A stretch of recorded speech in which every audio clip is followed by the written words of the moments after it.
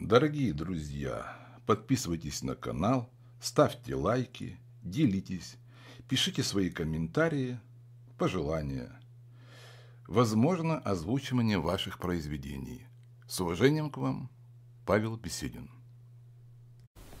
Донское сражение или Куликовская битва, 1380 год. Много забот, трудов, беспокойств и огорчений ожидало Дмитрия Иоанновича на Великокняжеском престоле. Сначала ему пришлось несколько раз усмирять Дмитрия Константиновича, который все еще стремился быть великим князем. Наконец, видя, что все старания его напрасны, он не только помирился с Дмитрием Ивановичем, но даже через пять лет отдал за него дочь свою Евдокию.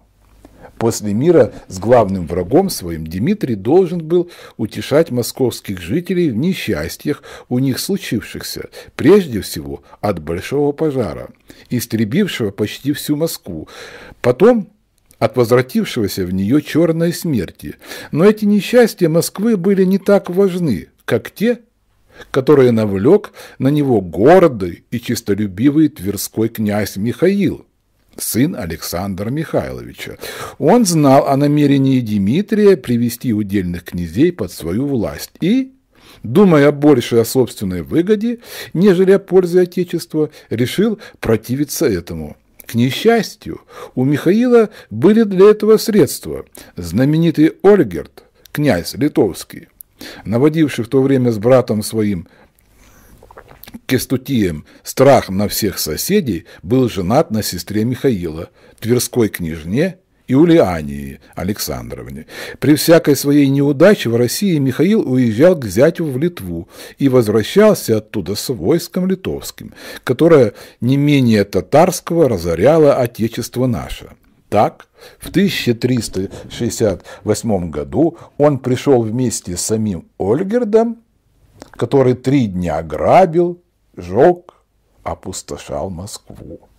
Великий князь, брат его Владимир Андреевич, митрополит Алексий и знатные бояре едва спаслись в Кремле. Выходя из Москвы, Ольгерт хвастал тем, что русские долго не забудут его. Впрочем, это нашествие литовцев не принесло никакой пользы Михаилу. Дмитрий остался на великокняжеском престоле. Тогда Тверской князь решил просить помощи у Мамая, который в это время был уже так силен, что соединил свою Волжскую Орду с Золотой или Сарайской и, сделав ханом Мамант Салтана, повелевал им, как хотел. Михаил Александрович умел угодить гордому татарину и Мамай дал ему грамоту на великое княжество и посла, чтобы возвести его на престол. Но прошло то время, когда князья русские, не рассуждая, повиновались татарам. Михаил с ханской грамотой едва мог убежать от полков московских в Вильну. Вы помните, что это была столица литовского князя? Старый Ольгерт ласково принял зятя и согласился идти с ним на русских. Кремль во второй раз спас великого князя и все семейство его. Пока литовцы стояли перед этой крепостью, рассуждая, начинать ли приступ, брат Дмитрия Владимир Андреевич и князь Пронский пришли сильными полками из Перемышля и Рязани. Ольгерт, увидев, что со всех сторон его окружают русские, испугался и начал просить мира, уверяя, что вечно будет другом русских. Чтобы доказать свою искренность, он предложил выдать дочь свою Елену за умного и храброго князя Владимира Андреевича. Добрые предки наши поверили ему, княжня, княжна Литовская сделалась русскую княгиню. Но ссоры с Ольгердом от того не уменьшились. И до самой смерти своей он разорял отечество наше в угоду зятю своему, который только в 1375 году был совершенно усмирен великим князем. В договорной грамоте Михаил поклялся при митрополите Алексии считать московского князя старшим и никогда не искать великокняжеского престола. Молодой Дмитрий Иоаннович был так добр, что не только не отнял на наследственного княжества у смертельного врага своего, чего он по справедливости заслужил, но даже позволил ему называться великим князем Тверским. Впрочем, одно это название без Владимирского престола не было важно. Так называли сами себя часто и разные другие князья, например, рязанские и смоленские. Войско русское почти не отдыхало во время княжения Дмитрия. Едва окончилась продолжительная война с Тверским князем, как полки московские пошли в Камскую Болгарию. Великий князь беспристрастно думал о том, чтобы освободить отечество свое от власти татар. Камская Болгария тогда принадлежала им. Этого довольно было, чтобы заставить Дмитрия овладеть ею. В то, в то время она называлась уже не Камской, а Казанской Болгарией, потому что в ней был уже славный в истории нашей город Казань. Его основал один из татарских ханов по имени Сайн, который, идучи завоевывать Россию, был встречен тут многими русскими князьями. Боясь татар как огня, они пришли к ним с покорностью и принесли богатые дары. Сайн сжалился над ними и не пошел в тот раз далее. Место ему понравилось, и Сайн вздумал основать тут городок для того, чтобы татарские баскаки, посылаемые для сбора дани с русских, могли здесь отдыхать. Он населил этот городок болгарами, черемисами, вотяками, мордвою и назвал Казанью. Казань значит по-татарски котел или золотое дно – при Дмитрии Ивановиче Казань была уже не городком, а богатым городом. Жители его, думая испугать русское войско, посланное Дмитрием, выехали навстречу ему на верблюдах. Но чего боятся русские? Они бросились на них так скоро и неустрашимо, что верблюды едва успели повернуться и побежать назад к городу. Два владетеля болгарских, Асан и Махмад Салтан, покорились великому князю и дали ему две тысячи рублей, а на воинов его три тысячи рублей, и обязались и впредь быть данниками московского князя. Дмитрий очень досадил татарам покорением области, им принадлежавшей. Но в 1378 году еще более он победил в Рязанской области на берегах реки Вожи сильное войско, посланное Мамаем, чтобы наказать дерзкого русского князя. Эта победа первая, одержанная над татарами с 1224 года, показала, что русские уже не те покорные рабы, какими были прежде. Мамай пожелал отомстить храброму Дмитрию и, чтобы вернее сделать это, собрал войско из татар, половцев, турок, черкесов, ясов, жидов кавказских и армян. Но это войско показалось Мамаю еще недостаточным для усмирения русских.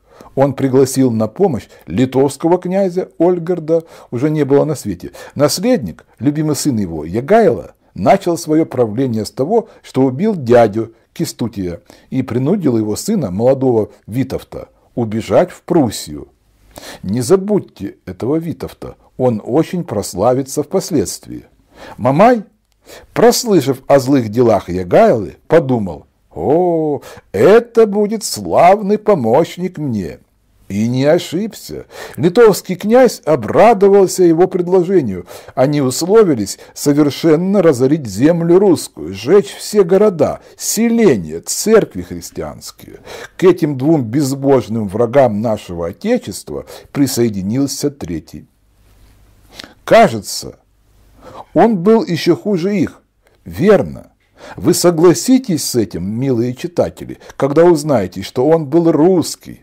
Да, это был князь Рязанский Олег. Жестокий, хитрый, лукавый, он умел скрывать свои пороки и оказывал всегда столько почтения и любви великому князю, что добрый Дмитрий считал его истинным другом своим. И после этого Олег не постыдился изменить ему, сам предложил Мамаю и Галле свою помощь и согласился ждать на берегах Аки. Мамай обещал за это разделить между обоими союзниками завоеванное Великое княжество. Эта награда была с самого начала причиной измены Олега. Он думал, что соединенные войска татарские и литовские совсем разорят русские княжества и надеялся в это время не только сохранить свое, но даже увеличить его.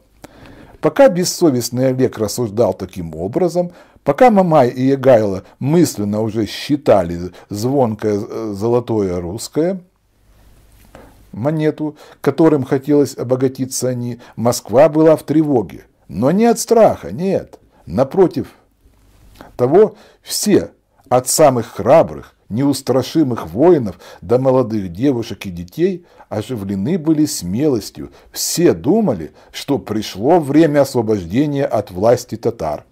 И как будто предчувствовали, что Бог, жались над страданиями русских, наконец поможет им победить своих притеснителей. Пример в этом мужестве, э, в этой надежде подавал всем жителям московским их князь. Как только Дмитрий узнал о намерении Мамая и Егайлы, он разослал гонцов во все области Великого княжества Русского с повелением собирать войско и вести его прямо в Москву. Через несколько дней целые города готовы были идти против неприятелей. Каждый день приходили в Москву новые полки под начальством князей или бояр. Это были князья ростовские, Белозерские, Ярославские со своими подданными, бояре Владимирские, Суздальские, Переславские, Костромские, Муромские, Дмитровские, Можайские, Звенигородские, Угличские, Серпуховские. Все эти дружины составили многочисленное войско, которое готово было выступить в поход. Но Дмитрий прежде хотел вместе с неразлучным другом своим и после ранней кончины родного брата Иоанна единственным братом и товарищем князем Владимиром Андреевичем и со всеми главными воеводами съездить в уединенный Троицкий монастырь и там принять благословение игумена Сергия о благочестии которого читатели уже слышали. Этот святой старец, хотя уже давно отказался от мира, но пламенно любил свое отечество. Он обрадовался, неожиданно увидев храбрых защитников в тихом монастыре своем. Обрадовался смирению, с которым они желали получить через него благословение Божие, потому что это предвещало им помощь, небесную и победу. Он упросил великого князя отобедать в монастыре окропил святою водою его и всех бывших с ним военачальников и отпустил с ними разделять опасности войны двух монахов – Александра Пересвета и Осляблю. Выезжая из Троицкого монастыря, Дмитрий еще более надеялся на победу. В церкви Михаила Архангела над гробницами предков своих, государей московских, великий князь еще раз помолился Богу и простился с супругою. Горько плакала она, отпуская друга своего на сражение с татарами. Невольно приходила ей в голову мысль обо всех князьях, уже убитых ими.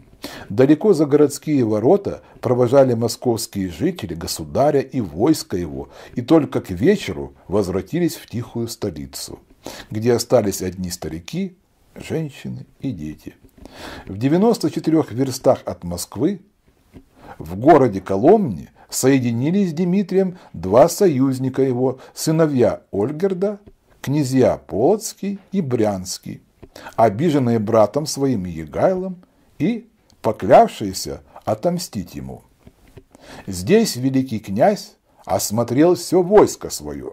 Никогда еще не было оно так многочисленно, более 150 воинов, конных, пеших стояло в рядах. Дмитрий был спокоен и тверд. Его огорчала только измена Олега. И огорчала не потому, что он боялся ее, а потому, что ему горестно было видеть изменника в прежнем друге.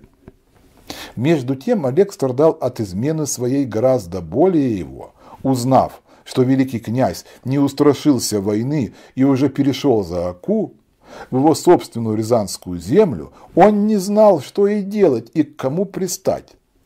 Боялся и Мамая, и Дмитрия, раскаивался в измене и дрожал при одной мысли о том, что будет с ним впоследствии. Мамай со всей Ордой уже стоял за Доном и ждал Егайлу. Войско наше подошло к этой реке. Князья и бояре долго рассуждали, переходить ее или ожидать татар здесь. Решено было перейти, чтобы не дать Мамаю соединиться с литовским князем. И на другой день поутру все войско русское уже стояло на другой стороне Дона, на берегах реки Непрядвы. Здесь Дмитрий Иоаннович еще раз взглянул с высокого холма на многочисленные полки свои. Мысль, что, может быть, через несколько часов все эти храбрые воины погибнут под ударами жестоких татар, так тронула доброе сердце его, что он упал на колени и, глядя на золотой образ Спасителя, веявший на черном знамени великокняжеском, молился за народ свой. Потом объехал все полки, говорил с каждым из них, называл воинов милыми братьями, обещал им славу в здешнем мире и в будущем. Это было 8 сентября 1380 года. В шестом часу дня войско наше дошло до поля Куликова, которое простиралось более чем на 10 верст. Здесь русские увидели неприятелей. Татар было больше наших. Дмитрий, несмотря на просьбы князей и бояр, которые умоляли его не подвергать опасности жизнь свою, сражался в передовом полку. Он первым ударил по врагу, место его было в рядах простых воинов. Три часа продолжалась страшная битва, кровь лилась на всем обширном поле. Но все еще нельзя было решить, кто останется победителем. В одном месте русские теснили татар, в другом татары русских. Однако уже большие или княжеские знамена едва спасены были от рук Мамая. Уже некоторые из полков московских хотели было бежать, как вдруг князь Владимир Андреевич, начальник засадного полка, выступил из рощи которая скрывала его от всех, и неустрашимо бросился на татар. Это решило судьбу сражения. Неприятели не могли уже противиться свежему войску и побежали. Мамай, увидев это бегство, вскричал с тоскою отчаяния «Велик Бог христианский!» и побежал за своими воинами. Русские гнали их до реки Мичи, убивали и топили, без счета и взяли в добычу множество лошадей и верблюдов, навьюченных разными ценностями.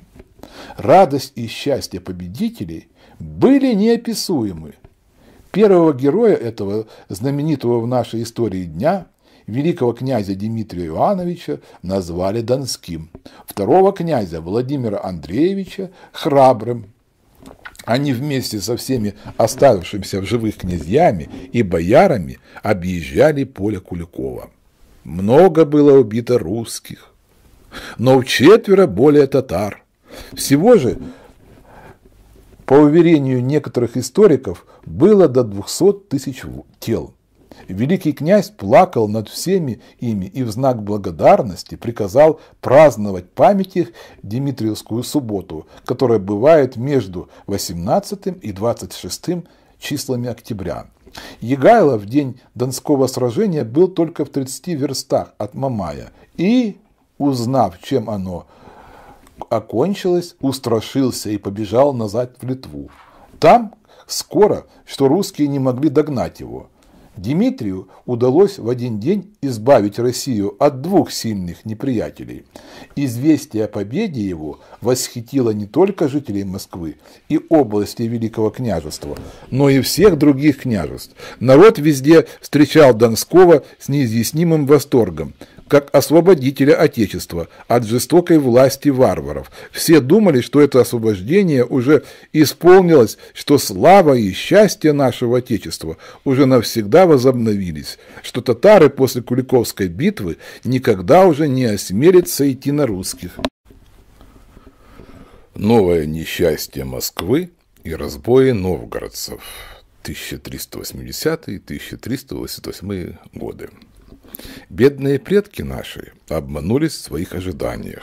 Не прошло и двух лет после славного Донского сражения, как Москва опять оказалась в руках татар и опять терпела все те же ужасы, какие происходили в ней в то время Батыя.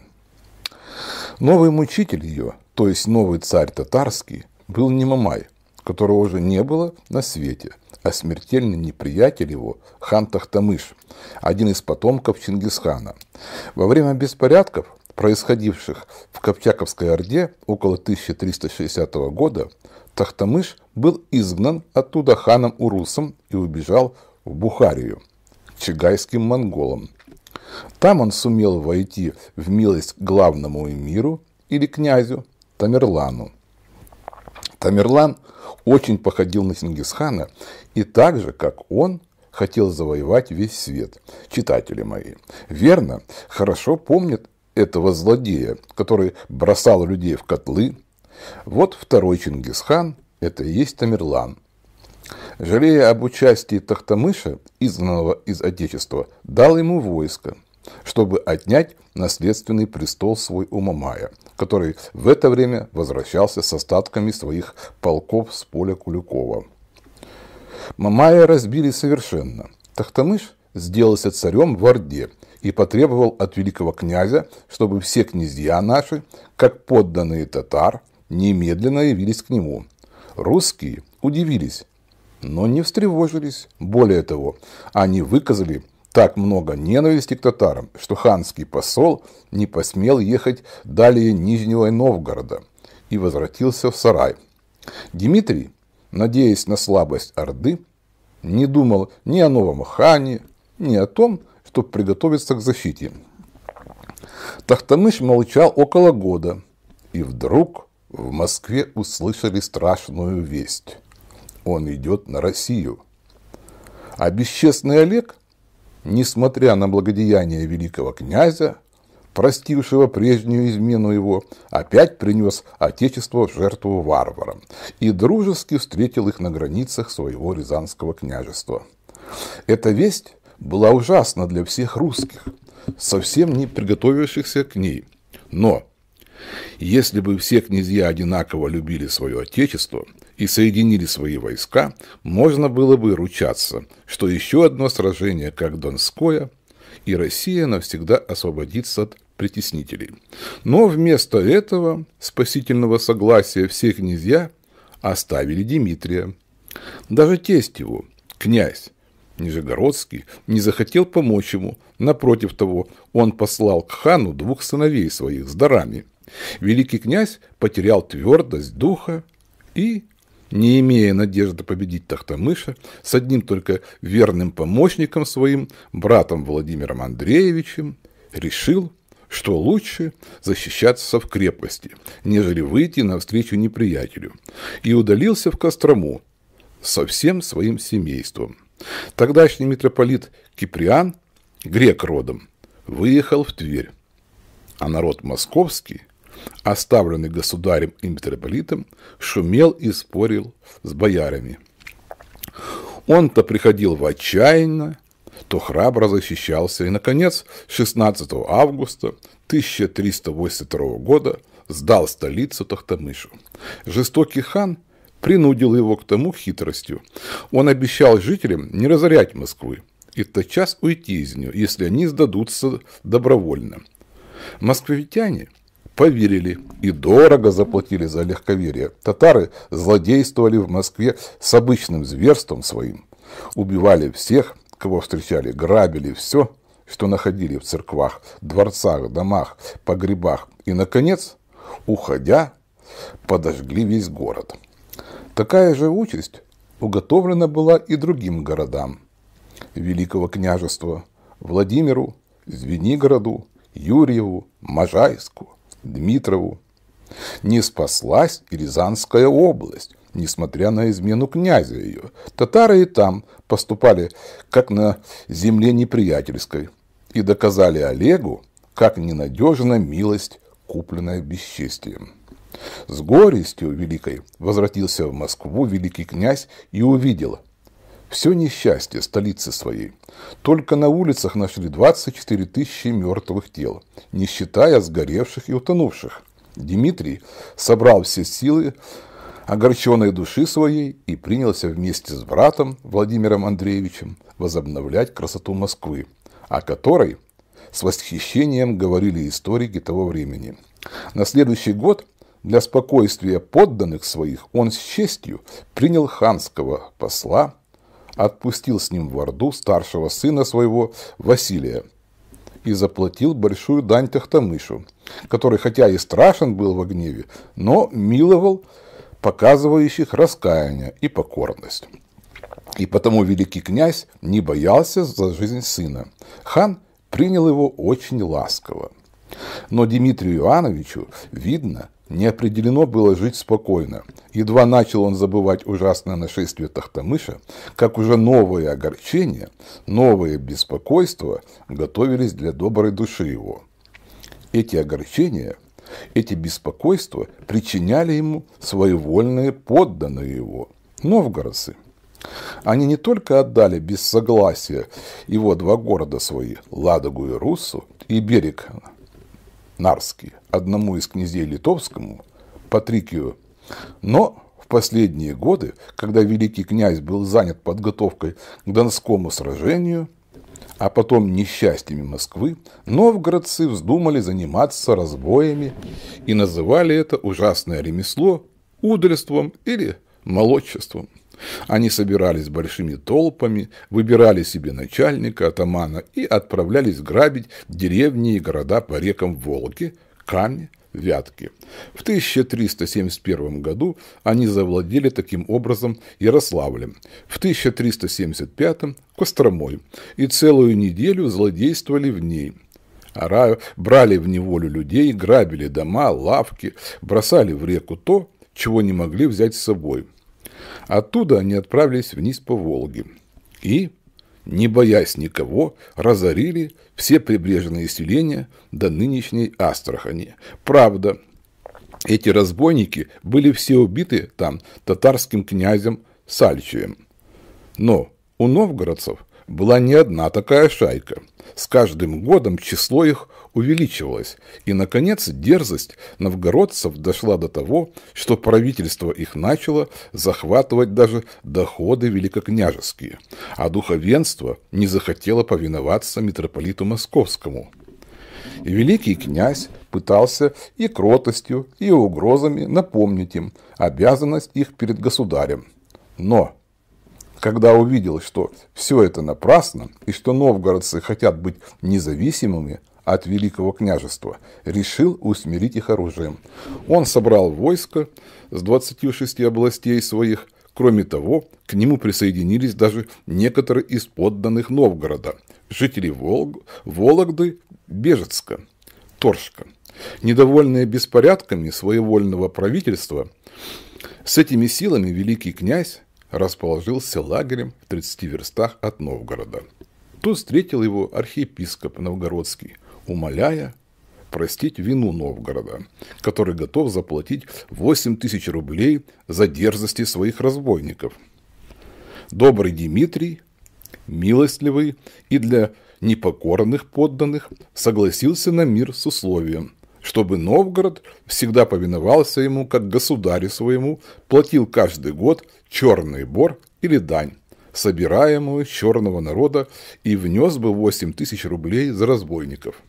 Кроме того, они должны были взять у литовского князя Руссу и Ладогу.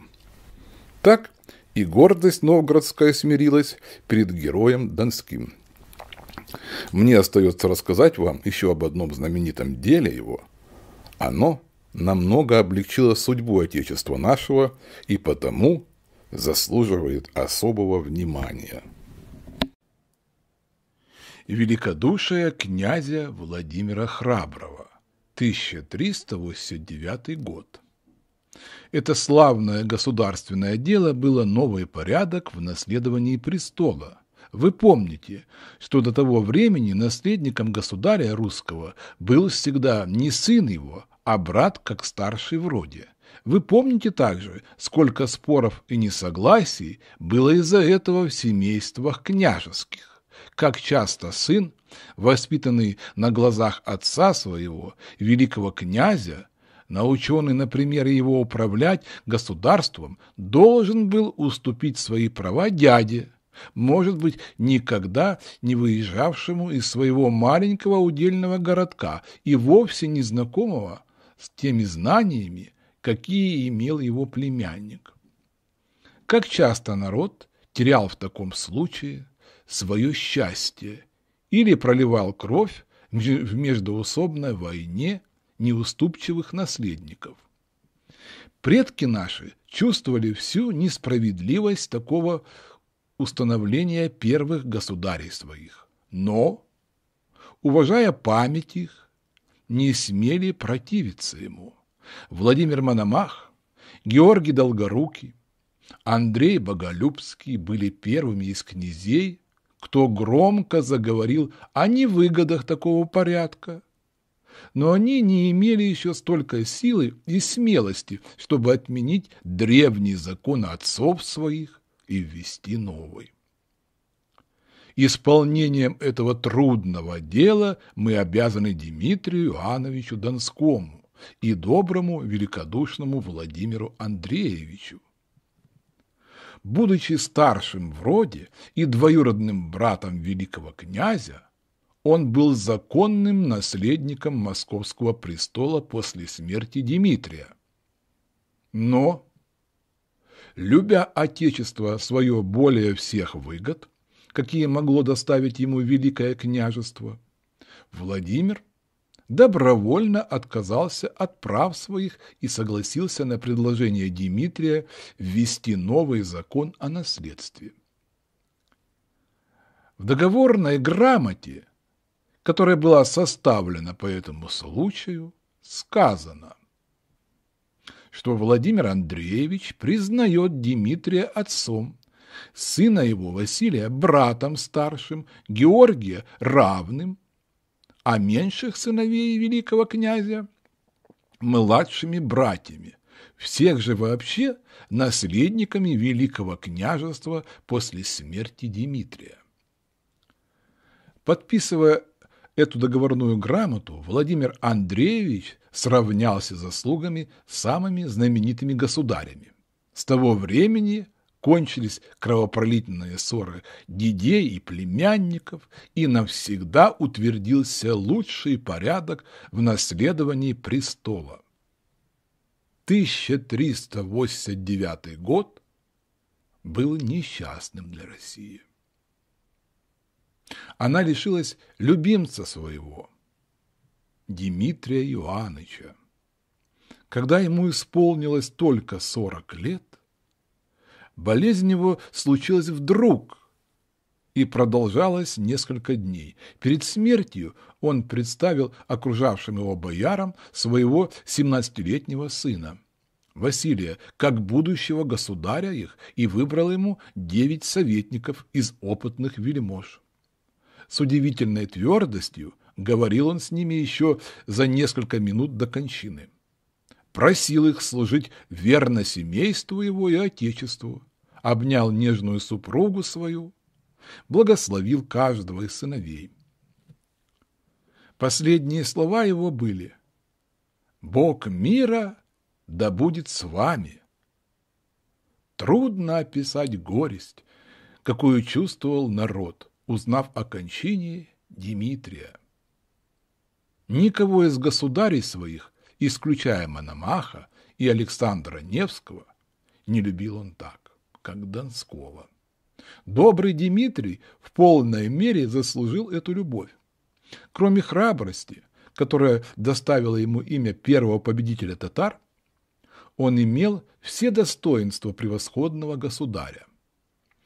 В 26-летнем княжении Дмитрия произошло крещение в веру христианскую пермян и литовцев. Пермью называлась обширная страна в Северной России от реки Двины до Уральских гор.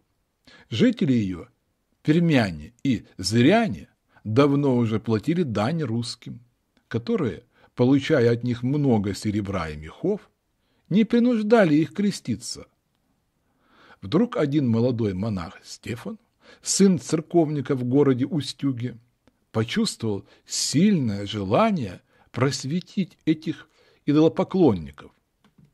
Он выучился языку пермскому, выдумал для него особые буквы, перевел главные церковные книги его славянского языка и отправился к дикарям проповедовать Евангелие. Бог благословил его усердие.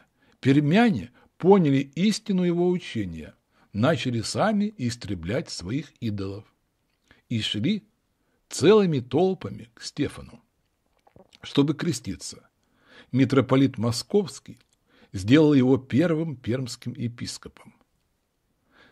Во времена жизни своей Стефан был покровителем народа, им просвещенного, Нетленное тело его погребено в Кремле, в церкви Преображения.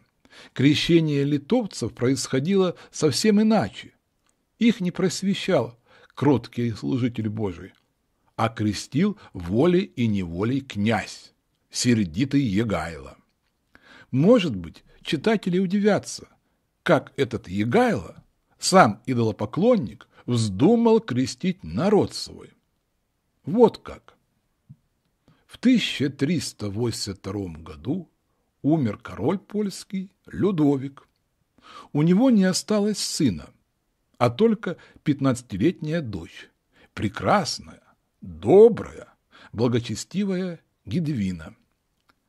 Польские вельможи, управлявшие государством, искали для молодой королевны своей такого супруга, который бы мог защитить ее владение от нападений врагов из всех князей соседних с Польшей не было сильнее Егайлы. Его и избрали супругом прекрасной королевны польской, с тем условием, однако, чтобы он принял веру христианскую. Вот для чего. Чтобы жениться на Гедвине и сделаться через то польским королем, Егайло согласился сам креститься и потом крестить весь народ свой. И как же он крестил его? Он не учил так, как Стефан и другие проповедники веры Христовой, а оставил литовцев в ряды целыми полками и заставлял их читать символ веры. В это время священники кропили их святой водой и давали им христианские имена.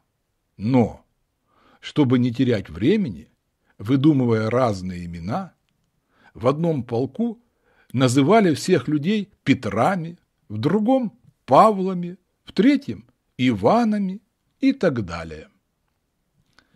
Надо мне сказать вам, что вера поляков, принятая Егайлом, была не наша, греческая, а латинская или католическая. От этого произошли новые беды для тех русских областей, которые были под властью Литвы и Польши. Теперь соединенных в одно государство.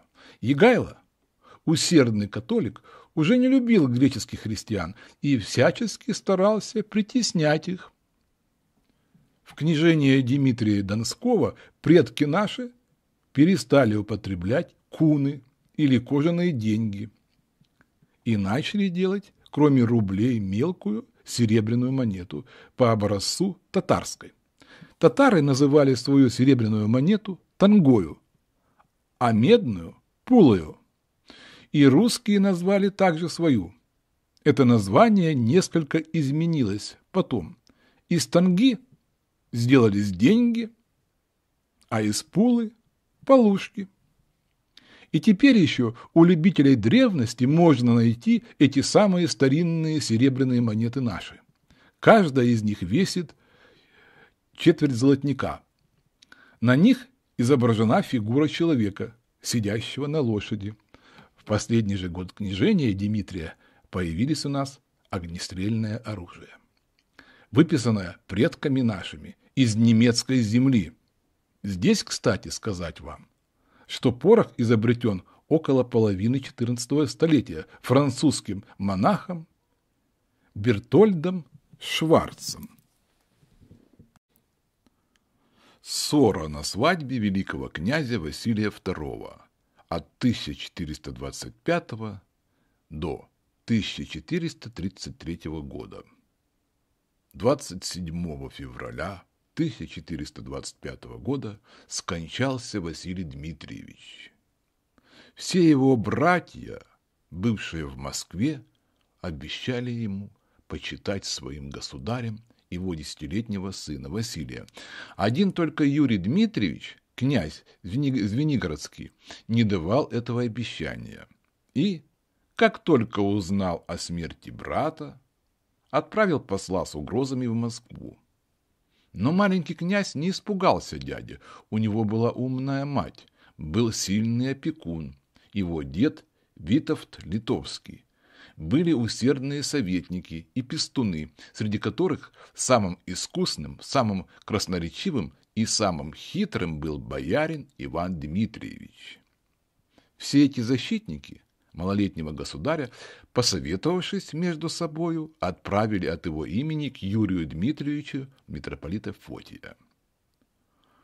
Убеждения служителя Божьей подействовали на Юрия. Он согласился, хоть и не совсем, отказаться от Великого княжества, но, по крайней мере, не искать его до тех пор, пока царь татарский решит, кому оно принадлежит.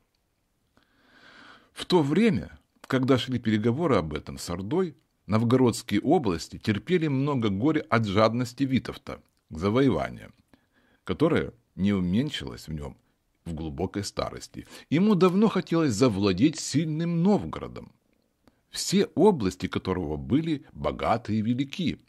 Первое место среди них занимал Псков, знаменитая родина святой Ольги. Новгородцы были так довольны услугами псковитян, всегда защищавших их от ливонцев и литовцев, что в 1348 году сняли Пскова верховную власть свою и назвали его братом Новгорода.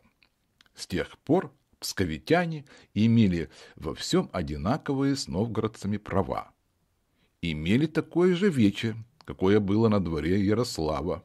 Но со времен Калиты это вече уже немного значило и в Новгороде, и в Пскове.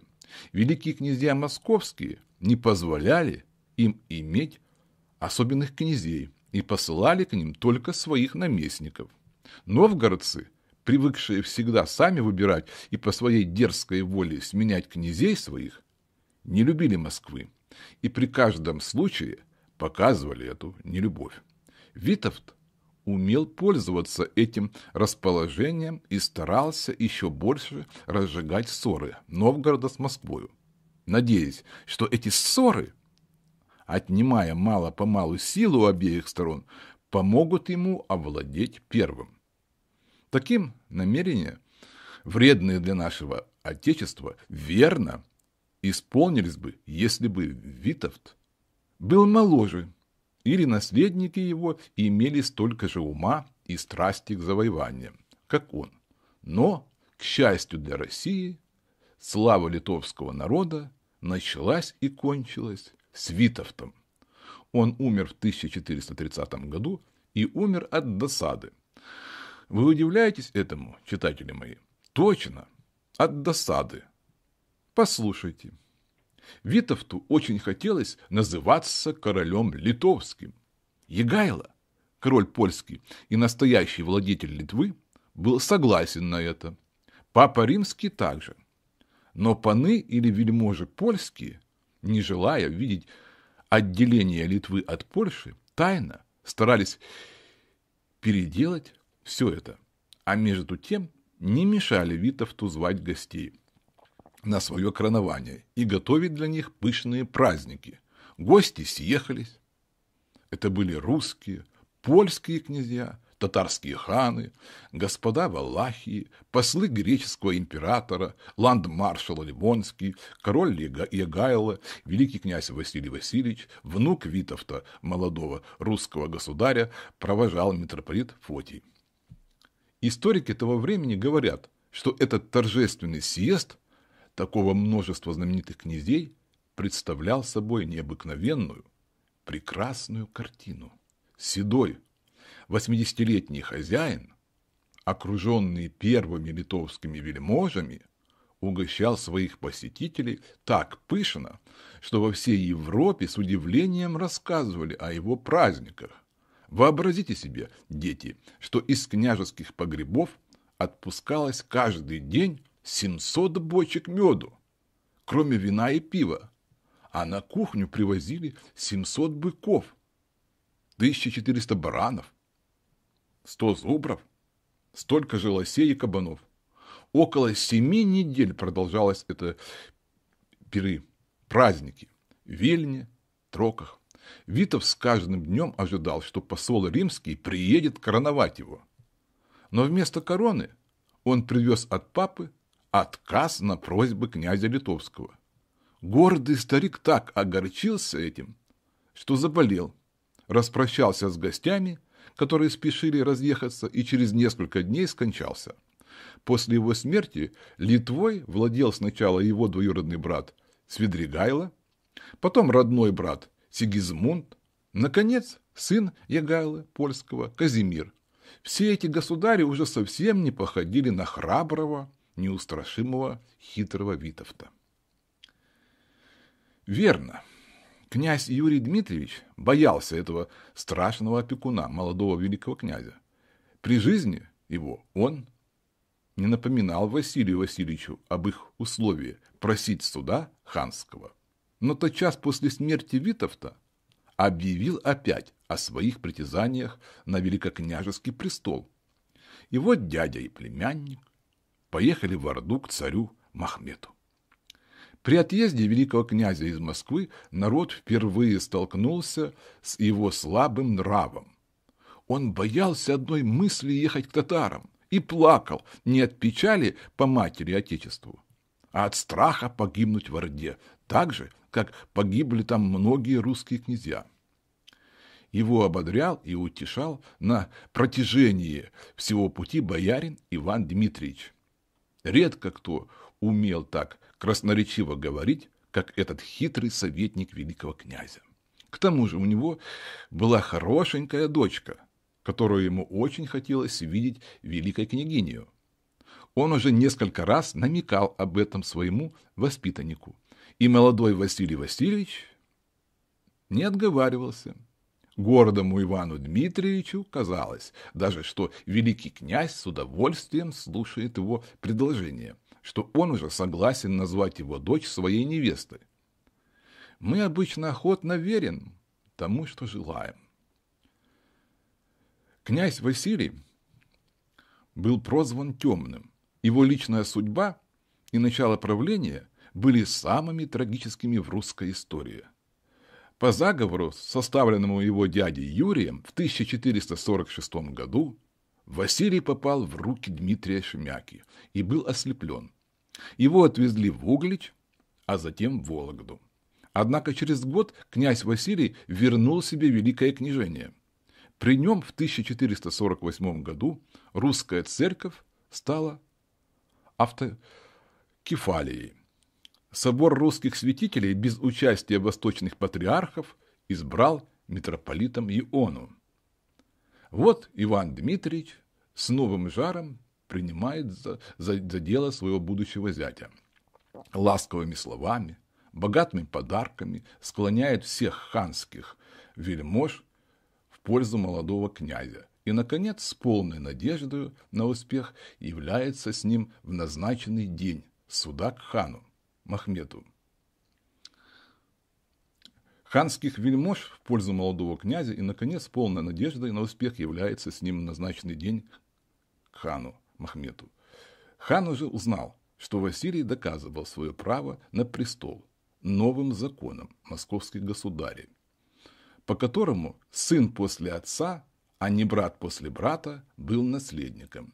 Дядя же его считал этот закон несправедливым и хотел быть великим князем по прежнему установлению. Когда князь Юрий кончил свою жаркую речь, боярин Иван Дмитриевич, сделав низкий поклон, стал перед Махметом и сказал, «Царь Верховный, позволь мне, смиренному холопу, говорить за моего молодого князя. Юрий ищет великого княжества по старинным грамотам, а государь наш, по твоей милости зная, что оно в твоей воле, отдашь его кому хочешь. Один требует, другой просит. Что значит все грамоты против твоей воли? Шесть лет уже Василий Васильевич на престоле. Ты не свергнул его. Стало быть, сам признавал государем законным. Эта льстивая, хитрая речь так понравилась хану, что он уже э, тут же обнял молодого Василия, признал его великим князем и приказал Юрию вести под ним коня. Этот азиатский обычай означал власть верховного государя над князем, зависящим от него. Но Василий Васильевич не допустил дядю до такого унижения, и, возвратясь в Отечество, они, казалось, уже забыли свои разногласия и жили спокойно, каждый в своем владении, как вдруг совсем неожиданно вспыхнула между ними новая кровопролитная ссора. И вот по какой причине. Боярин Иван Дмитриевич, приехав из Орды, с нетерпением ожидал, когда великий князь, многим ему обязанный, назначит день своей свадьбы с его дочерью. Но, к удивлению, через несколько месяцев заговорили о свадьбе государя и невестой объявили не дочь Ивана Дмитриевича, а княжну Марию Ярославну, внучку знаменитого и очень любимого народом князя Владимира Андреевича Храброго. Трудно представить себе, как рассердился на это гордый Иван Дмитриевич. Он поклялся отомстить за эту обиду великому князю и тотчас же, не дожидаясь окончания свадьбы, уехал в, Кос... в Костромской Галич к своему дяде Юрию Дмитриевичу и предложил ему свои услуги погубить Василия. В то время, как эти два жестокие врага князя выдумывали способ отомстить за себя, новая ссора в Москве предоставила им еще двух усердных помощников предоставила. Два сына Юрия Дмитриевича, Василий Косой и Дмитрий Шемяка остались в Москве. Пировать на свадьбе молодого государя и своего двоюродного брата. Косой был в это время сговорен на, на внучке боярина Ивана Дмитриевича, дедушка невесты в день сговора подарил жениху золотой пояс с цепями, усыпанными драгоценными камнями. Зная богатство Ивана Дмитриевича, Косой не спрашивал, откуда достался ему этот прекрасный пояс, а только любовался его чудесной отделкой, блеском изумрудов, рубинов, красотой искусно сделанных цепочек. С нетерпением ждал он случая обновить дорогой подарок на каком-нибудь празднике. И скоро такой случай представился. 8 февраля 1433 года назначена была свадьба великого князя. Весело от... отправился во дворец Василий Юрьевич в своем золотом поясе и уже заранее восхищался тем, как он удивит всех гостей своим богатым нарядом. Он, конечно, удивил, но зато и сам был удивлен, когда молодые уже приехали из церкви, и все гости сидели с ними за пышным столом. Один из бояр ростовских начал сматриваться в драгоценный пояс.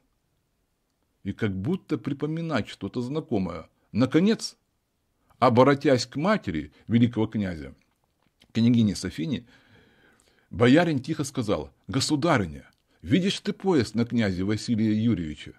Он непростой. Он из кладовых великокняжеских. Этот пояс подарен князем Дмитрием Константиновичем Суздальским, его зятю, нашему незабвенному государю Дмитрию Донскому. В день его свадьбы он затерялся. Говорили, будто бы один из самых близких к великому князю бояр подменил его но до сих пор было неизвестно, кто именно. Я удивляюсь, как мог, как мог этот драгоценный для всех нас пояс попасть к молодому Василию Юрьевичу. Пылкая гордая София, у которой была причина не любить семейство Юрия Дмитриевича, обрадовалась и дорогой находке, и случаю доставить неприятность сыну своего врага. Поспешно подошла она к Василию Юрьевичу, надменно спросила, где он взял свой богатый пояс, и, не дождавшись ответа, собственными руками сорвала его. Удивление и гнев молодого князя были неописуемы. Не имея понятия о том, что пояс достался боярину Ивану Дмитриевичу, потому что был подменен одним из его предков, Василий Юрьевич видел в нем только подарок деда своей невесты и не хотел его лишаться. Его брат Дмитрий Шемяка держал его в сторону, но спорить было нельзя. Пояс был уже в руках Софии Витовны, которая приказала молчать сыновьям Юрия. Кровь кипела в молодых князьях от такой жестокой обиды. В бешенстве выбежали они оба из дворца и в тот же час отправились в Галич, к отцу.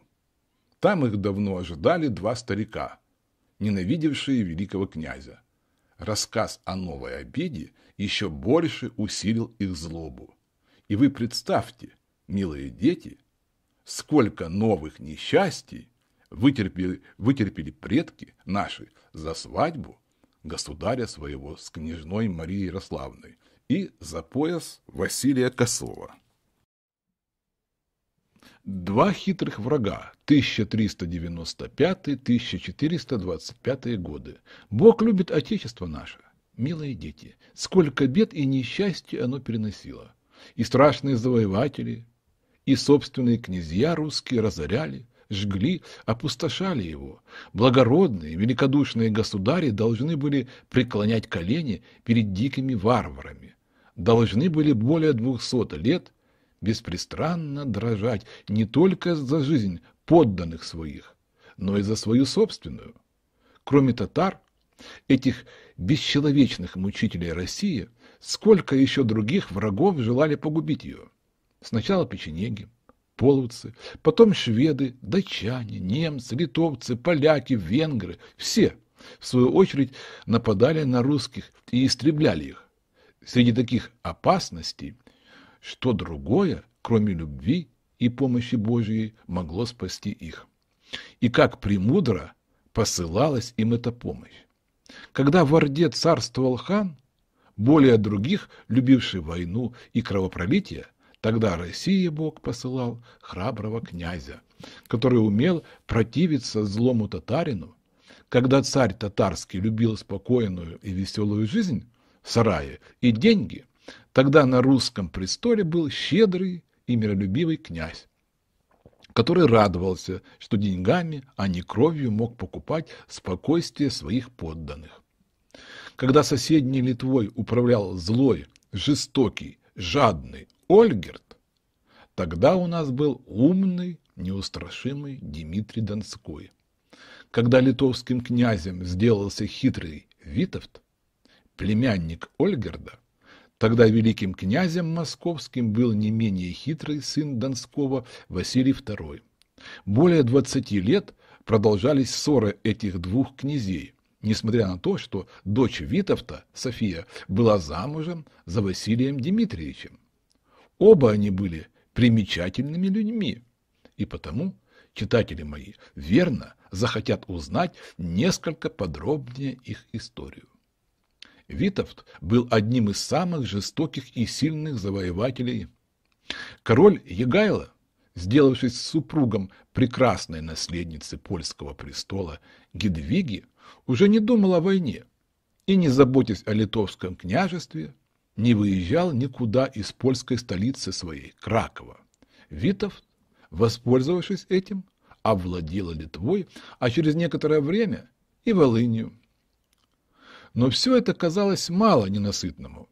В 1395 году он завладел Смоленском, так что кроме литовских земель ему уже принадлежала вся старинная земля Вятичей, то есть нынешняя Орловская губерния, частью Калужской и Тульской, множество удельных городов князей Черниговских. Одним словом, Витовт был государем всей Южной России и замышлял отнять у Василия Дмитриевича и последнее, оставшееся у него, области, где сохранялась жизнь и будущее величия русских. Сколько надобно было Василию иметь мужества, благоразумия, осторожности и даже хитрости, чтобы не допустить исполнения этого намерения. Ему это удалось, и Витовт, видя твердость русского князя, отказался от своих замыслов и в последние годы княжения Василия жил в мире с ним. Гордость его была во многом усмирена татарами.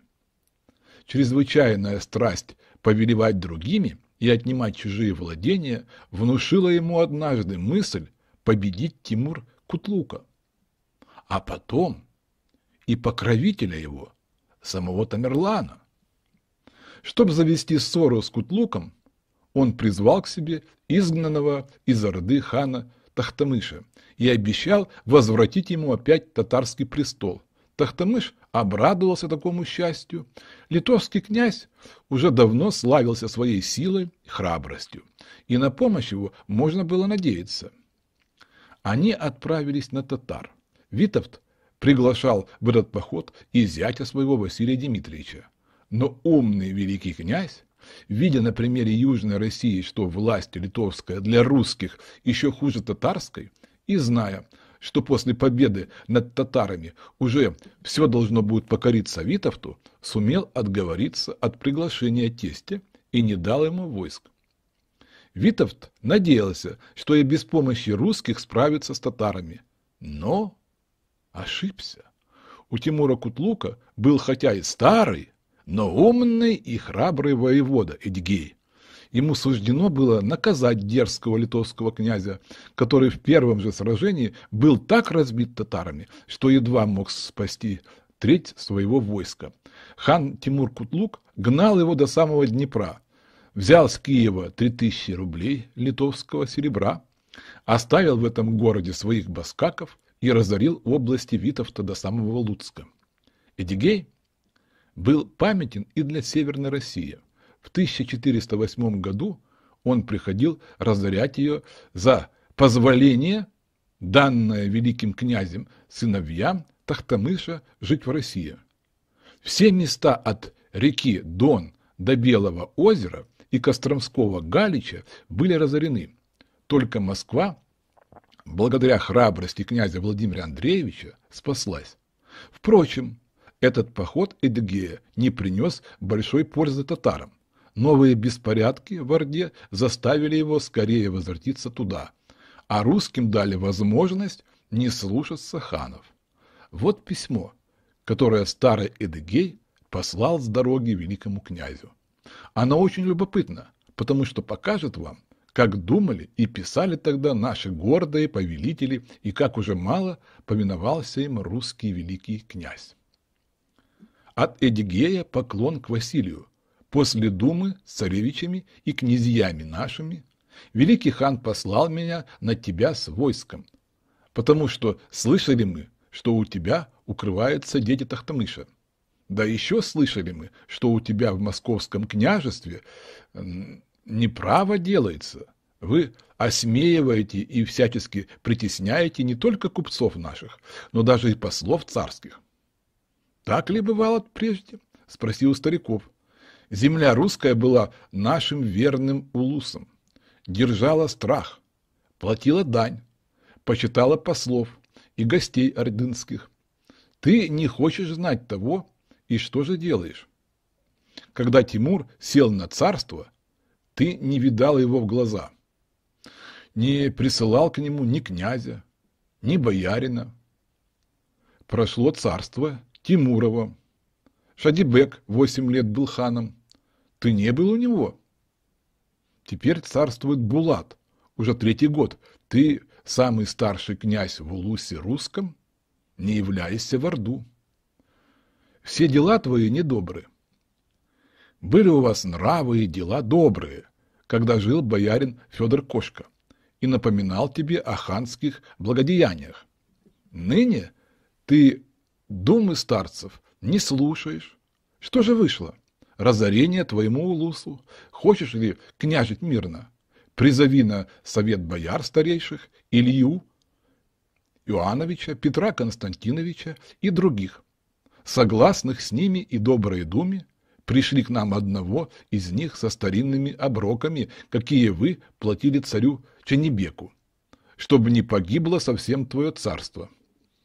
Все, что ты писал к хану о бедности народа русского, несправедливо. Мы теперь сами видели твой улыс и узнали, что ты собираешь в нем по рублю с двух сох. Куда же идет серебро? Земля христианская осталась бы цела, когда бы ты исправно платил дань. А теперь бегаешь как раб. Размысли и научися.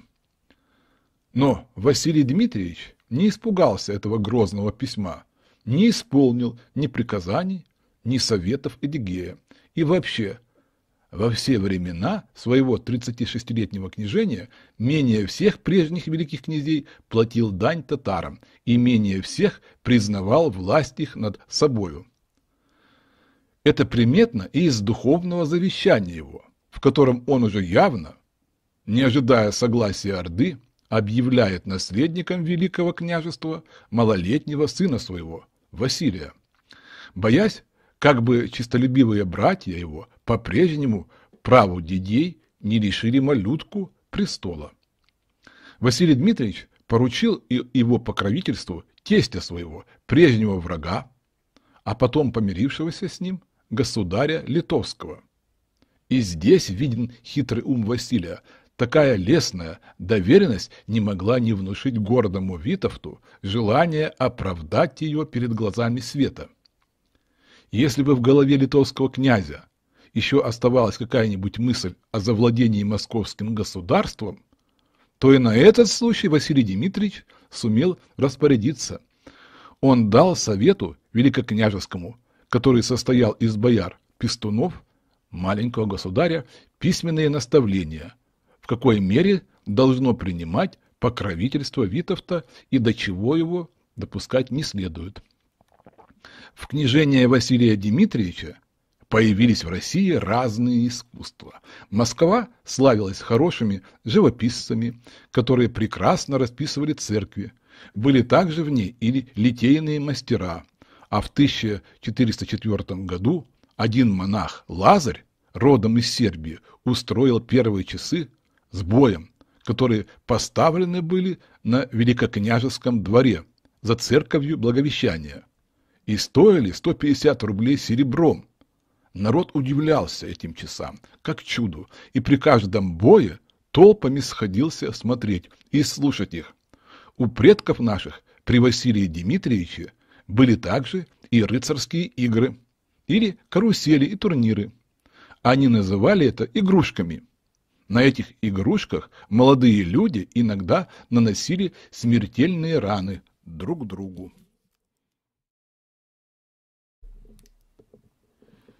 Дмитрий Шемяка, 1433-1446 годы. Из всех врагов, которых доставил великому князю день его свадьбы, самым жестоким был Дмитрий Шемяка. Не дядя Юрий, ни сын его Василий Косой, ни даже мстительный боярин Иван Дмитриевич не причинили столько зла великому князю, как этот двоюродный брат его. Правду сказать, что и он сам не всегда был справедлив и очень часто заслуживал те несчастья, какие терпел. Шемяка был, кажется, назначен Богом на то, чтобы показать великому князю, что и в здешнем мире зло бывает наказано. Свадебные праздники Василия Васильевича были, кажется, последними приятными днями для этого несчастного государя.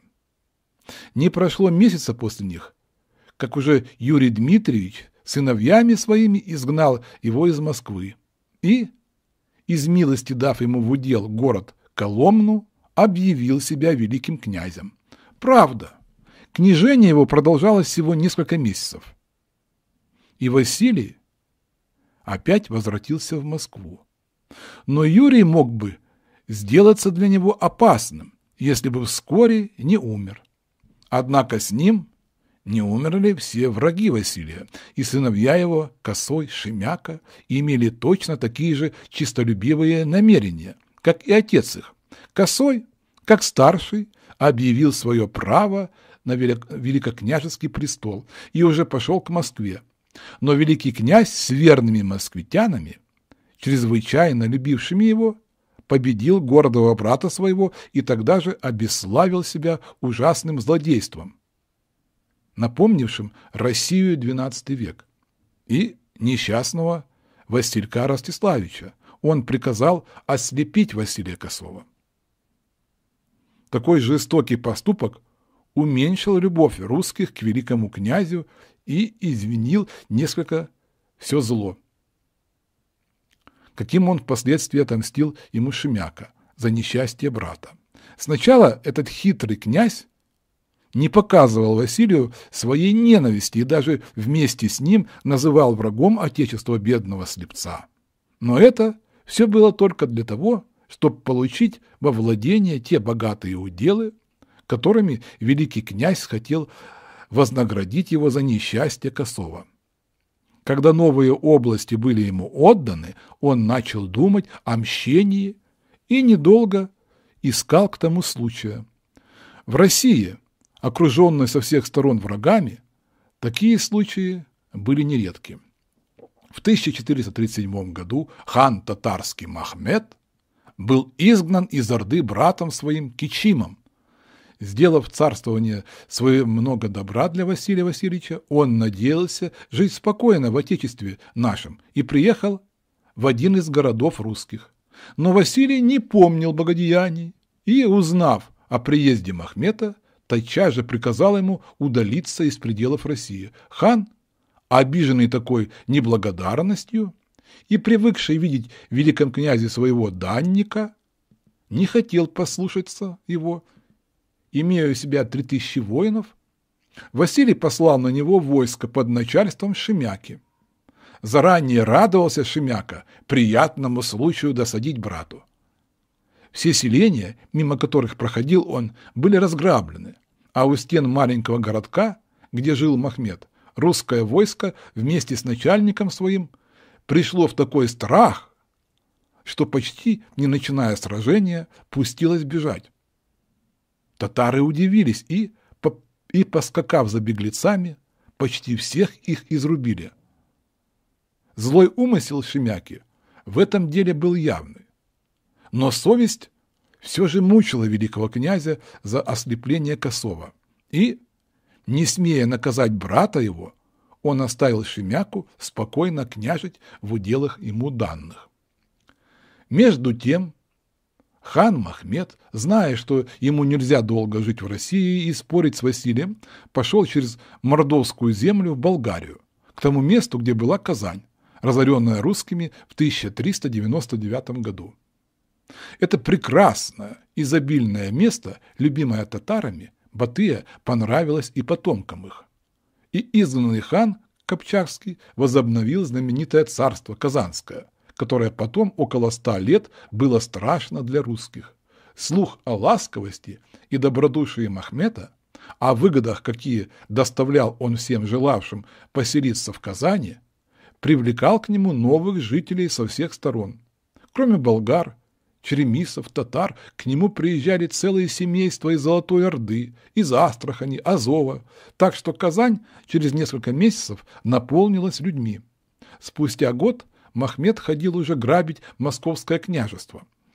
А в 1445 году историки наши говорили о настоящем нашествии на Россию казанского царя. Он взял Нижний Новгород, а двух сыновей своих послал к Суздалю – это нападение было так неожиданно, что великий князь не успел собрать всех своих защитников, а Шемяка опять обманул его, не поехал сам к нему на помощь и не прислал войско. Этот обман дорого стоил великому князю. Имея только 1500 воинов, он не только был разбит татарами при Суздале, но даже взят в плен с простреленной рукой. С тринадцатью ранами на голове и без нескольких отсеченных пальцев. Как радовался Шемяка несчастью Василия, особо когда Махмед прислал к нему своего Мурзу или вельможу с дружескими предложениями. Он уже не сомневался, что добьется себе у Махмета великокняжеского престола, а Василию – вечной неволи, как вдруг все переменилось. В то время, как казанский царь праздновал в Нижнем Новгороде свои победы, какой-то татарский князь завладел Казанью. Махмед, желая скорее возвратиться в свою столицу, не стал дожидаться возвращения Мурзы от Шемяки и отпустил великого князя в Москву, взяв с него только выкуп. Неожиданное возвращение обрадовало печальное семейство Василия Васильевича и весь народ его, но в то же время встревожило новой досадой сердце Дмитрия, он опять поклялся погубить врага своего и решился не ожидать случая, а скорее кончить дело изменой и заговором. Для этого ему нужны были помощники, а так как дурных людей везде много, то он скоро нашел их. Главным из них, кроме многих бояр, купцов, дворян и даже монахов, был двоюродный брат Василия и Дмитрия Шемяки, князь Иоанн Андреевич Можайский. Заговорщики условились внезапно овладеть столицей и схватить великого князя. Они выбрали время, когда Василий поехал в Троицкий монастырь благодарить Бога и святого Сергия за избавление свое из плена. Это было в 1446 году. 12 февраля ночью злодеи вошли в Кремль и без труда овладели этой крепостью, где все спали, а потом и всей Москвою. В ту же ночь Шемяка отправил в Троицкий монастырь верного друга своего Иоанна Можайского схватить там великого князя. Несчастный государь, вовсе не ожидая жестокой судьбы своей, усердно молился в церкви, в ту самую минуту, как злодеи вошли и взяли его перед гробницей святого Сергия. Безо всякой жалости они бросили бедного князя в голые сани и привезли в Москву. Прямо на двор к Шемяке. Напрасно умолял он отпустить его, обещая постричься в монахи. Напрасно плакал перед врагом своим. Шемяка был неумолим и, чтобы заставить Василия испытать все те страдания, какие терпел от него Василий Косой, приказал ослепить его и потом сослал в Углич. Тогда же он объявил себя великим князем и во время непродолжительного правления своего показал столько бессмысленности, столько несправедливости, столько неуважения к прежним законам нашим, что с тех пор появилась в народе пословица о Шемякином суде, и теперь еще всякое несправедливое и бестолковое разбирательство какой-нибудь ссоры или дело называют Шемякиным судом. Последние годы княжения Василия Темного от 1446 до 1462 года. Василия II со времени ослепления называли темным или слепым. Это несчастье, одно из самых горестных для человека, было полезно для него – оно заставило его раскаяться в прежних несправедливых поступках, примирило его совесть с Богом, сделало его таким же любимым всеми, каким он был до ослепления Василия Косова. Не прошло года, и эта общая любовь народа возвратила ему великокняжеский престол. С христианской кротостью он простил Шемяку, взяв с него торжественную клятву никогда не думать о великом княжестве. Но для злого человека, который не боится Бога, клятва немного значит. В 1450 году Шемяка уже опять пришел с войском на великого князя. И 27 января между ними произошло жестокое сражение у Галича, особо примечательное тем, что это было последнее сражение в междуусобных ссорах князей. Величие России было уже близко, и отдельные несогласия удельных князей скоро стали утихать под хранительным могуществом одного государя. Шемяка был совершенно разбит москвитянами и, потеряв свой наследственный удел, Галич убежал в Устюг, город и теперь существующий Вологодской земле. Более двух лет Василий Темный не тревожил этого мятежника в Устюге. Наконец, в 1453 году, собрав войско, он пошел наказать его. И еще раз побежденный Шемяка убежал в Новгород и там умер от яда. Неизвестно, кто отравил его, но эта смерть обрадовала многих, в том числе и великого князя. Избавясь от врага, жестокость которого 20 лет тревожила наше Отечество, Василий Темный спокойнее принялся за государственные дела. В 1456 году он так усмирил новгородцев, как еще ни один из князей не усмирял их, а в 1459 покорил Вятку, которая, хотя и принадлежала к области Костромского Галича, присоединенного к московскому княжеству еще при жизни Шемяки, но долго не хотела повиноваться Василию. В последние годы своей жизни великий князь почти не платил никакой дани татарам и счастливо побеждал их, когда они иногда приходили разорять наши области. При нем стала известна еще новая орда, составленная старым Идигеем из черноморских татар. Она называлась Крымской и находилась на Крымском полуострове. Идигей незадолго до смерти, оставляя эту орду своим сыновьям, просил их не делиться и жить в дружбе между собой. Но они не послушали его – разделились и погибли. Тогда крымские татары выбрали себе в ханы молодого Азы, потомка Чингисхана, спасенного от смерти и воспитанного каким-то земледельцем Гиреем. Из благодарности к своему благодетелю молодой Азы принял его имя и назвался Азы-Гиреем. С того времени все крымские ханы всегда назывались Гиреями. Эта новая орда притеснителей нашего Отечества долго тревожило его.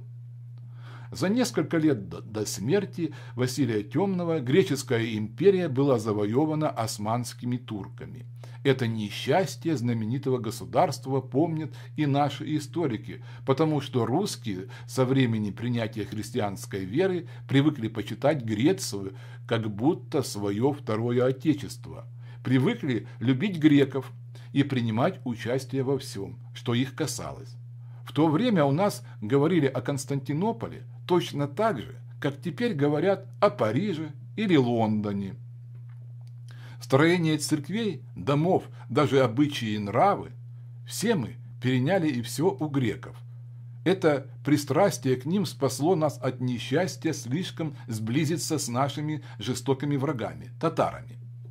Были примеры в истории разных государств, когда побежденные народы, перенимая обычаи своих победителей, смешивались с ними так, что впоследствии составляли один народ. Но мы избавились от такого унижения и должны благодарить за это греков. Обычаи татар, которые были прежде идолопоклонниками, потом магометанами, были так неприятны для наших предков, что они называли их погаными, и оттого еще больше любили все то, что было греческое.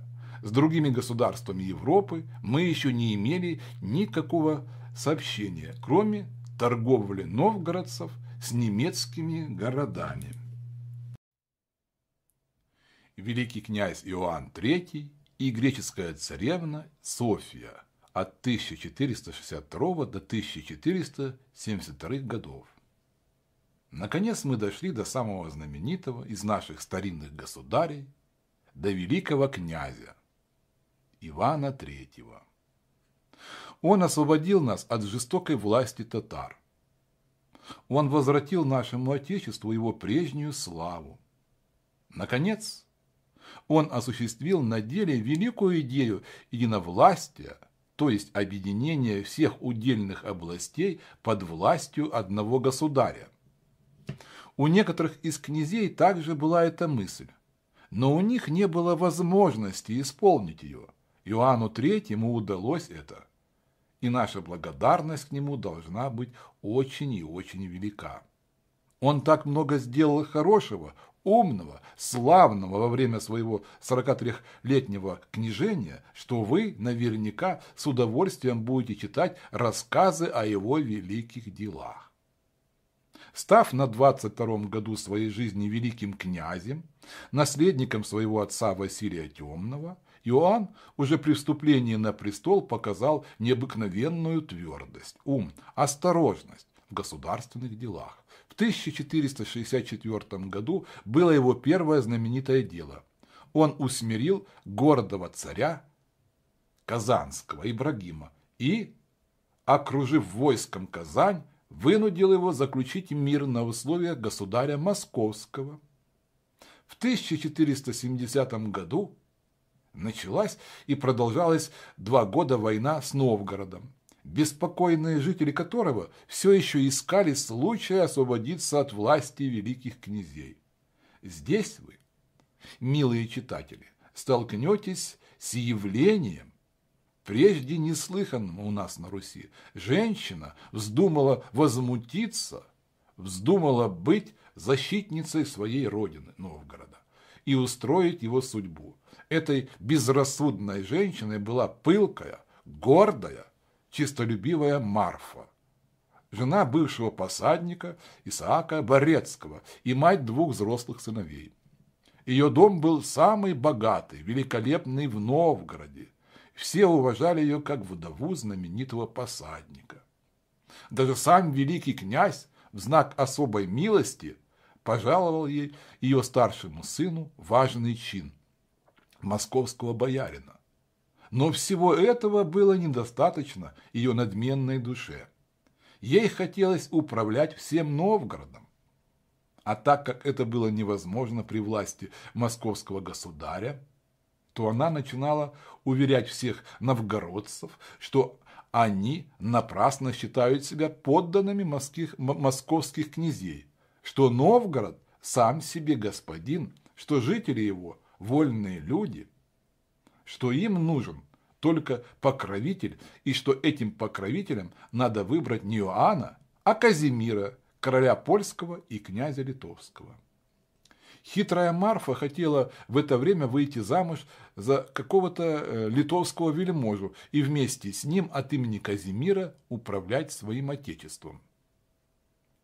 Однако вредные для России намерения этой чистолюбивой женщины не исполнились, и хотя послы ее уже отправились к Казимиру, но великий князь вовремя пришел с войском к Новгороду, и один из его лучших полководцев, князь Холмский, одержал на берегах реки Шелони победу над мятежниками. Около 12 тысяч их было убито на месте, а остальные разбежались в разные стороны. Вступив в Новгород, Иоанн поступил с преступниками по всей строгости законов. Главные изменники, в том числе и старший сын Марфы, были казнены. С ней же Иоанн поступил со всей снисходительностью великодушного государя, оставив ее как слабую женщину без наказания.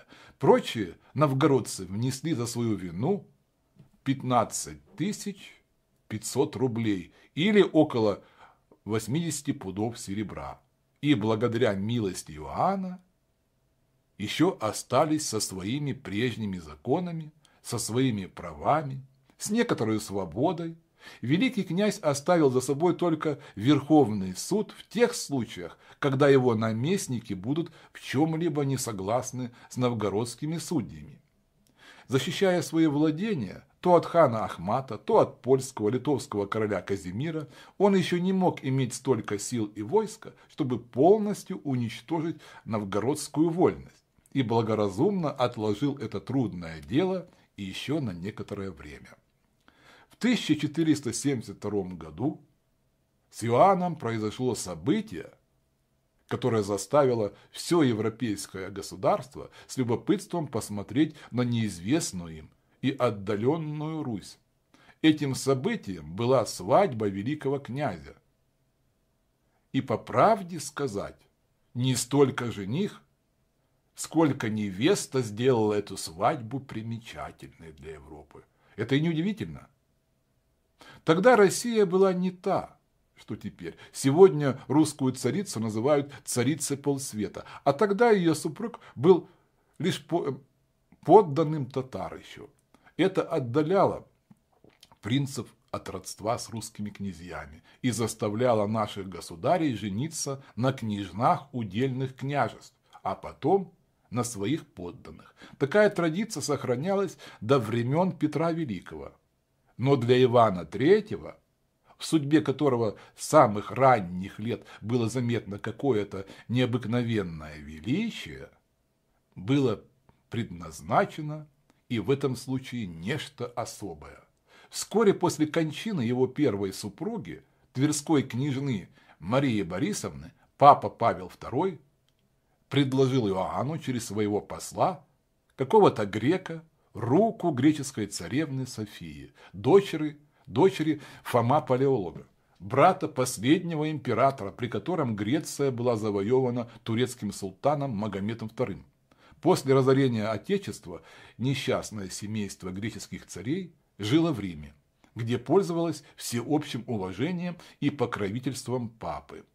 Папа имел особую причину благодетельствовать этому знаменитому семейству. Боясь, что жестокость и ужасная сила Магомеда II разорит и его владения, он полагал, что будущий супруг царевны Софии, получив вместе с ее рукой право на Константинопольский престол, захочет освободить Грецию от власти турок и тем избавит Италию от страшных соседей. Эта причина заставила папу искать жениха для царевны среди знаменитых европейских государей. И он выбрал Иоанна, самого близко грекам, по закону, вероятно, польские и литовские послы и греческое духовенство, жившее после разорения империи в Риме, рассказывали папе о том, какая слава ожидает Россию благодаря великим достоинствам ее молодого государя. Иоанн обрадовался оказанной ему чести и вместе со своей матерью духовенством, боярам и всем народом думал, что знаменитая невеста – последняя ветвь греческих императоров, имевших одну и ту же веру с русскими, послана ему самим Богом. Прекрасный портрет, где было изображено умное привлекательное лицо молодой царевны, еще больше увеличил радость Иоанна к папе. 17 января 1472 года послы были отправлены за невестой. С большими почестями их приняли в Риме. И 1 июня в церкви святого Петра царевна была обручена с государем Белой Руси, которого представлял его главный посол. Папа дал за царевной богатое приданное и отправил с ней в Россию легата, то есть своего посла, которому было поручено охранять ее в дороге 24 июня она выехала со всем своим двором из Рима и 1 сентября приехала в Любик, а потом на корабле в Ревель. Здесь ее богато угощали ливонские рыцари. В Дерпе же ее встретил московский посол с поздравлениями от имени государя и всей России. Первая русская область, в которую надо было въехать царевне, была Псковская область. О, если бы вы знали, дети, как суматоха происходила тогда, какая в этой области. Каждый только и думал о том, как бы показать будущей государыне свое усердие. Правители городов готовили для нее подарки, столовые запасы, мед, вина. Вы знаете, что наши предки были очень гостеприимны и любили угощать. И потому не удивляйтесь, что они прежде всего позаботились о вкусных кушаньях и напитках для царевны. Потом они украсили разноцветными флагами и лентами все свои суда, лодки, ведь им надо было встретить Софию и потом вести ее на судах по Чудскому озеру, потому что тут начинались границы русских владений. С восхищением дождались они, наконец, этой встречи и показали столько усердия и любви, что царевна была тронута до слез. С удовольствием провела она пять дней в Пскове и, уезжая, ласково сказала жителям, спешу к моему и вашему государю, благодарю бояр и весь Великий Псков за угощение и рада при всяком случае просить за вас в Москве. Псковитяне, прощаясь с Софией, поднесли ей в подарок 50, а послу Иоаннову 10 рублей деньгами. С такой же радостью встречали царевну и во всех других областях. Наконец, 12 ноября рано утром она въехала в Москву. Митрополит ожидал ее в церкви. Получив его благословение, она пошла к матери Иоанна, и там в первый раз увиделась с женихом. В тот же день и была отпразднована свадьба. Так образовался во второй раз союз наших государей с греческими императорами. Верно, читатели помнят, греческую царевну Анну, супругу Владимира Святого. С того времени Иоанн принял и их герб, двуглавого орла, и соединил его на своей печати с московским гербом. Окончательное покорение Новгорода 1472-1478 годы. Иоанн назначенный Богом воскресить Отечество наше к славе и счастью, никогда не делал ничего необдуманно и неосторожно. Он прежде долго рассуждал о том, как лучше исполнить свое намерение, приготовляя все нужное к его исполнению, а потом уже приступал к делу. Так было и с покорением Новгорода. Чтобы собрать все силы для усмирения этой беспокойной области, Иоанну надобно было не бояться нападений окружавших его врагов – поляков, литовцев, татар. Судьба и проницательный ум доставили ему средства, если не совсем избавиться от этих врагов, то, по крайней мере, останавливать их дерзость. Вы помните, читатели мои, что со времен Василия Темного – составилась у татар новая орда – крымская или таврическая. Знаменитый основатель ее, Азигирей, умер, оставив шестерых сыновей. Братья долго спорили о наследстве, и престол крымский принадлежал то одному из них, то другому. Примечательным из них и владевшим долей всех других Крымом был Мингригерей, Частые ссоры его с царем Золотой Орды Ахматом и с польским королем Казимиром внушили проницательному Иоанну мысль подружиться с новым государем, уже страшным для соседей. Он не ошибся.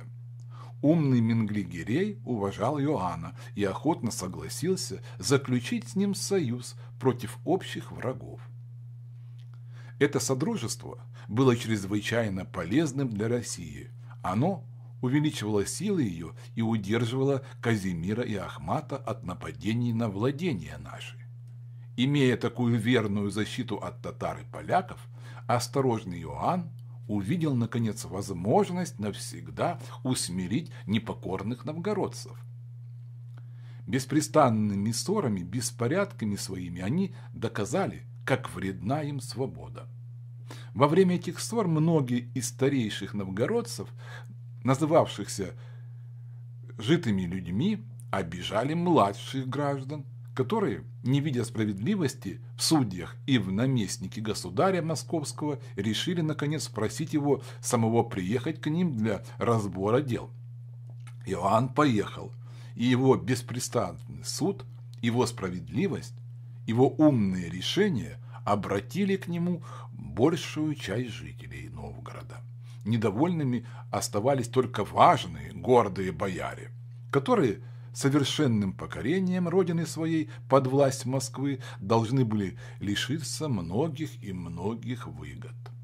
Новгород после отъезда великого князя разделился на две стороны.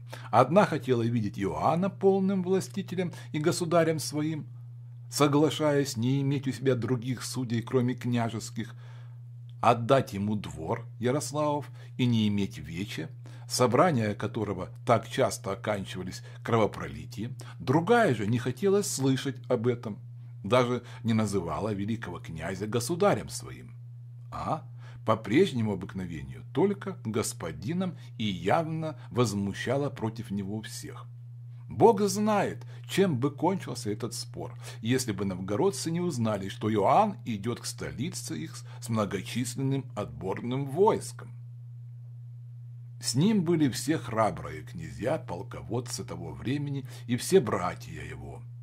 Устрашенные мятежники испугались и отправили в стан Иоанна своего архиепископа Феофила и самых знаменитых вельмож для переговоров. Эти переговоры продолжались 23 ноября 1477 до 7 января 1478 года и окончились следующим объявлением от имени всех новгородцев. Соглашаемся не иметь ни веча, ни посадника.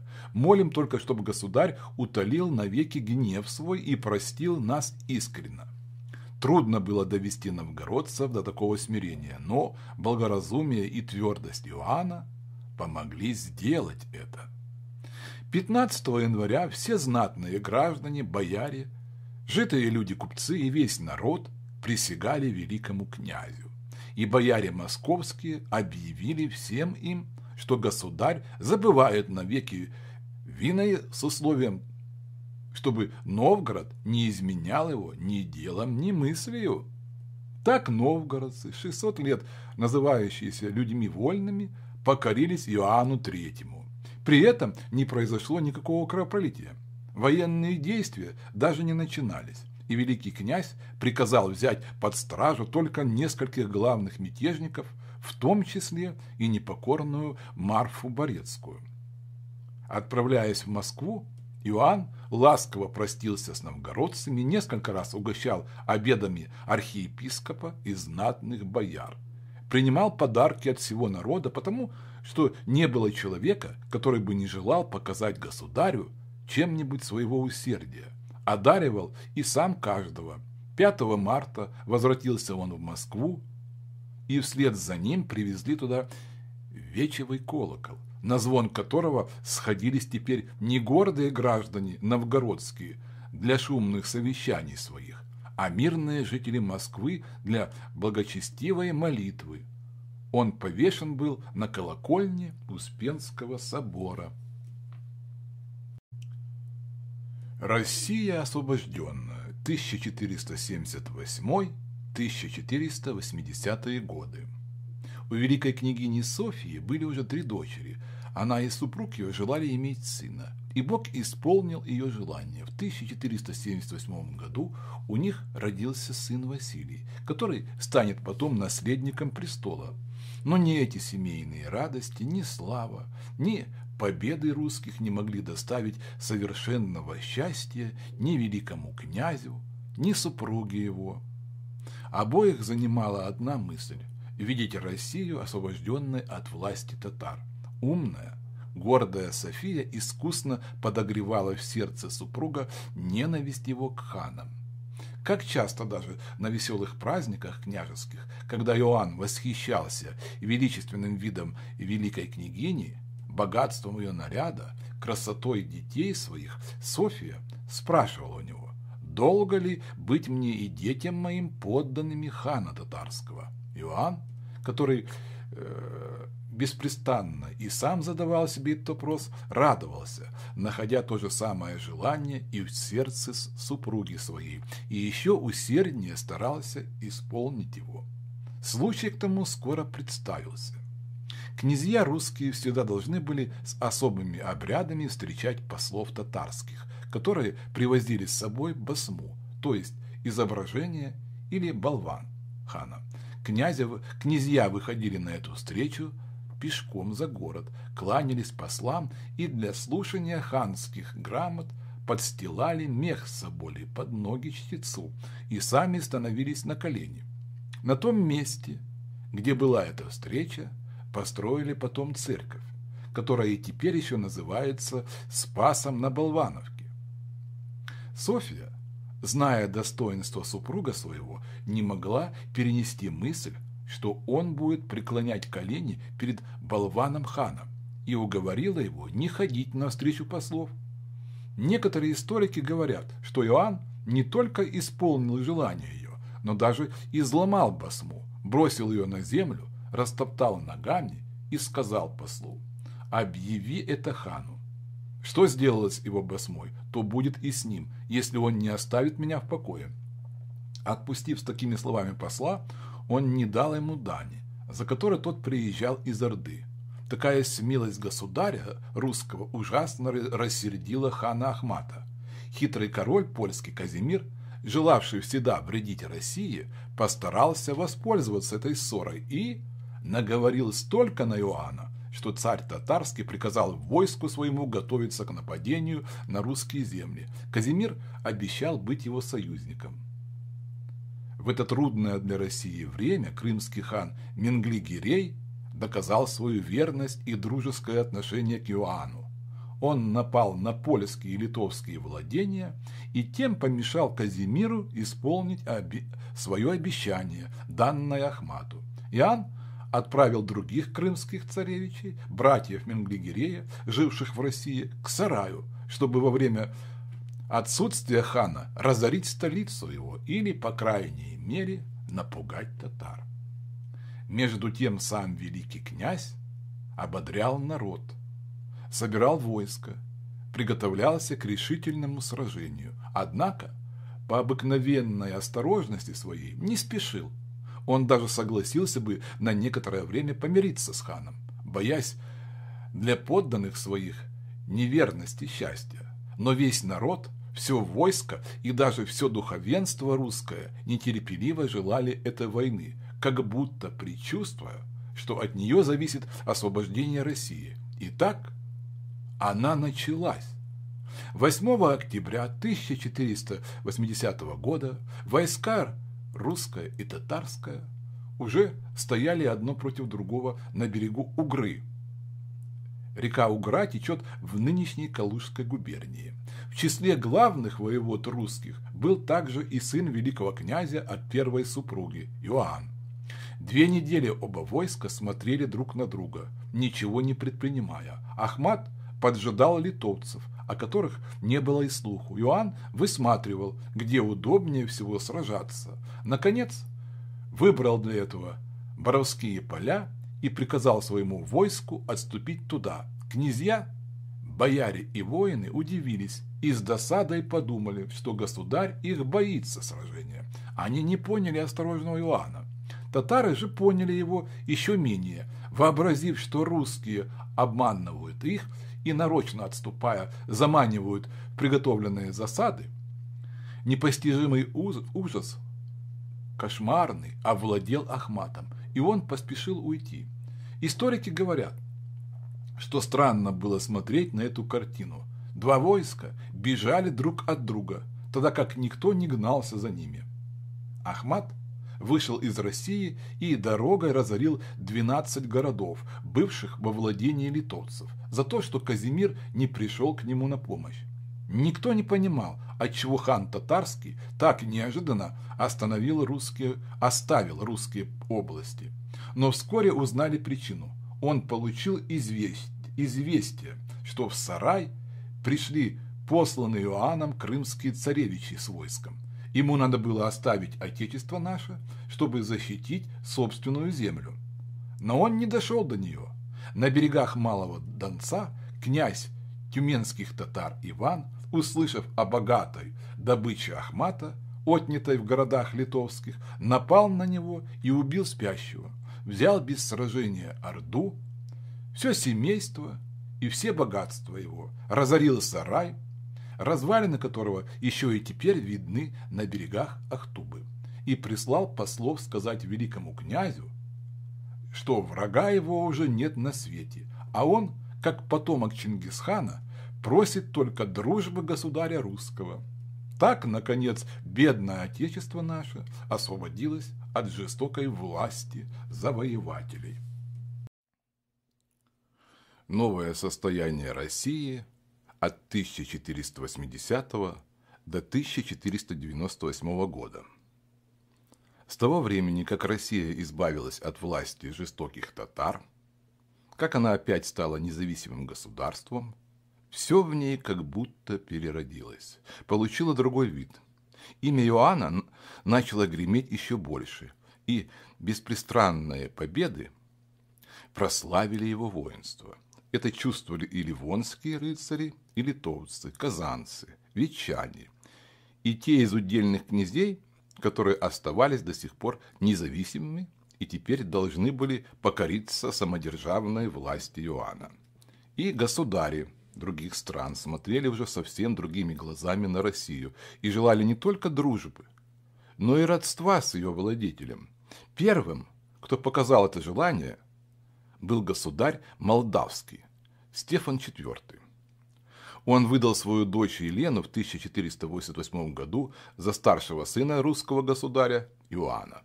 Этот новый союз был почти так же полезен для великого князя, как и для государя его дружба с крымским ханом Менглигереем, всегда верным его защитником от Литвы. Вскоре после этой свадьбы в первый раз приехал в Москву послом от императора, от императора римского Фридриха II знатный рыцарь Николай Попель. Ему было поручено уверить Иоанна в дружбе императора, просить его помощи, если польский король вздумает завоевать Венгрию, принадлежавшую в ту пору императору, и обещал помочь Иоанну, если поляки нападут на русские владения. Кроме того, послу было велено предложить великому князю выдать его дочь, княжну Елену или Феодосию, за марк графа Баденского – императорского племянника. Иоанн принял этого посла со всем достоинством государя, равного императору, и когда Попель в конце своей аудиенции передал ему предложение Фридриха пожаловать его в короли, Иоанн с благородной гордостью приказал своим боярам дать следующий ответ на такое предложение. «Государь наш, великий князь, наследовал державу русскую от Бога и предков своих, и ни от кого другого никогда не захочет быть жалованным. На сватовство за дочь Иоанн отвечал, что союз с Марграфом недостаточно знаменит для русского государя, брата древних греческих царей, однако этот отказ был дан очень учтиво. Так что Попель выполнив все свои поручения, выехал из Москвы без всякого неудовольства, и вслед за ним Иоанн отправил послом к императору грека Траханиата, также с изъявлениями дружеских чувств и богатыми подарками. Так Иоанн, благодаря слуху о его достоинствах и славе, нашел в римском императоре своего третьего защитника в борьбе против Польши и Литвы – но скоро и сама Литва начала искать союза с ним. В 1492 году умер Казимир. Старший сын его, Альберт, стал польским королем, а младший, Александр, великим князем литовским. Литва, отделяясь от Польши, уже не имела столько сил, как прежде, и ее молодой государь, слыша, что со всех сторон собираются на него союзники Иоанна, очень желал помириться с Россией. Ему казалось, что самым лучшим средством для этого было стать зятем великого князя. Его послы и Иоанна долго переезжали из Вильны в Москву и из Москвы в Вильну, прежде чем русский государь решился отдать свою любимую дочь Елену за князя латинской веры. Наконец, после многих переговоров он согласился, но с условием, чтобы Александр никогда не принуждал свою супругу к перемене греческого закона. 6 января 1495 года в Москву за невестой приехало Великое Литовское посольство. Оно состояло из знатных князей, панов Александра. Все они отличались великолепным нарядом, множеством слуг, богатыми уборами лошадей. Иоанн еще раз подтвердил главным послам условие напомнить Александру о том, чтобы дочь его ни в коем случае не меняла закона и чтобы у нее была своя придворная греческая церковь. Обнимая в последний раз Елену, перед самым ее отъездом, он вложил ее в руку следующую записку. «Память великой княжне Елене в церковь латинскую не ходить, а ходить в греческую.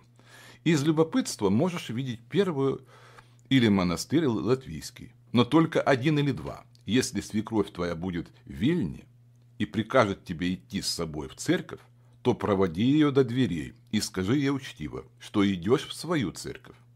Так набожный Иоанн заботился о том, чтобы его милая дочь не оставила своей православной отеческой церкви. Веры. Литовский народ радостно встречал молодую невесту. Ведь вы помните, милые читатели, что большая часть литовского государства состояла из русских областей, отнятых у наших предков Гедемионом и Витовтом – в них жили русские, терпевшие много притеснений от литовцев. Вот эти-то бедные наши соотечественники больше всех радовались, встречая русскую княжну. Теперь они могли надеяться, что будут кому попросить за них государя. Будет кому защитить их от злых литовцев. Александр встретил Елену со всем своим двором за три версты от Вильны. Невеста и жених вместе въехали в столицу, он верхом, а она в богато украшенных санях. Великая княжна приехала прямо в греческую церковь и отслужила молебен. Здесь московские боярине по старинному обычаю расплели косу, надели на голову кокошник с покрывалом, осыпали ее хмелем и повели в церковь святого Станислава, где было венчание.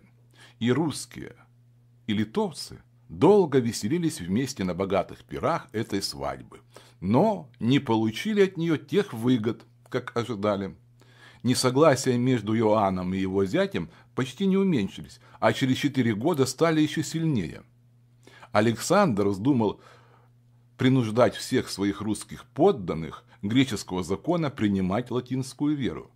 Знатные из них князья, вельможи, владевшие большими областями, не желали оставить своей веры, перешли в подданство к Иоанну со всеми принадлежащими им городами. Иоанн считал долгом своим ступиться за своих единоверцев, и посланное им войско без труда овладело всей Литовской и Западной Русью, от нынешних Калужских и Тульских земель до Киевской – так счастье везде было с Иоанном. Так осуществлял он все свои желания, главнейшим из которых было дать новую жизнь России. Вы видите, как счастливо это удалось ему. Никто не узнал бы во время правления Иоанна той России, которая так униженно кланялась Батыю и Узбеку. Она была совсем другой. Два наследника престола от 1498 до 1505 года. Иоанн, счастливый почти во всем, был несчастлив только в семействе своем.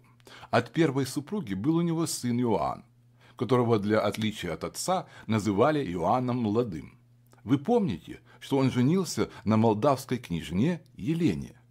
Этот молодой князь, кроткий и ласковый ко всем, через два года после своей свадьбы скончался.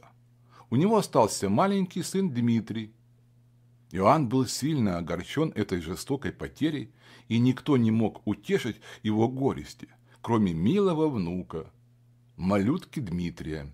Его любовь к этому ребенку стала так велика, что великая княгиня София начала досадовать. У ней были свои дети, и нежной, огорченной матери казалось, что ее супруг меньше любит их с тех пор, как родился Дмитрий. Она имела еще и другую причину досадовать на этого мальчика. Гордая греческая царевна думала, что ее старший сын Василий имеет больше прав быть наследником отцовского престола, нежели внук. Так думала не она одна, но и многие из бояр приближенных к ней. Между тем другие считали, что по справедливости престол должен принадлежать Дмитрию, сыну прежнего наследника. Мать его, княгиня Елена, такая же гордая, чистолюбивая, как и София, старалась всеми силами поддержать это мнение. Таким образом, двор разделился на две стороны, и каждый боярин был или друг, или враг той или иной княгини. Маленькие князья, окруженные каждый своими сторонниками, росли, не любя друг друга. Иоанн, всегда занятый государственными делами, не мог обращать этого внимания на семейное несогласие и никогда не думал, что оно может стать важным до тех пор, пока Василию не исполнилось 20 лет. В это время ему вдруг доносят, что несколько молодых людей, друзей Василия, согласились отравить ядом Дмитрия, разграбить княжескую казну и объявить своим государем Василия. Гнев Иоанна был ужасен. Всех заговорщиков примерно наказали и приставили стражу даже к Василию, который, вероятно, не знал о намерениях своих безрассудных друзей, потому что всегда был почтителен к отцу. Софию же с этого времени государь не хотел видеть, подозревая, что она больше всех желала отравить Дмитрия, и чтобы наказать ее самым чувствительным для нее образом, объявил всему народу наследником престола своего внука и назначил день его коронования. Это было первое царское венчание, подробно описанное в нашей истории. Оно происходило 4 февраля 1498 года в Успенском соборе, куда государь сам привел молодого Дмитрия. Митрополит, пять епископов и все духовенство встретили их и отслужили молебен. Посреди церкви было сделано возвышение, на котором стояли три кресла. После молебна Иоанн и митрополит сели, а Дмитрий остался стоять на возвышении. Тогда великий князь сказал, «Отец митрополит, предки наши, государи русские, давали великое княжество первым сынам своим. Я также благословил им своего старшего, Иоанна, но по воле Божьей его не стало. Благословляю теперь внука своего Дмитрия, его сына, при себе, и после себя великим княжеством Владимирским, Московским, Новгородским, и ты, отец мой, дай ему благословение. Митрополит встал, благословил Дмитрия крестом, положил руку на его голову и громко молился, чтобы Бог принял нового государя под свое святое покровительство. После этой молитвы подали венец. Митрополит, читая полагающиеся для этого случая молитвы, передал царские утвари в руки Иоанна, который надел то и другое на внука.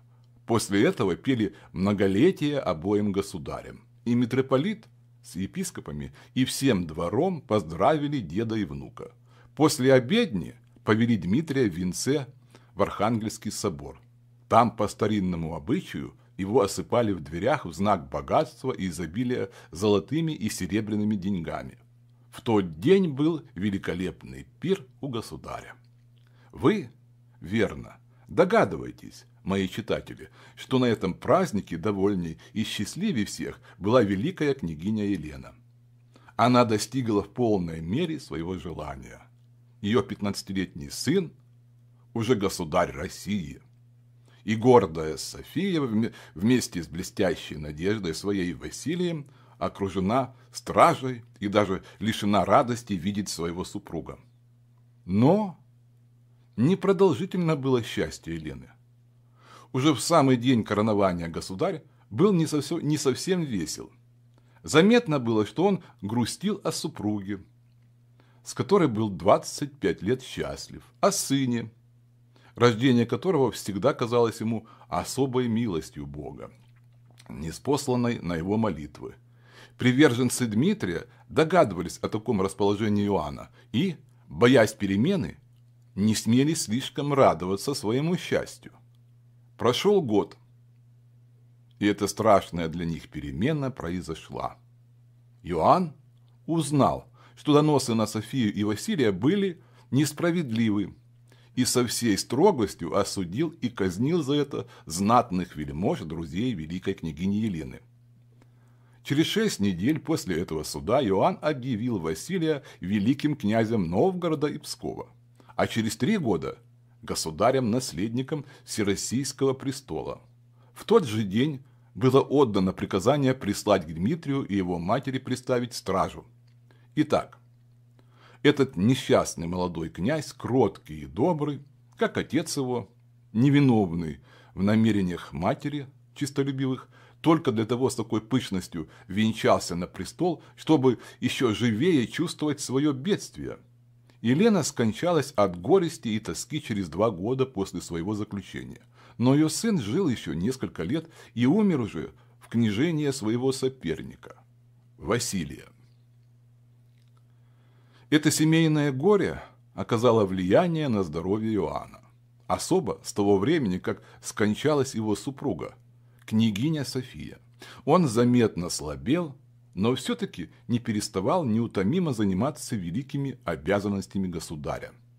Напрасно его зять, литовский князь Александр, ставший после смерти брата Альберта польским королем, и все еще не помирившийся с тестем, думал воспользоваться его болезнью и прислал в Москву послов требовать возвращения завоеванных Иоанном литовских городов. Иоанн, для которого слава России была даже дороже спокойствия милой дочери, страдавший от несогласия отца с супругом, не хотел слышать о требованиях и предложениях Александра и гордо сказал его послам, «Великий князь русский никому не отдает своего». Для истинного прочного мира Александр должен уступить мне и Смоленск, и Киев – также принадлежащие некогда России земли эти. После этого польский король удостоверился в невозможности помириться с Иоанном, так как ему хотелось, и должен был исполнить желание великого князя. Таким образом, Иоанн до конца своей жизни заботился о счастье нашего Отечества и даже в день своей смерти отдавал приказания и говорил о государственных делах. Этим горестным для России днем было 27 октября 1505 года. История называла Иоанна Великим. Обдумав все сделанное этим государем, мы должны согласиться, что такое название очень справедливо. Не одними победами он заслужил его, зная, что счастье народа заключается не в одной его славе. Иоанн гораздо больше думал о хорошем управлении своими подданными, чем о распространении своих владений. Он приказал собрать все законы, грамоты прежних князей, рассмотрел, исправил и издал их под названием «Уложение». Лучше устроил войско, завел городскую исправь или полицию, почту, почтовые дворы, где всем проезжим давали не только лошадей, но даже и пищу если на то был государев приказ, велел исправлять дороги, не терпел ни трезвости. Одним словом, Иоанн заботился о всех своих подданных. И за это самые отдаленные их потомки должны чувствовать вечную благодарность к этому великому государю, к этому незабвенному освободителю России от власти варваров, угнетавших ее 240 лет. Покорение Пскова и совершенное уничтожение уделов от 1505 до 1523 годов. Василий Иванович стал наследником своего знаменитого отца, старался во всем подражать ему, и хотя не имел от природы великих способностей, но усердные старания никогда не остаются напрасны. История называет Василия III достойным сыном Ивана III. Его первым важным делом, о котором надо рассказать читателям, было покорение Пскова. Вы знаете, что в Пскове было такое же народное правление, как и в Новгороде. Псков назывался даже его братом, прежде младшим, а потом за оказанные услуги Новгороду равным. Законы, вечи, посадники, одним словом, все учреждения псковитян были такие же, как и у новгородцев. Псковитяне только тем и отличались от своих братьев, что не были так горды, дерзки, своевольны. И за это дольше их наслаждались свободою. Иоанн III, хоть и посылал к ним своих наместников, но приказал управлять ими не иначе, как по их собственным законам. Итак, к досаде новгородцев в Пскове все еще раздавался звон вечевого колокола, и жители все еще сходились на свои шумные собрания. Но это было недолго. На одном из таких собраний земледельцы объявили, что не хотят платить гражданам дань. Их хотели вынудить к тому силой, и при этом все перессорились так, что наместник должен был обратиться к великому князю.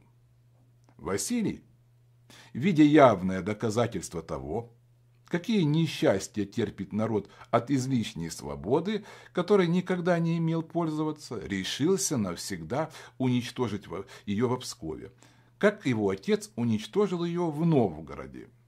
Это было в январе 1510 года.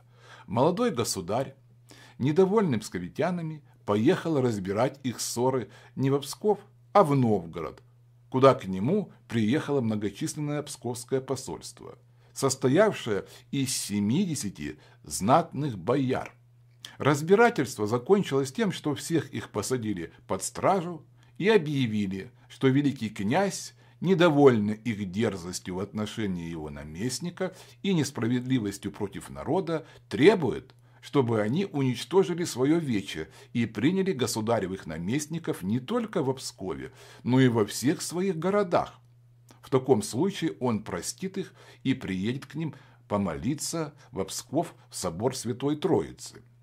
Псковские бояре, чувствуя свою вину и не имея достаточных сил, чтобы противиться великому князю, с горестью согласились исполнить его волю и писали в Псков – прося его народ сделать то же самое. Такая просьба привела Псков в ужасное уныние. Вольные люди, как называли себя псковитяне, узнав о согласии своих первых бояр, лишились всякой надежды сохранить свою свободу и на другой же день с неописаемой печалью, с горькими слезами сошлись в последний раз на звук своего колокола и объявили великокняжескому послу, что покоряются воле государя. Посол в тот же день отправился к великому князю, который вскоре потом приехал в Псков. Учредил в нем совсем новый порядок, определил новых чиновников – принял присягу на верность всех жителей, заложил новую церковь во имя святой Ксении. Так как именно в день празднования памяти святой Ксении была уничтожена вольность Пскова. Он отправил 300 семейств знатных псковитян в Москву и на их место велел перевести туда столько же из других городов и, устроив все, уехал через месяц в столицу. Вскоре после его отъезда туда же повезли и колокол псковитян, которые, чувствуя пользу нового правления, уже меньше жалели о нем, нежели в ту минуту, когда спускали его с колокольни. В то же самое время, когда Василий занимался делами Пскова, против него собирались враги с двух сторон. Первые из них были литовцы, это всегдашние неприятели нашего Отечества, вторые – крымцы – Помня доброго Менглигерея, верного союзника Ивана III, конечно, читатели удивятся, что подданные его вдруг вздумали ссориться с русскими. Но в этом виноваты также литовцы. Князя их Александра уже давно не было на свете. Наследником Литвы и Польши был его брат Сигизмунд, который еще больше, чем Александр, вредил России.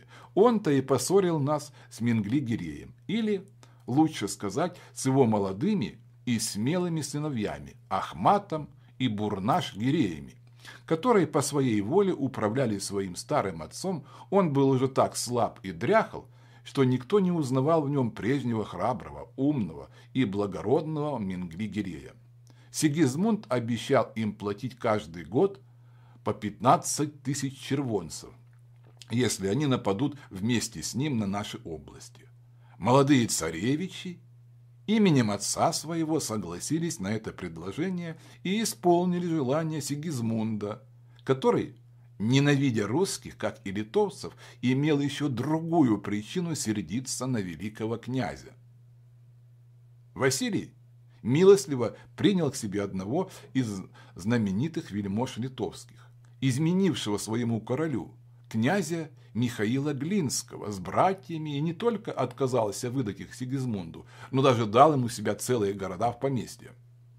Вот эти Глинские и особо Михаил много помогли великому князю в войне с Сигизмундом. Кроме того, что с ними выехало в Россию много панов и литовских дворян – они нанимали искусных воинов для Василия даже в Богемии, Германии, и с этой помощью великую война шла так счастливо для великого князя, что ему удалось даже возвратить свое владение Смоленск, бывший 110 лет под властью Литвы. Вы не можете представить себе, как обрадовались жители Смоленска тому, что присоединились опять к своему старинному отечеству. Хотя в течение ста лет они поневоле уже многое переняли у своих завоевателей, но все еще твердо помнили, что они русские и любили Россию как милую мать, с которой литовцы их разлучили. Эта любовь не менее Михаила Глинского помогла Василию овладеть Смоленском. Михаил же показал такое усердие недаром.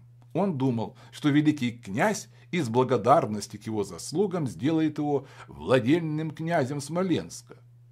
Но ошибся. Великий князь не любил Михаила и не согласился отдать ему этот город. Да и как можно было отдать? Если уж он изменил Отечеству, то Россия мог изменить еще скорее. Так и случилось. Обманувшись в своих ожиданиях, он тотчас опять перешел на сторону Сигизмунда и наделал бы много хлопот, если бы наши воеводы не поймали его. По приказанию Василия его сковали и отвезли в Москву. Между тем, в 1515 году умер Мингли Гирей. Сын и наследник его, Махмед Гирей, не имевший никаких достоинств отца, попеременно был союзником то русского, то литовского государя, смотря по тому, кто из них давал ему больше денег. Однажды Махмед, получив от Сигизмунда огромную сумму, ворвался со своими крымцами в Россию и едва было не напомнил ей времена Батыя и Тахтамыша.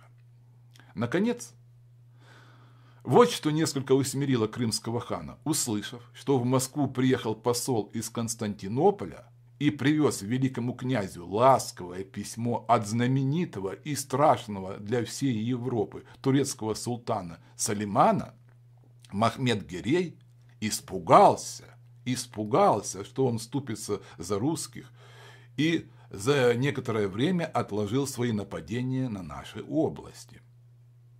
Сигизмунд также боялся своего соседа, опасного Салимана, и уже не споря о Смоленске, заключил с великим князем мир на пять лет.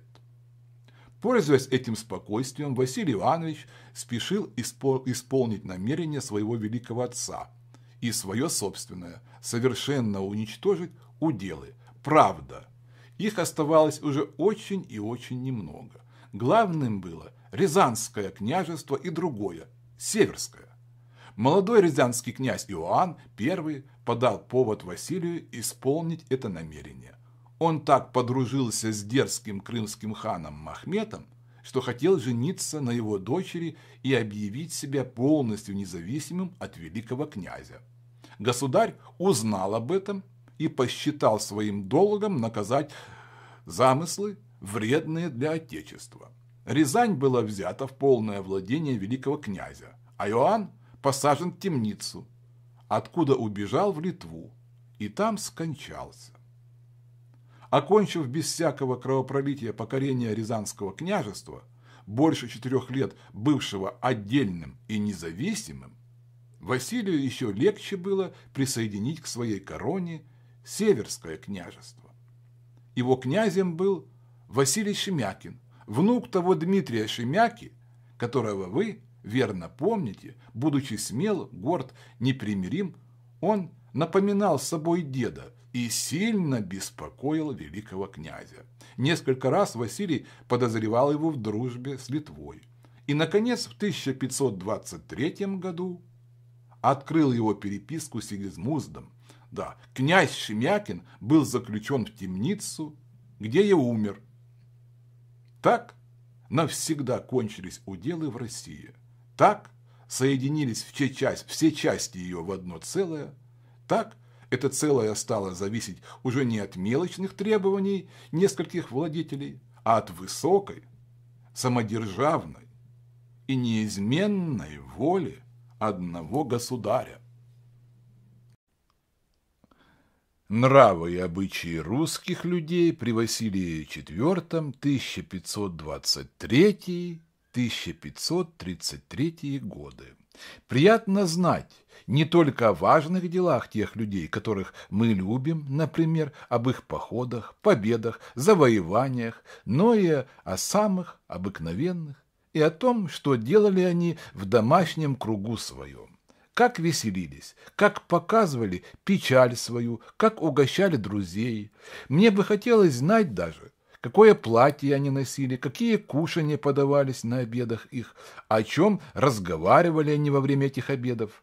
О, я вижу, что и маленькие читатели мои точно так же любопытны, как и я. И им также хочется узнать все это.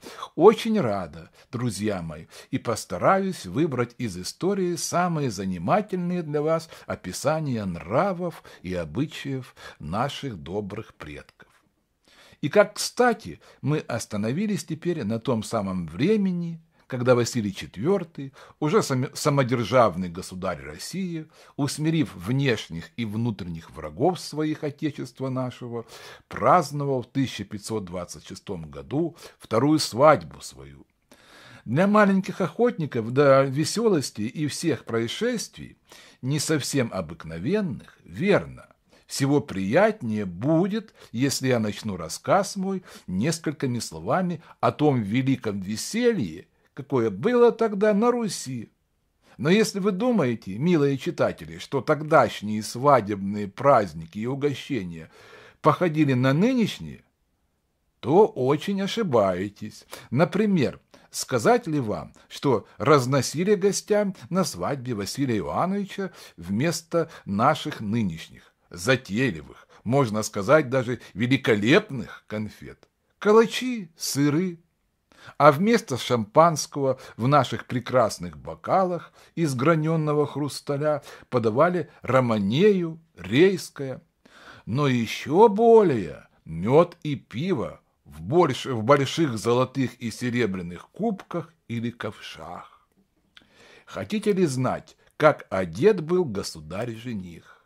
На нем был бархатный золотой кожух или тулуп, на собольем меху шуба русского соболя, крытая бархатом, золотом.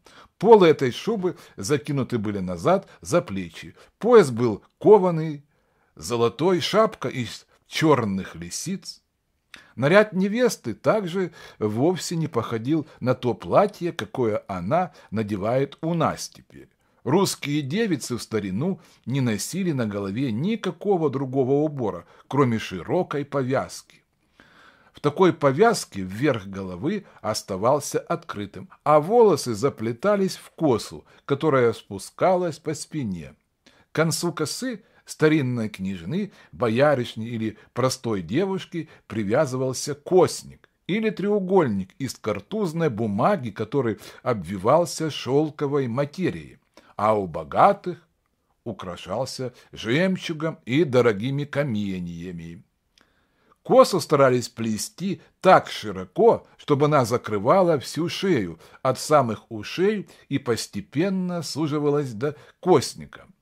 У невест косы были распущены, и в церкви после венчания им заплетали две косы, надевали кокошник и покрывали фатою. Платье, которое называлось фериазию или сарафаном, спереди до подола, а также рукава аршина в три и стоячий воротник пальца в три унизывались крупным жемчугом.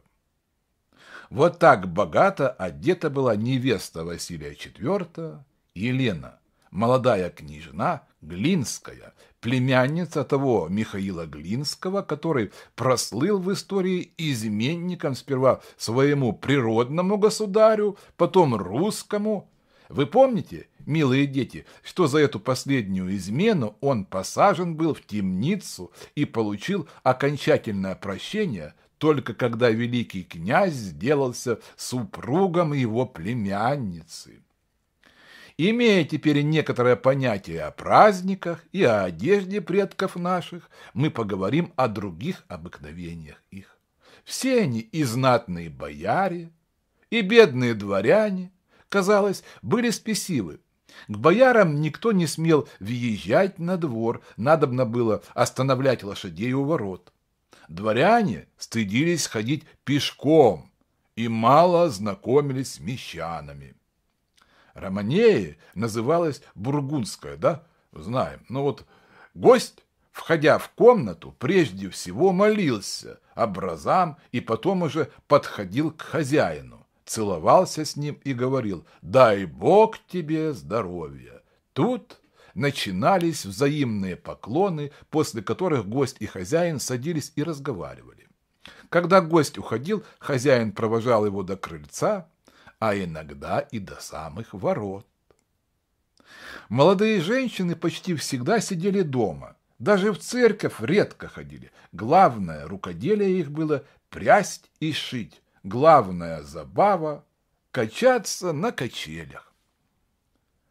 С иностранцами предки наши были гораздо горделивее нас.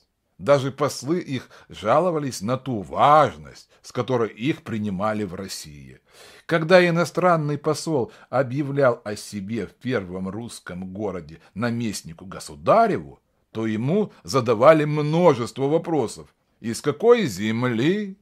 От кого едет? Знатный ли человек? Бывал ли прежде в России? Говорит ли нашим языком? Заметьте, этот последний вопрос милые дети, он доказывает, что предки наши только по необходимости говорили чужим языком и всегда предпочитали свой собственный всякому другому. Да и как не любить его? Он нам родной. Самые нежные слова делаются еще нежнее на родном языке. Когда русский мальчик или русская девочка, обвив белыми ручками своими шею маменьки, скажет «Милая маменька», мне кажется, что и сердце малютки добрее, и ласки искреннее, и даже самый голос гораздо приятнее, нежели когда он выговаривает иностранное «маман». Прислушайтесь сами к этим трем э, различным звукам, милые друзья мои, и вы верно согласитесь со мною. Любите же родной язык ваш и всегда защищайте его, когда кто-нибудь вздумает осуждать его при вас. Если уже подданные Василия IV, почти не имея никаких писателей, находили его прекрасным, то как же нам не отдать ему справедливости? Нам, уже имеющим возможность восхищаться Державиным, Карамзиным, Пушкиным, Крыловым, Жуковским. Может быть, вы мало прочли еще из того, что написали эти прекрасные поэты. Но басни Крылова... Кто из маленьких моих читателей не знает их? Кто не удивляется в них умным разговорам львов, слонов, орлов, нежности голубков, хитростям лисиц, злым делам волков, добродушию барашков и овец, простоте медведей и журавлей, все эти басни писаны таким чистым, таким легким русским языком, что они одни могут доставить ему названное прекрасное чувство. Не подумайте, однако, что предки наши, любя все отечественное, обходились дурно с иностранцами. Нет, нет и еще раз нет. Они всегда уважали самых добрых, и умных из них старались перенимать у них все полезное, все знания, И государи наши даже приглашали многих э, художников, ремесленников переселиться в Москву. Таким образом, у нас были и тогда уже иностранные зодчие или архитекторы, денежники, слесари и даже живописцы, которые писали портреты. Все они жили весело и богато в нашей гостеприимной Москве и обучали русских тому, что знали сами. Однако надо признаться, что не все иностранцы приносили пользу Отечеству нашему, иные вредили ему и не всегда были благодарны России, в которой почти всегда обогащались. Возвращаясь к описанию нравов предков наших, скажем, что главной чертой их характера была набоженность, усердие к вере и привязанность к монашеству. Почти все они желали умереть в ангельском образе. Так называли они пострижение и принятие схимы. И те, которые не успевали постричься за несколько лет до смерти, старались сделать это, по крайней мере, за несколько часов. Это случилось и при кончине великого князя Василия IV, жизнь которого неожиданно прекратилась на 54 году. Он почти никогда не чувствовал никаких болезней, любил деятельность, движение, был всегда весел, счастлив, особо со времени рождения сына своего, будущего грозного государя России Ивана IV.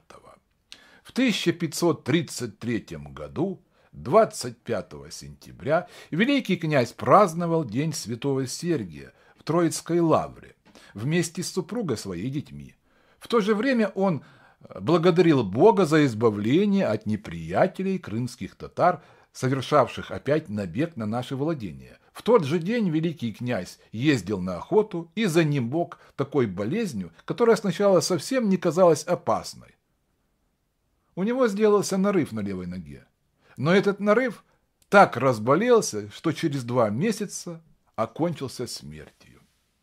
21 ноября въехал он в Москву в санях, на постели, скрытно, чтобы не встревожить народ, горячо любивший его.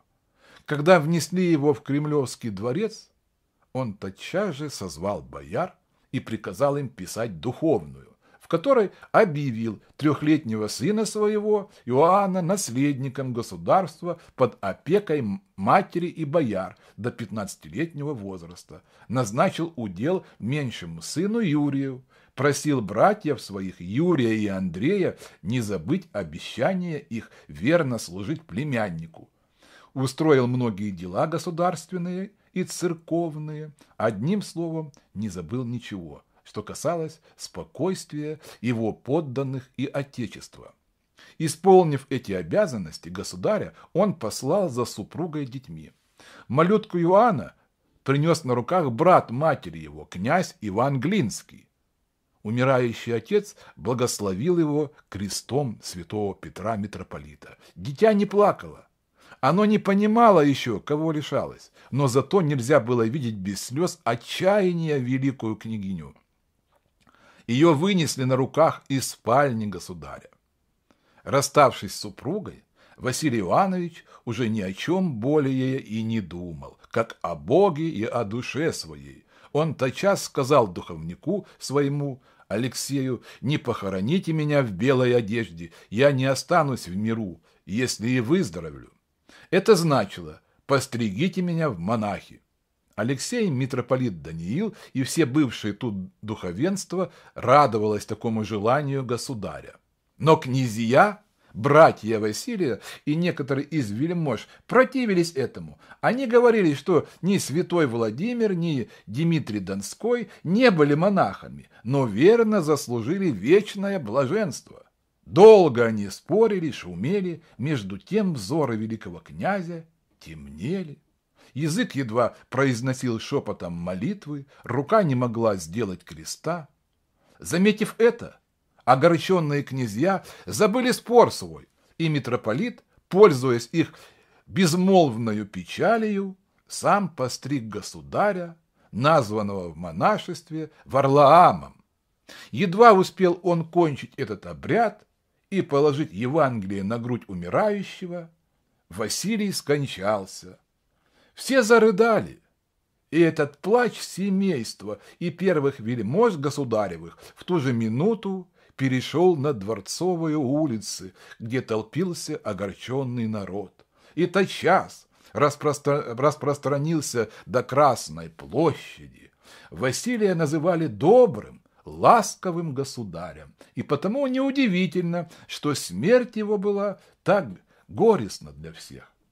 Во все двадцатилетнее княжение свое он судил и рядил землю, то есть занимался делами, государственными всякое утро до самого обеда, любил сельскую жизнь и почти всегда проводил лето не в Москве, а в окрестностях ее. Часто ездил на охоту в Можайск, Волоколамск, но и там даже, не любя терять времени напрасно или на одни веселости, занимался делами и иногда принимал послов. Он первый начал ездить на охоту с собаками – Прежде русские считали этих животных нечистыми и не любили их. Василий IV прибавил ко двору своему новых чиновников, оружничего, у которого хранилось оружие, ловчих, заведующих охотой, крайчего, подававшего при столе питье государю, и рынд. Крайчий значил то же, что теперь обершенк, а рынды были оруженосцы или род пажей. На эту должность отбирали молодых людей, красивых лицом, стройных станом и знатных фамилий. Они носили белое атласное платье, держали в руках маленькое серебряное топорики и всегда шли впереди великого князя. Иногда он выходил к народу. Василий любил пышность, когда она была нужна, и особо показывал ее во время приема иностранных послов чтобы они видели богатство и славу государства его. В тот день, когда они представлялись, приказано было запирать все лавки и останавливать все дела и работы. Чиновники выходили навстречу послам, купцы и мещане, ничем не занятые, спешили толпами к Кремлевскому дворцу. Войско, которое уже э, со времени Иоанна III не распускалось по домам, как прежде стояло в ружье приемной комнате все было тихо. Государь сидел на троне, подле него на стене висел образ. Бояре сидели на скамьях, в платье, вышитом жемчугом, и в высоких шапках из дорогих мехов. Одним словом, все было важно, величественно, пышно.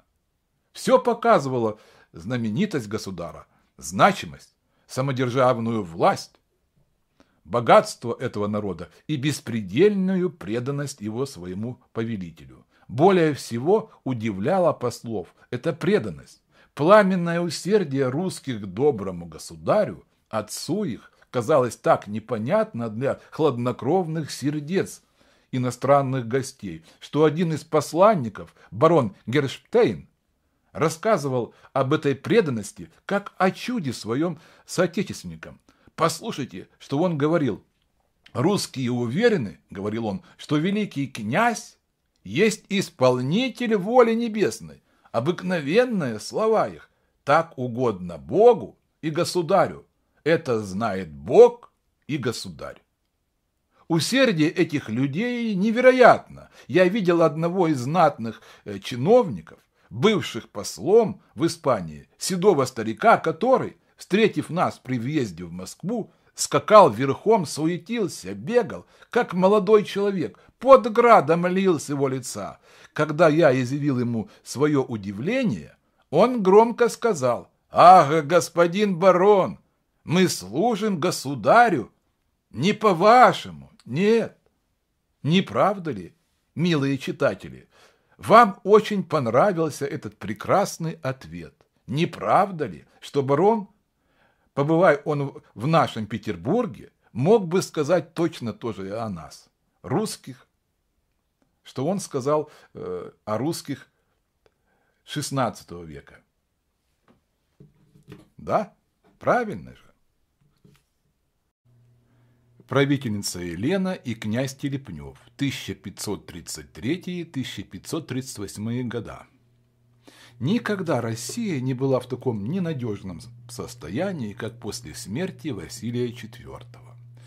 Государем ее был трехлетний ребенок, опекунша его и правительницей государства молодая княгиня из семейства Глинских, памятных изменами и непостоянством. Правда, в духовной покойного великого князя ей приказано было управлять государством не одной, а с думой боярской, то есть государственным советом, состоявшим из братьев Василия Иоанновича и двадцати знаменитых бояр.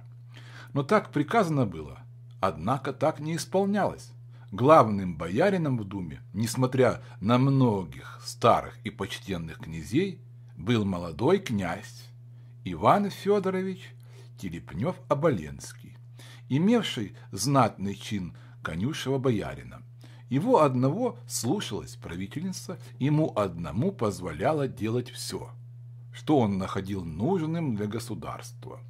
Такую милость и доверенность Телепнев заслужил не отличными достоинствами, не любовью, не любовью к Отечеству, не преданностью государю, но красивой наружностью своею, привлекательным обращением и искусными ласкательствами и похвалами красоте, уму и сердцу молодой княгини. Он умел говорить так приятно, так убедительно, что Елена, слушая его, верила всем словам и в самом деле считала себя прекраснее, умнее и добрее всех государень на свете. Мы обыкновенно любим тех, кто нас хвалит, или в легкомыслии своем не рассуждаем, что истинные друзья никогда не будут хвалить нас с пристрастием, и что это делают только те люди, которые имеют какую-нибудь нужду в нас. Так было и с великой княгиней. Она не думала, что хитрый Телепнев хвалил ее и угождал всем ее желаниям для собственных выгод. Ему надобно было нравиться ей, чтобы через нее иметь власть над всеми. Желание его исполнилось, и эта власть была так велика, что даже родной дядя Елены, князь Михаил Глинский, был посажен в темницу и вскоре умерщвлен в ней за то только, что осмелился сказать племяннице, как она дурно исполняет обязанности правительницы и матери государя. После такой жестокости Елены с ближайшим родственником своим вы можете судить, что было с другими советниками Думы. Они не смели рассуждать сами ни о чем, но должны были только исполнять то, чего желала правительница. А она не имела других желаний, кроме тех, какие приходили в голову молодого князя Телепнева.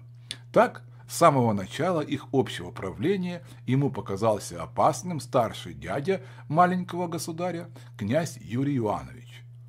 И по приказанию Елены бедный князь был посажен в темницу и через некоторое время умер в ней от голода.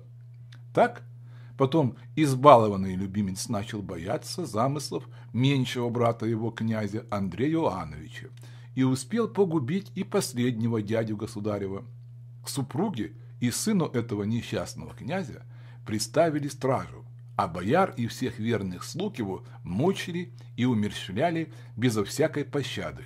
Детей же боярских, числом около тридцати, которые вздумали было защищать Андрея, повесили как изменников на дороге Новгородской. Бог знает, до чего дошли бы ужасы правления Елены, если бы оно было продолжить дольше. Но через четыре года она вдруг совсем неожиданно скончалась в совершенном здоровье и еще цветущей молодости. Многие подозревали, что она умерла не своей смертью. Такое подозрение было неудивительно, судя по жестокостям, обыкновенным в то время. Но, не чувствуя никакой любви к Елене, ни бояре, ни народ не, отыска... не отыскивали злодеев, совершивших это преступление, и даже не показали никакой печали при погребении этой слабой и несчастной государыни. Только маленький великий князь и Телепнев неутешно плакали. Первый лишался матери, последний предчувствовал что все счастье его безвозвратно исчезнет жизнью Елены. Детство и первая молодость Иоанна IV 1538 1546 годы. Из всех людей, которых вы знаете, милые дети, никто не любит вас так нежно, как ваши родители. С какой заботливостью стараются они сделать вас добрыми, умными, любезными. Как веселят их малейшие успехи ваши, как огорчают недостатки. Ничем нельзя более обрадовать их, как сказав, какие добрые дети у вас, как они хорошо занимаются учением своим, как хорошо ведут себя во всем. Вы очень-очень счастливы.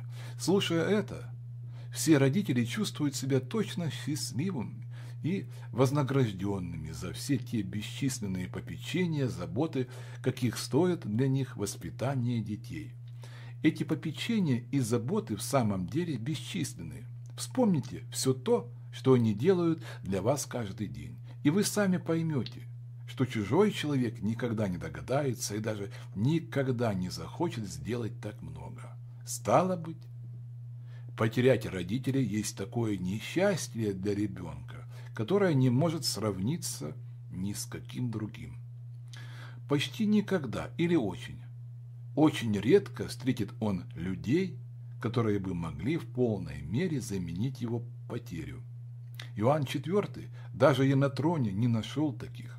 О, как, как вы пожалеете об этом маленьком государе, когда узнаете, что было с ним после смерти матери. Правление осталось тогда в руках Думы Боярской, или, лучше сказать, в руках тех бояр, которые, будучи смелее других, присвоили себе власть над всеми. Это были князья шуйские, потомки суздальских князей, всегда ненавидевшие великих князей за уничтожение уделов. Главным из них был князь Василий Васильевич. Склонив на свою сторону разными средствами многих бояр, чиновников, он объявил себя в самый день кончины Елены главным в правлении и через неделю велел схватить князя Телепнева и сестру его, бояриню Агриппину которая была любимой надзирательницей при маленьком Иоанне. Ни просьбы, ни слезы бедного малютки-государя не спасли любимцев его первого.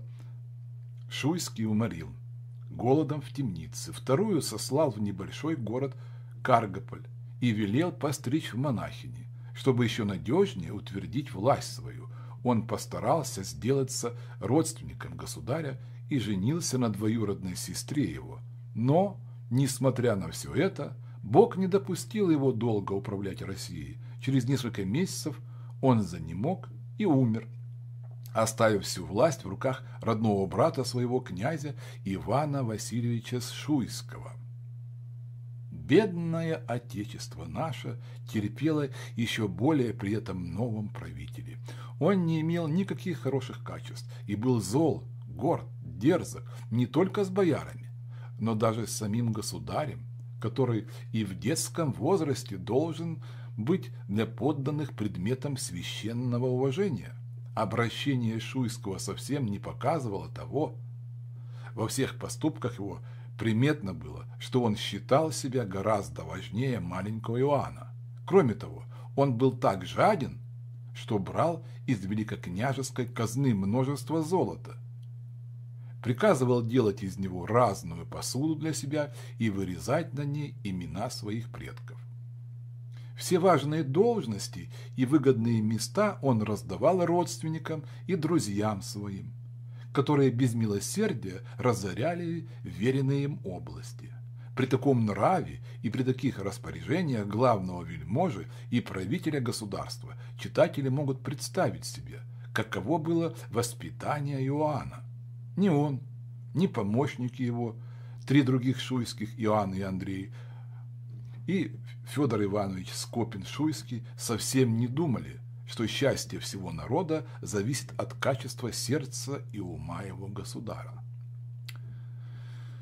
Напротив, они рассуждали, что всего выгоднее для них было бы, если бы Иоанн и в совершенном возрасте не входил ни в какие дела и предоставил им управлять государством, и для того решились воспитать его так, чтобы он не любил никаких занятий и думал об одних только забавах и удовольствиях. Тому же, исполняя все детские желания великого князя, они надеялись, что он никому не будет так привязан, как к Шуйским. Итак, эти гордые, самолюбивые, жестокие бояре, думавшие только о себе, а не о своем бедном отечестве, каждый день забавляли маленького государя то новыми играми во дворце, то разного рода охотою в поле. Охота, во время которой люди с таким весельем убивают невинных животных, располагает сердце к жестокости, и дети, так легко воспринимающие все впечатления, не имеющие еще рассудка взрослых людей, чтобы предохранить себя от дурных, никогда не должны видеть охоту, а не только сами участвовать в ней. Бедный малютка Иоанн, глядя почти каждый день на травлю диких животных, невольно привык к такой жестокости, что уже для него сделалось удовольствием мучить и домашних. Часто, сидя на высоком крыльце Кремлевского дворца, бросал он оттуда на землю комнатных собачек, кошек, кроликов, белок, и когда несчастные визжали самым жалобным голосом от ушибов, а другие совсем умирали, жестокий ребенок весело смеялся, радовался их мучениям. И безрадостные бояре говорили – Пусть державный веселится, пускай.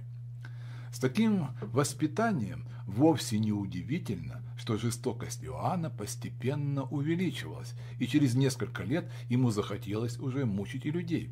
Для этой забавы он держал медведей и часто, когда добрый народ сходился на площадь дворцовую, поглядеть на свое красное солнышко – надежа государя, этот государь приказывал выпускать двух или трех медведей, которые бросались на всех, кто не успевал убежать от них.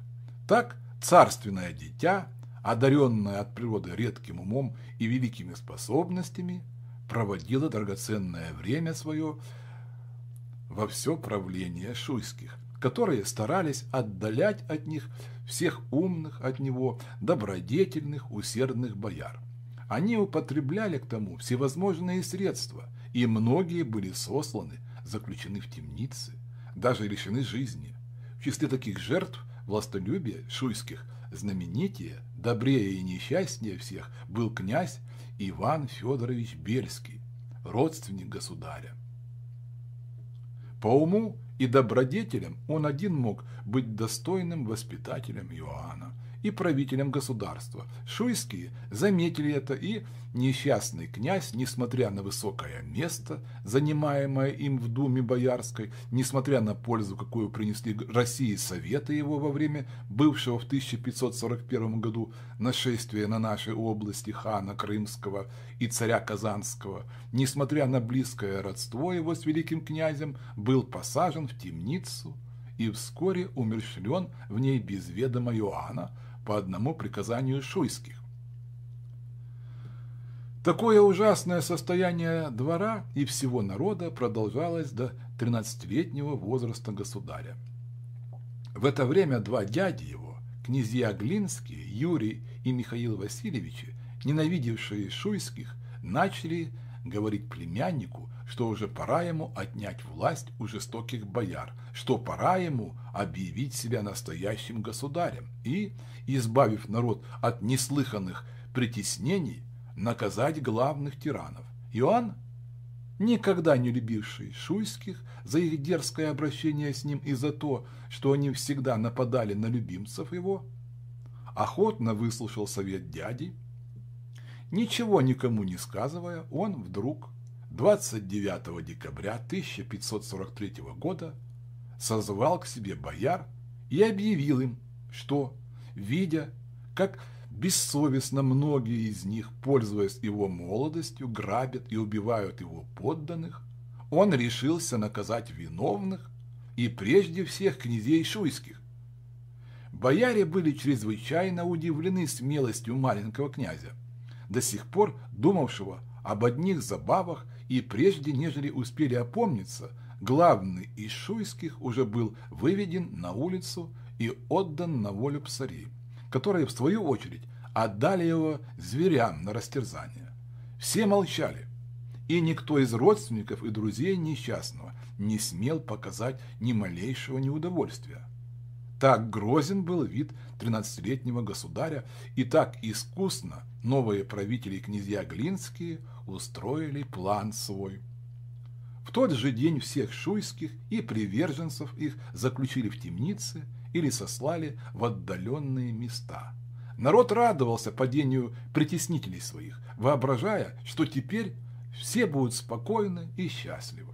Но как жестоко обманул он. И обманулся. Враги его не исчезли, но только переменили имя. Вместо шуйских сделались глинские, а государь, входя в возраст, не любила ни в чем противоречий и с малолетства, приученный к жестокости, не имел никакого понятия о сострадании и не жалел никого. Беспристранно говорили то о гневе великого князя на одного из бояр, то о новом наказании другого, то о ссылке третьего. Так одному придворному чиновнику за несколько дерзких слов отрезали язык. Так 50 новгородцам отрубили головы за то только, что они осмелились пожаловаться Иоанну на притеснения, какие делали им бояре, любимцы его. Одним словом, несколько лет первой молодости Иоанна IV предвещали столько жестокостей и столько бедствий для его подданных, что только одна беспредельная привязанность русских к государю своему помогла им перенести страдания их, не смея роптать на того, кто назначен был Богом управлять ими. Они усердно просили Господа умилостливить сердце его и послать ему умных и добрых советников, которые помогли бы и говорили бы о нуждах народа, а не о забавах и весельях, упреждали его. Уже четыре года русские молились о том. Иоанну, наконец, исполнилось 17 лет. Чудесная перемена. 1547 год. Было утро 16 января 1547 года. Яркие лучи солнца, хотя мало грели, но зато осыпали алмазными искрами белый снег, покрывавший улицы московские. По этим улицам, не широким и великолепным, как те, которые окружают теперь Кремль, а узким, застроенным бревенчатыми домами, толпился народ в праздничном наряде. Ехали бояре, в санях, шло войско, хотя не похожее видом и одеждой на наше нынешнее, стройное и прекрасное, но столь же храброе, столь же усердное к Отечеству, столь же верное государю. Все эти люди были веселы, на всех лицах написано было какое-то приятное ожидание. Как вы думаете, милые читатели, куда все шли и какой праздник был тогда в Москве? О, был праздник большой, торжественный, драгоценный для народа русского во все времена его истории. Было коронование или венчание на царство государя. Иоанн вскоре после того, как ему исполнилось 17 лет, объявил митрополиту и вельможам, что он намерен короноваться. Известие о таком намерении обрадовало весь народ. Все надеялись, что священная минута, в которой Иоанн в церкви перед престолом Божиим примет на себя вместе с царским венцом святые обязанности государя, будет иметь счастливое воздействие на сердце его, что он почувствует все ужасы дурного правления и сделается другим человеком. Так думали добрые предки наши, и усердные молитвы их несколько лет возносимые к Богу об исправлении Иоанна, давали им право надеяться на такое чудо. Вот отчего они так весело спешили в Кремль, к Успенскому собору, где уже все было готово в таком же порядке, как при короновании несчастного Дмитрия Иоанновича, которого читатели мои верно не забыли. Иоанн также как и тот молодой князь, торжественно шел из дворца в собор в сопровождении брата, дядей и всего двора. Также сидел с митрополитом на возвышении, покрытом золотою парчою, также венчался тою царской короною присланной из Греции, которую, как говорят нам летописи, Владимир Мономах отдал сыну своему Георгию. Судьба, украсив ее на одну минуту Дмитрия, не дала ему счастья носить ее. Итак, первый государь русский, удостоивавшийся венчания ею, был Иоанн IV. С той минуты, как этот драгоценный знак достоинства царей возложен был на молодого государя, он уже сделался не только великим князем, как все предки его, но и царем России. Мысль об этом высоком звании, о важности обязанности его, о присутствии Бога, принимающего обещание царей любить подданных, как детей своих, все это вместе подействовало так сильно на пылкую душу Иоанна, что, выходя из церкви, он истинно желал сделать счастливыми всех своих подданных. Народ, восхищенный величественным видом первого царя своего, ласковыми взорами его, надеждою на будущее счастье, с восторгом бросился к царскому месту и оборвал с него всю золотую парчу. Каждому хотелось иметь хоть маленький лоскуток в память этого дня.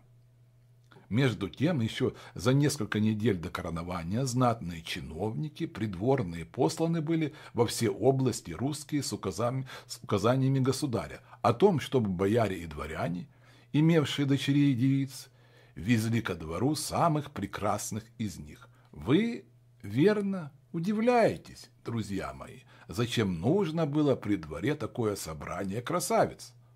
А вот зачем. Многие из старинных государей наших не хотели жениться на принцессах иностранных и, надеясь прожить счастливее со своей соотечественницей, выбирали невест из своих подданных.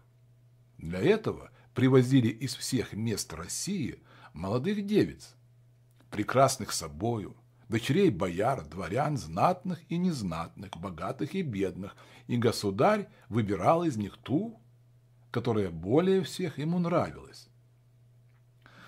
Но ни при одном из таких случаев не собиралось в Москве столько прекрасных, милых, добрых девушек, как в январе 1547 года, когда Иоанн вскоре после коронования хотел праздновать и свадьбу свою.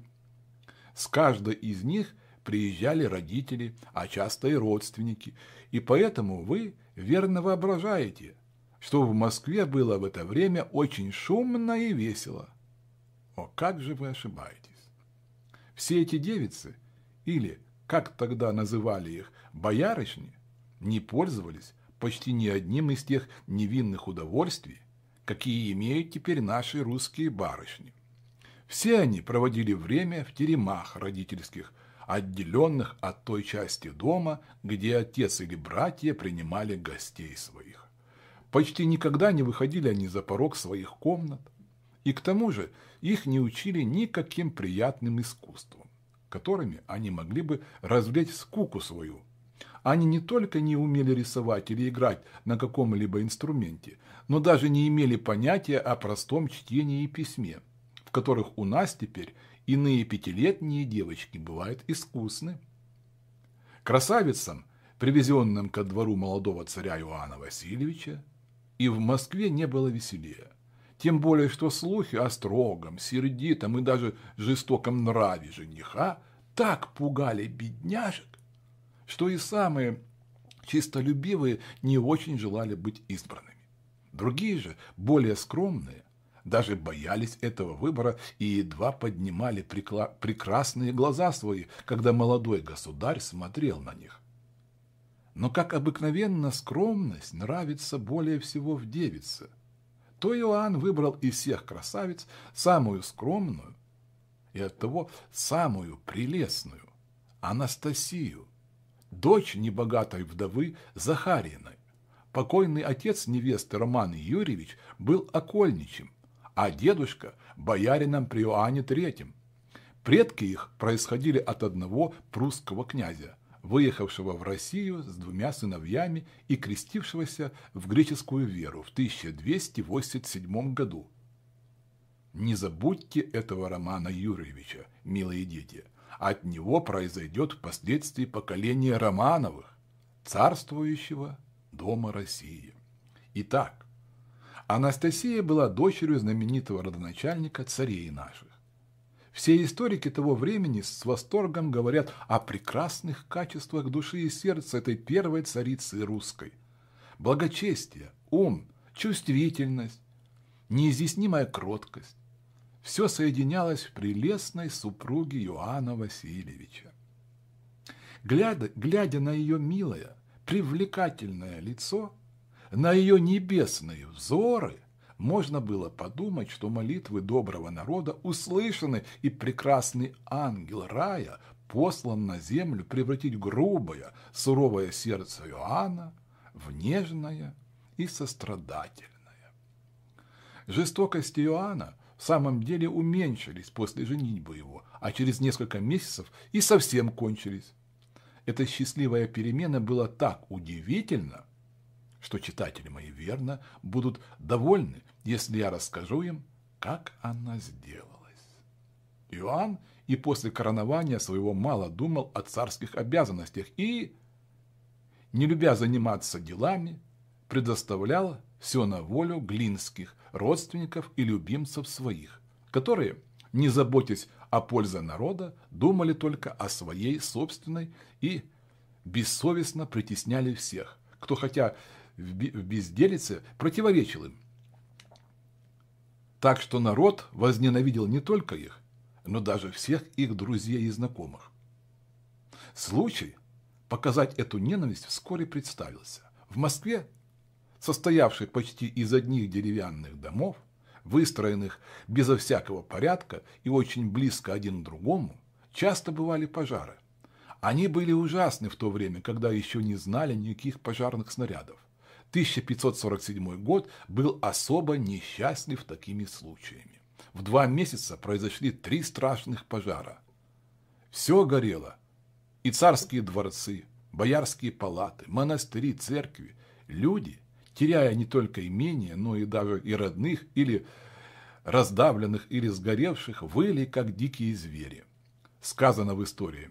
И в этом горестном положении никто не утешал их. Иоанн и все первые вельможи уехали в село Воробьево, недалеко от Москвы, и, будучи сами в безопасности, не думали о бедных жителей столицы. Недовольные решили воспользоваться этим случаем. Главные неприятели были глинские, и на них-то обратилась вся ненависть народа. Хитрецы, подстрекавшие простолюдинов, выдумали глупую сказку, будто бы мать Глинских, княгиня Анна, вынимала сердца у мертвых, клала в воду, кропила ею все улицы, и оттого сделался пожар. Бояре и другие умные люди не верили такому вздору, но нарочно молчали, потому что и сами не любили Глинских и хотели, чтобы легкомысленный народ поверил и избавил всех от общих притеснителей. Так и случилось. Когда сказка разнеслась по городу, все встревожились и шумом собрались на Кремлевской площади, требуя от бояр, чтобы им выдали всех глинских. Один из них, князь Юрий, стоя тут же с боярами, услышал этот крик и хотел спрятаться в Успенской церкви, но не успел. Народ ворвался в церковь вслед за ним и в безумной ярости своей совершил неслыханное злодейство убил в храме Божием дядю государя. После этого страшный бунт, грабительство и убийство распространилось по всему городу. В эти ужасные минуты, когда и, и сам грозный, бесстрашный Иоанн встревожился в Воробьевом дворце своем и не знал, что делать, в царскую комнату его вошел какой-то простой священник. Лицо его было сурово, взоры строги.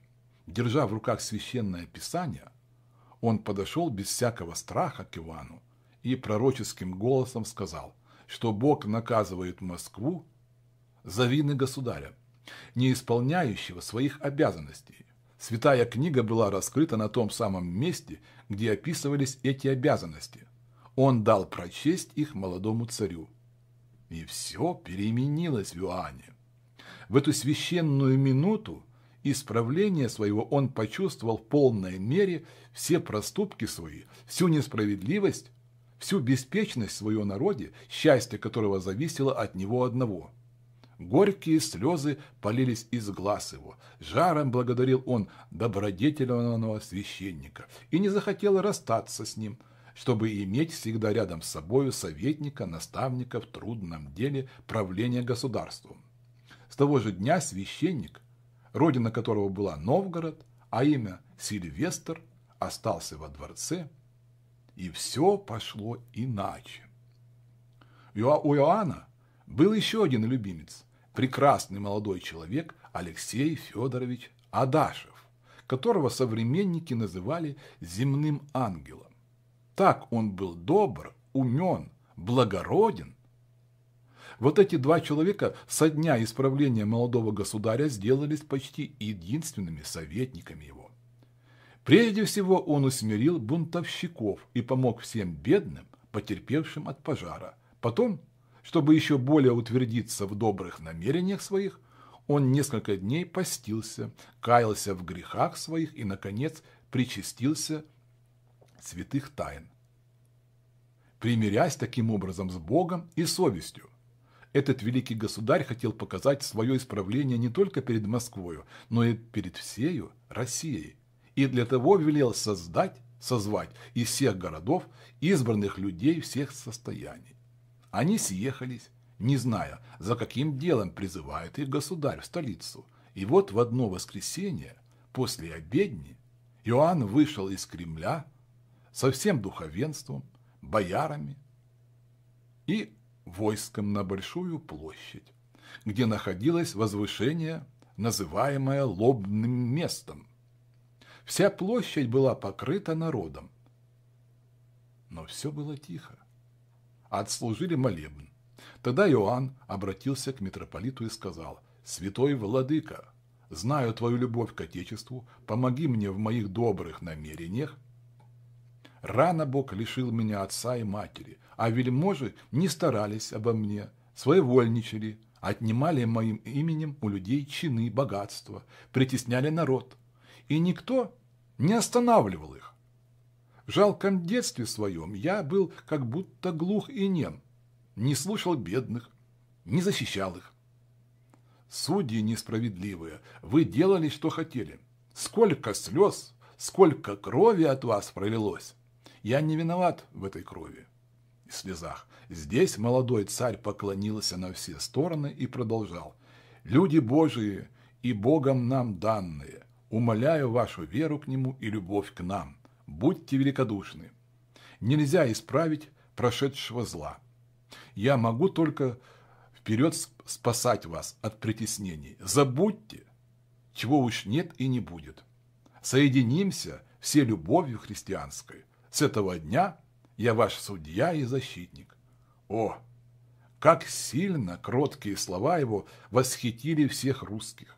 Они увидели счастливую перемену в сердце царя, увидели исполнение молитв своих и с радостными слезами обнимали и поздравляли друг друга с новым правлением. Оно с этого дня в самом деле сделалось новое, власть бояр кончилась, и государь начал управлять не по их воле, а по своей собственной. Казаки 1547-1552 годы. Вместе с нравом Иоанна переменилось и все его окружение. На Кремлевской площади уже не слышны были крики людей, бежавших от злых медведей. В комнатах дворца уже не раздавался хохот шутов, шутих, скоморохов, которых было так множество в то время, когда Иоанн занимался только забавами. Теперь Занятия его были совсем другого рода. Каждый час употреблял он на что-нибудь полезное. Каждую минуту думал о том, чтобы вознаградить недостаток своего воспитания. Во время же отдыха от трудов наслаждением его были не прежние жестокие забавы, а приятное общество добродетельной и прелестной супруги и умного друга его Адашева. Благочестивая, кроткая, прекрасная душа первой утверждала молодого царя во всех добрых намерениях его и молилась о продолжении их. А проницательный, твердый, деятельный ум второго помогал ему открывать несправедливость и защищать слабых от притеснителей сильных. И великие способности Иоанна Васильевича с каждым днем были и более удивляли подданных его – Несмотря на множество различных и трудных занятий, несмотря на чрезвычайную молодость свою, он принялся за дело, самое важное для государства – законодательство. Вместе с умнейшими боярами он рассмотрел все прежние законы великих князей и последнее уложение Иоанна III и, дополнив его новыми постановлениями, издал в 1550 году книгу законов «Судебник или вторую русскую правду. Для лучшего образования юношества, приготовляющегося к духовному званию, государь приказал завести училище в Москве и других городах. Он хотел просветить не только духовенство, но и весь народ свой, и для того поручил одному саксонцу, Штилету, который жил в Москве, вывести из немецкой земли разных ремесленников, художников, лекарей, аптекарей, типографщиков и других искусных людей, мастеров. Это намерение молодого государя не исполнилось. Хотя Шлит и отправился в Германию и уже набрал там 120 человек, но ливонские рыцари, боясь, что вместе с, просвещением России могущество и сила ее еще больше увеличится, не допустили в Москву умных немцев, а самого Шлита посадили в темницу. Однако некоторые из них пробрались потом в Россию и были полезны для предков наших своими знаниями. Ливонцы тем более боялись России, что в это время рыцари их уже не были теми храбрыми, неустрашимыми воинами, которым не раз удавалось побеждать предков наших. Уже не смея нападать на владения наши, они заключили в 1503 году перемирие с Россией на 50 лет – во время такого продолжительного спокойствия ливонцы более занимались торговлей, от которой так разбогатели, так привыкли к приятностям жизни, к неге, к роскоши, что рыцари и дворяне их ничего более не делали, как только строили себе великолепные замки и думали уже не о войне и ее опасностях, нет, а о том, как бы им веселее пожить и попировать в своих богатых поместьях. Они охотно откупались от всякой войны деньгами, чтобы только не расстаться со своими приятными забавами. И поэтому читатели мои могут судить, что Иоанну IV нечего было опасаться Ливонии.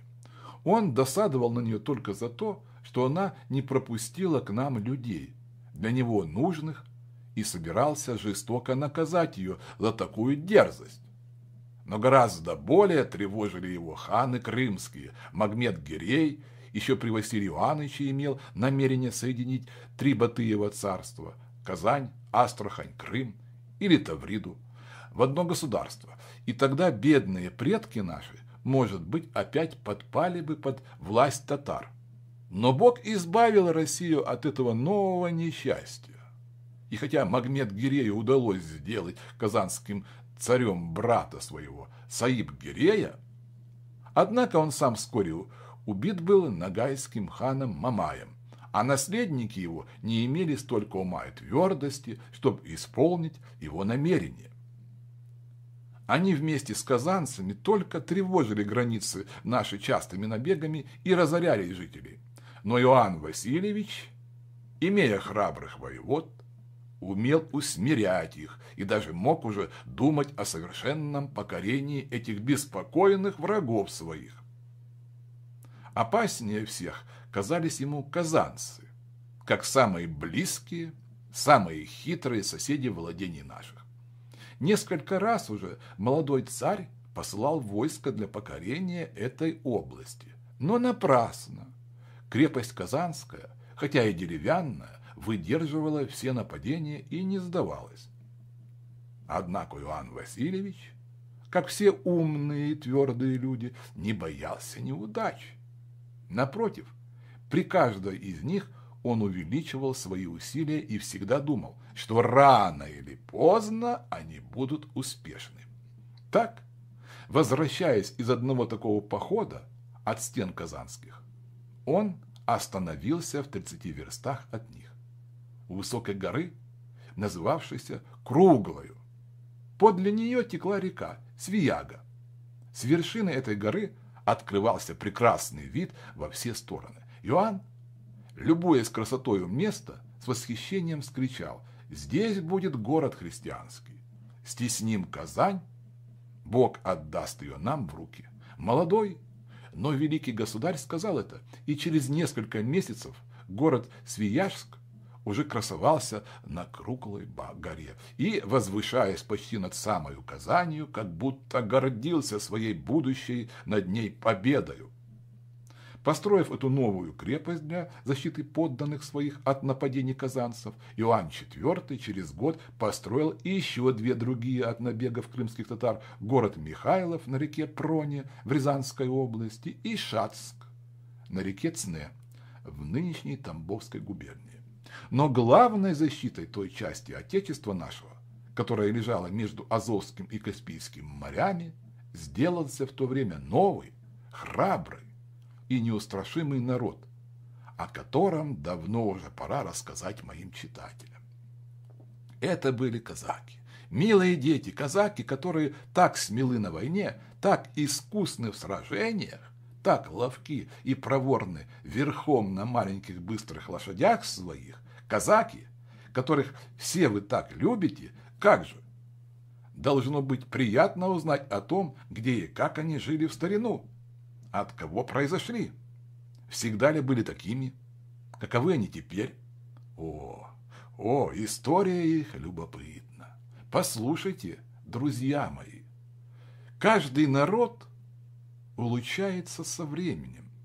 Так и казаки в начале своего существования при царе Иоанне Васильевиче далеки были от славных потомков своих, от того неустрашимого, от того всегда неизменного государю и отечеству войску Донского, которым мы гордимся теперь пред всею Европою.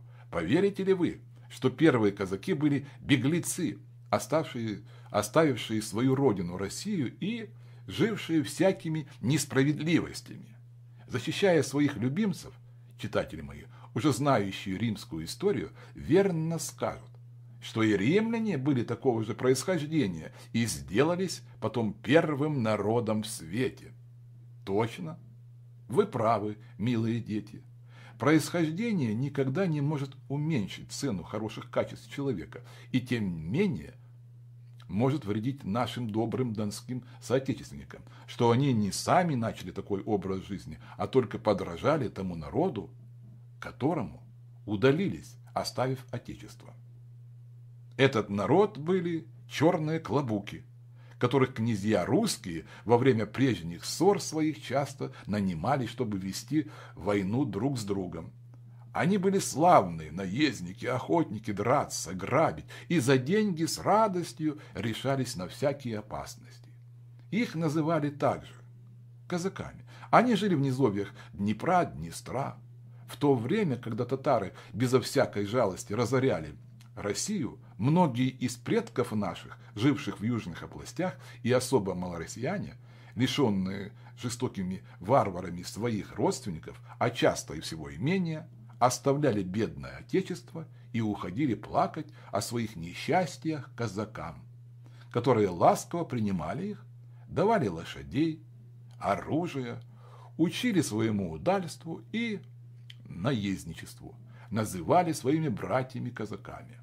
Несчастные, потеряв все, что было для них мило, ненавидя татар, радовали, радовались случаю мстить им, охотно исполняли все приказания казаков, гордились этим именем и с того времени не называли себя иначе. Приятный климат, прекрасные места, изобилие и свобода во всем увеличивали с каждым годом число беглецов. Так что через 200 лет – они совсем смешались с черными клобуками и составляли один народ, уже называвшийся только казаками.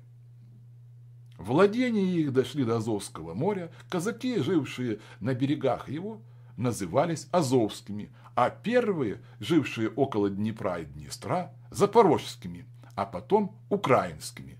Были также казаки ординские, их называли так, потому что они состояли по большей части из татар или беглецов из Орды. Все эти различные казаки управлялись атаманами, которых сами и выбирали.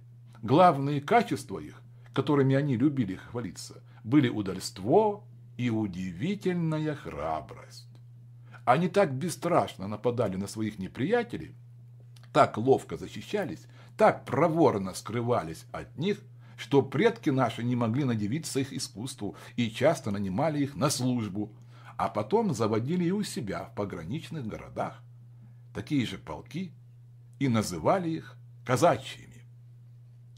В 1480 году азовские казаки оказали важную услугу нашему Отечеству.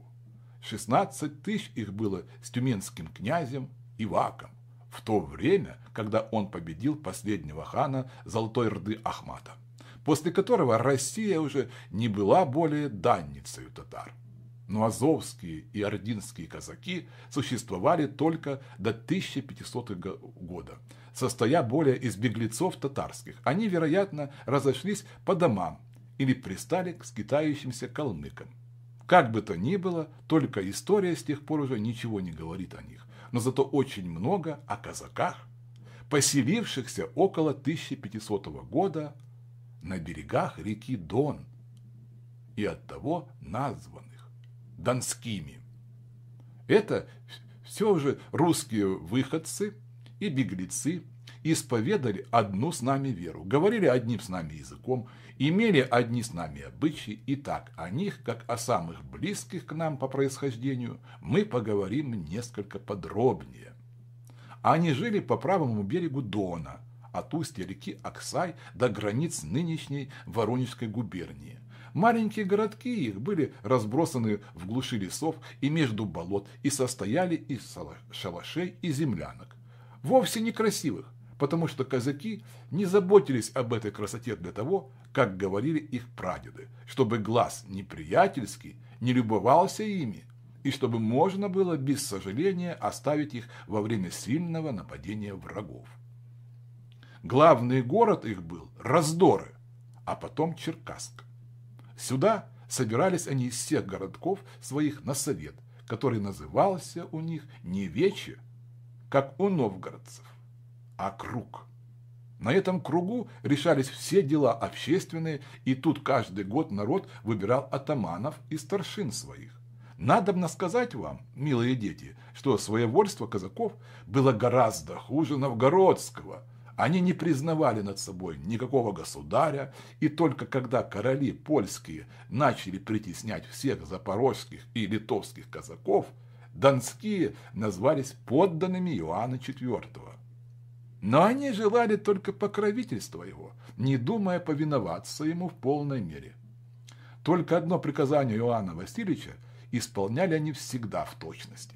Приказание защищать границы его государства от татар крымских, нагайских и других варваров, еще бродивших около южных областей наших. Видя, как усердно казаки подстерегали неприятелей, как искусно и храбро били и прогоняли их, Иоанн IV был доволен ими, ничего более не требовал и даже не наказывал их за беспрестанное своевольство. Таковы были донские казаки в начале царствования Иоанна Васильевича. Так мы их оставим теперь сторожить границы наши, а сами поспешим в Москву.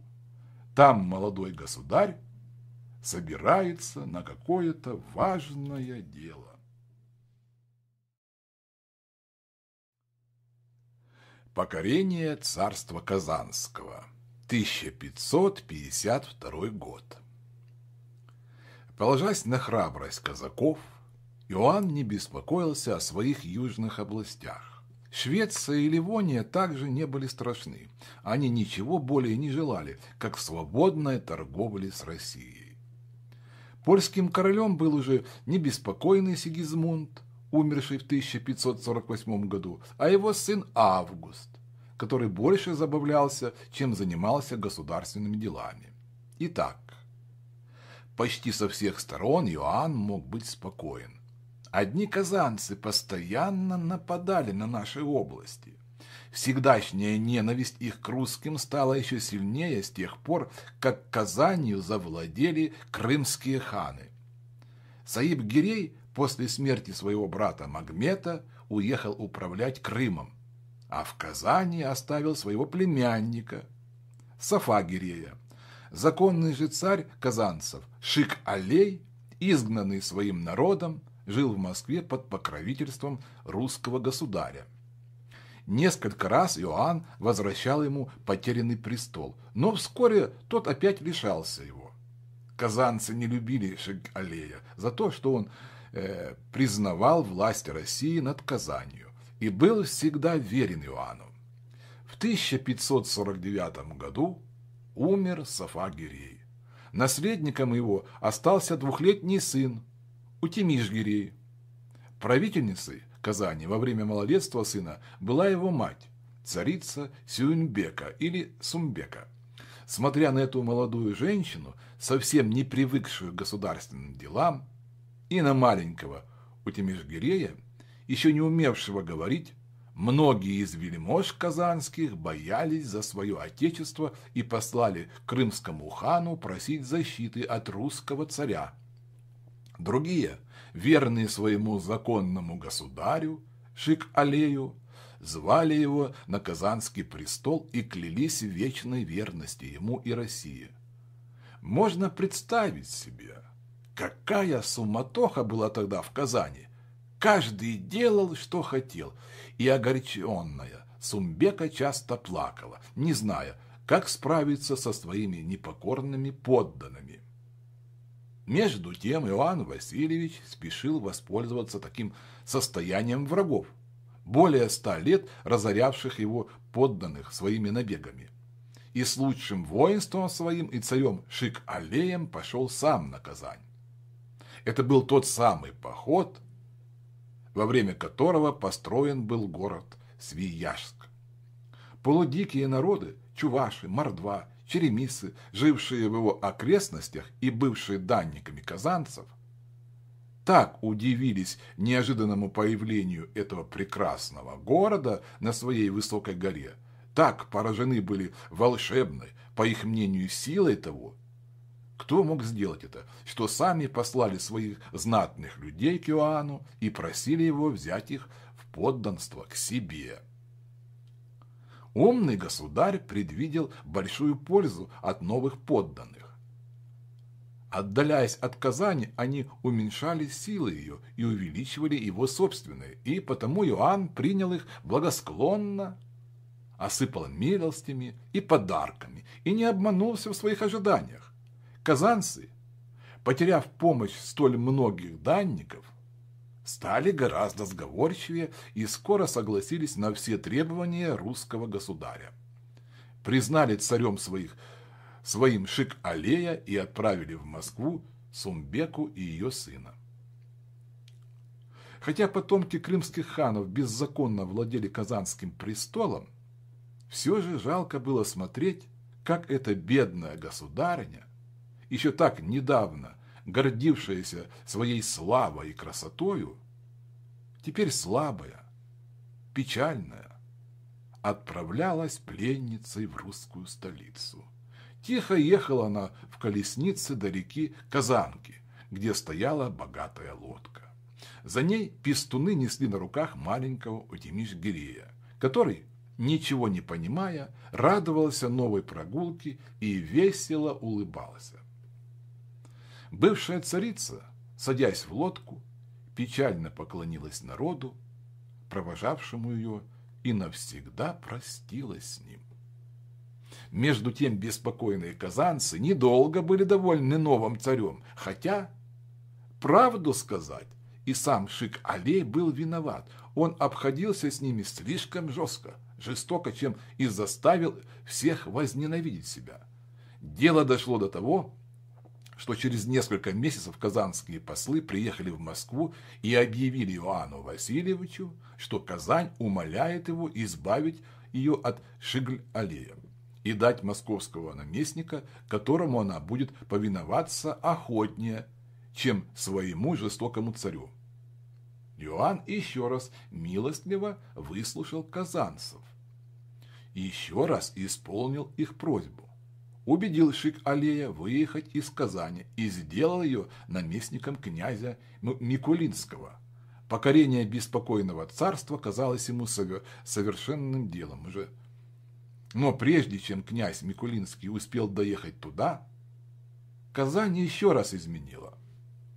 На эту, уже последнюю измену, склонил ее опять крымский хан, но уже не Саиб Гирей, недавно умерший, а племянник его, Девлет Гирей.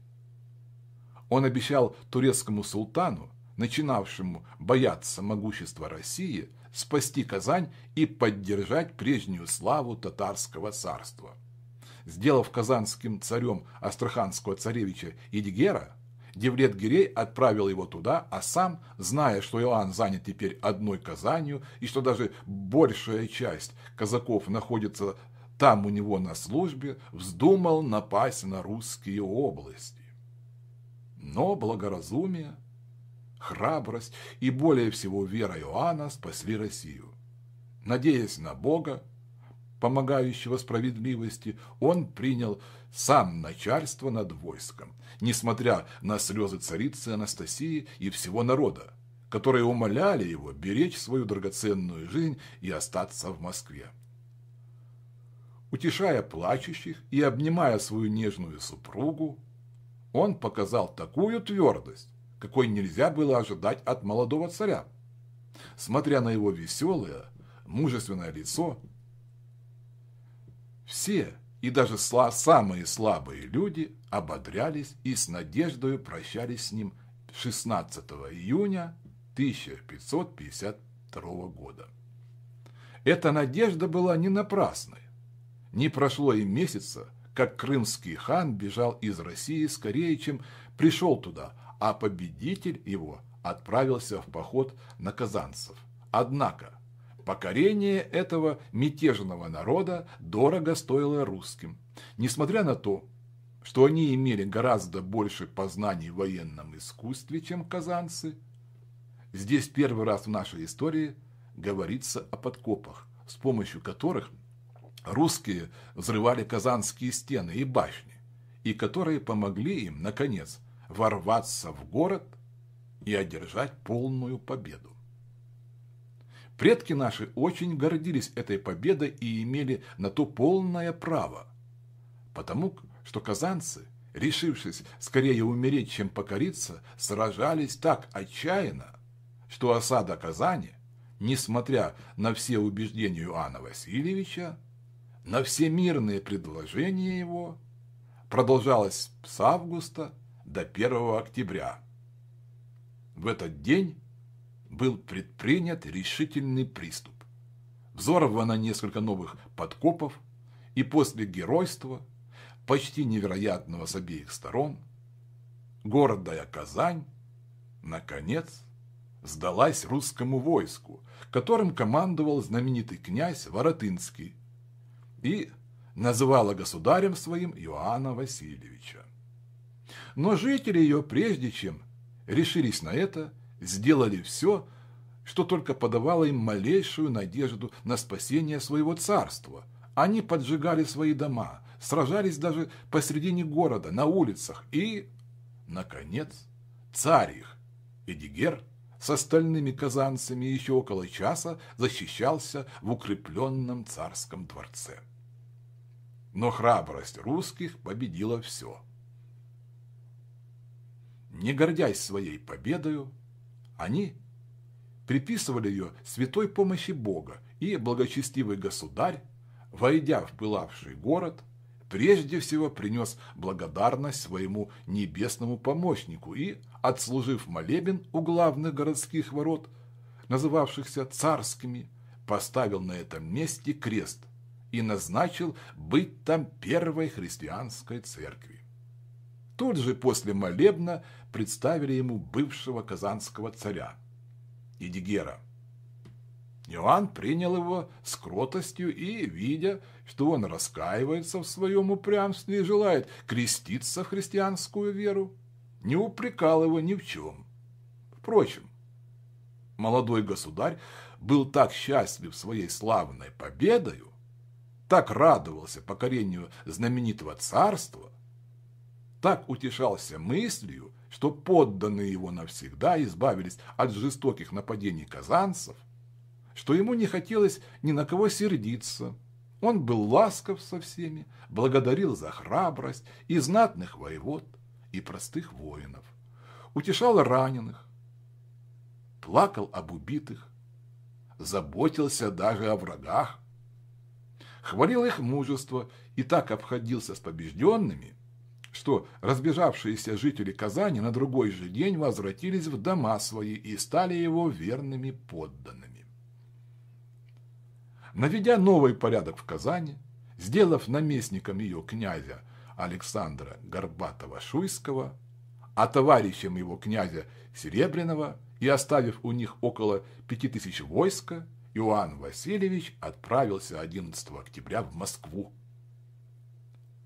Нельзя описать, с какой радостью встречали его по всей дороге. Молодой, 22-летний победитель жестокого и отчаянного храброго народа, 115 лет разорявшего Россию, казался всем человеком неземным, казался ангелом, посланным Богом вознести наше Отечество выше других государств. Мы в настоящее время никак не можем понять всей радости, которую чувствовали наши предки, услышав о победе Иоанна. Это был какой-то неизъяснимый восторг, о котором все историки говорят, как поэты. В то самое время, когда Москва готовилась встретить любимого государя, судьба, казалось, хотела дать ему почувствовать все счастье, которое только может быть дано человеку. У него родился первый сын и наследник, царевич Дмитрий. Эта новая радость восхитила сердце Иоанна. Он не знал, как благодарить Бога за все милости, посылаемые ему. Чувствуя всю их значимость, он со слезами на глазах подъезжал к столице и еще за шесть верст от нее был встречен народом, который теснился около, его лошади, целовал его ноги, руки и беспристрастно кричал «Многие лета царю благочестивому, победителю варваров, избавителю христиан, многие лета!» Ласково кланяясь на все стороны, государь едва мог проехать сквозь тесные ряды народа. Отслушав молебен в Успенском соборе, Иоанн поспешил во дворец. Здесь-то, обнимая супругу и сына, слушая поздравления окружавших его вельмож, видя искреннюю любовь народа, толпившегося с радостными криками на Дворцовой площади, молодой герой почувствовал всю цену счастья, каким Бог наградил его твердое намерение исправиться и благословил минуту своей чудесной перемены. Ах! Ах! Если бы он навсегда остался таким, каким был в это незабвенное время, тогда Россия назвала бы его не Грозным, а Великим Иоанном.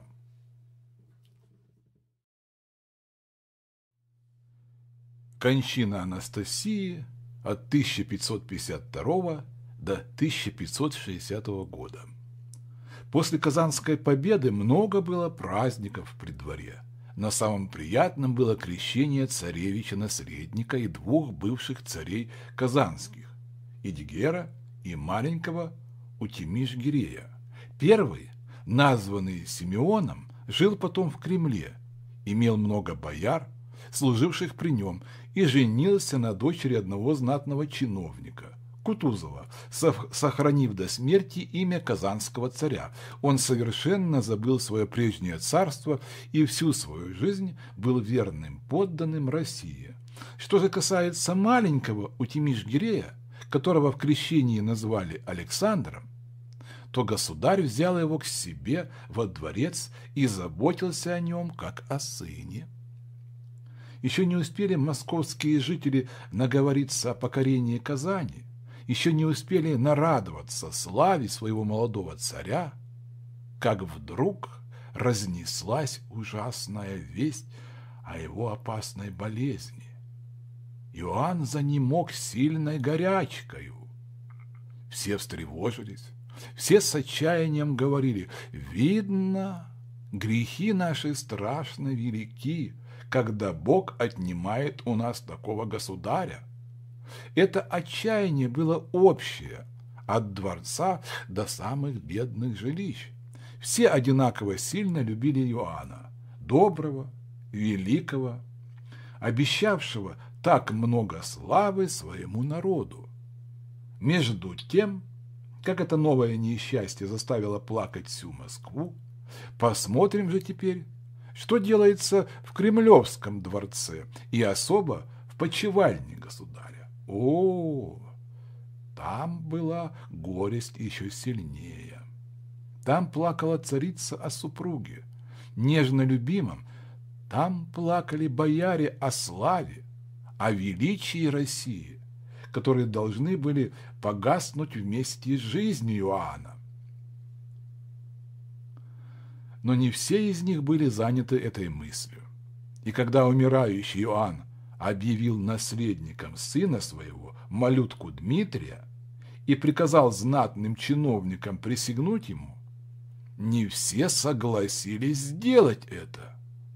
Многие из бояр начали шуметь, спорить, говорили, что они не намерены опять подвергаться тем несчастьям, которые уже испытали во время малолетства Иоанна, и хотели после его смерти сделать своим государем не его родного брата Юрия, слабого умом и памятью, а двоюродного брата Владимира Андреевича, имевшего много блестящих достоинств.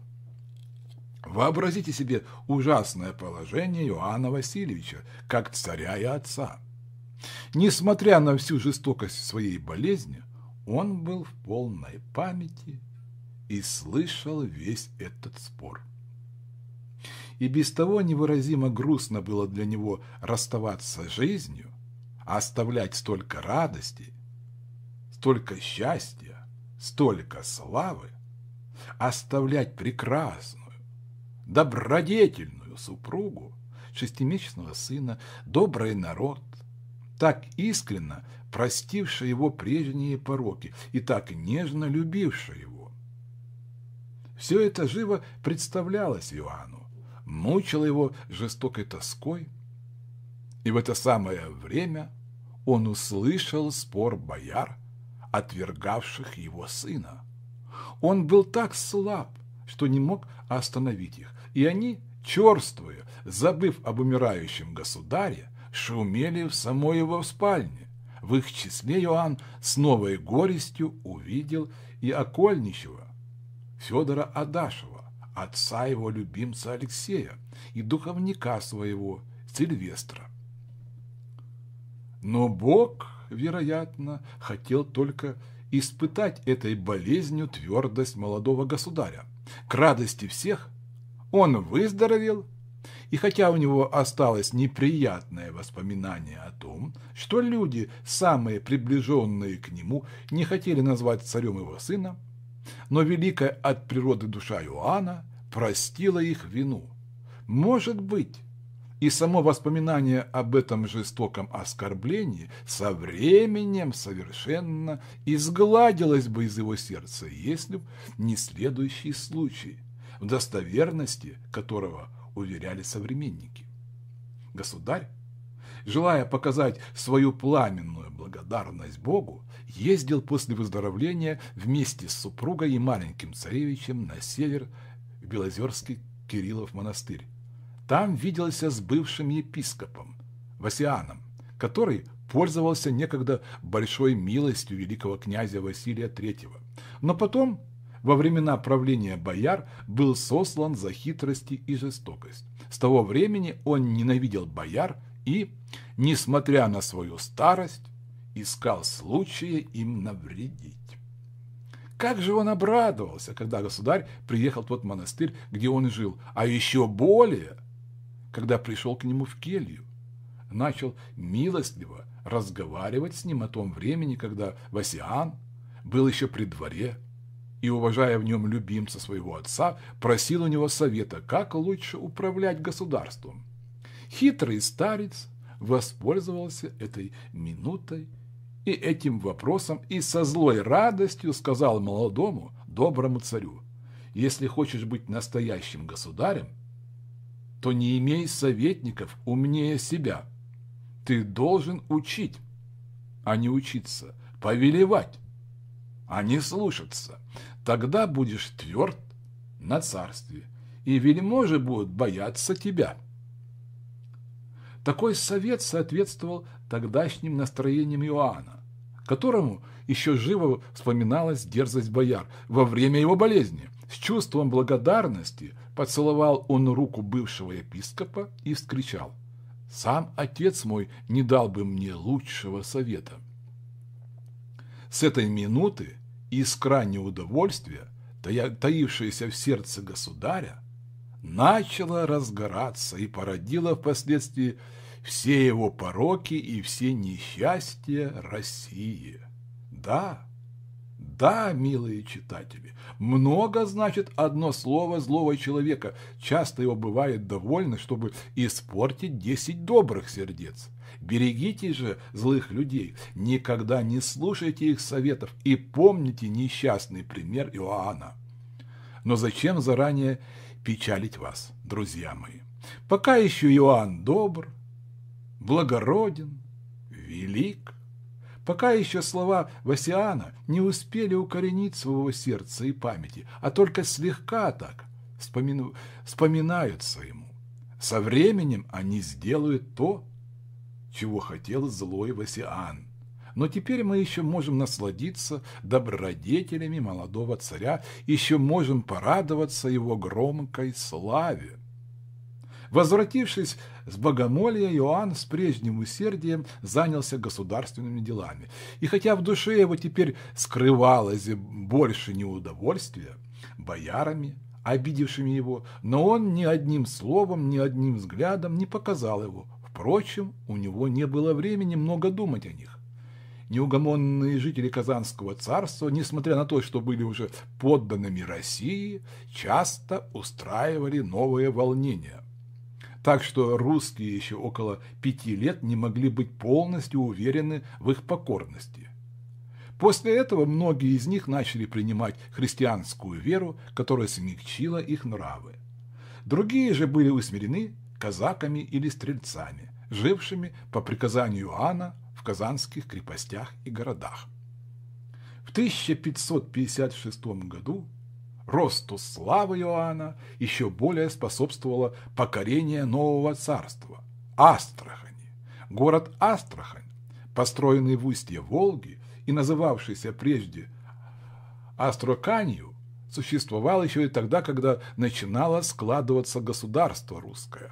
Прежде в нем жили хазары, потом алане. Наконец, после разорения Золотой Орды, Астрахань была столицей татарских ханов, одноплеменных с нагайскими князьями. Эти ханы никогда не были сильными правителями и, спасаясь от притеснений черкесов и крымцев, часто прибегали к покровительству России – и последний из них, Дербыш, обязанный сохранением своего престола Иоанну IV, в минуту своей искренней благодарности за его благодеяние поклонялся вместе со всем народом повиноваться русскому царю. Поклялся дважды, как своему верховному государю. Но прежде, чем отборное войско, посланное к нему на помощь от Иоанна, и состоявшая из царских дворян, боярских детей, стрельцов и казаков, успела удалиться, Дербыш изменил своей клятве и переметнулся к крымскому хану Девлет-Гирею. Подданные его, уже испытавшие разницу между благодетельным покровительством России и дерзкими поступками крымцев, были очень недовольны изменой своего государя и обрадовались, когда храбрые стрельцы и казаки полностью разбили его и заставили бежать в Азов. Тогда все они дали новую присягу России и уже навсегда остались ее верными подданными. Нынешняя Астрахань стоит в нескольких верстах от старинной Астракани. Даже камни на постройку некоторых домов нового города брали из развалин старого.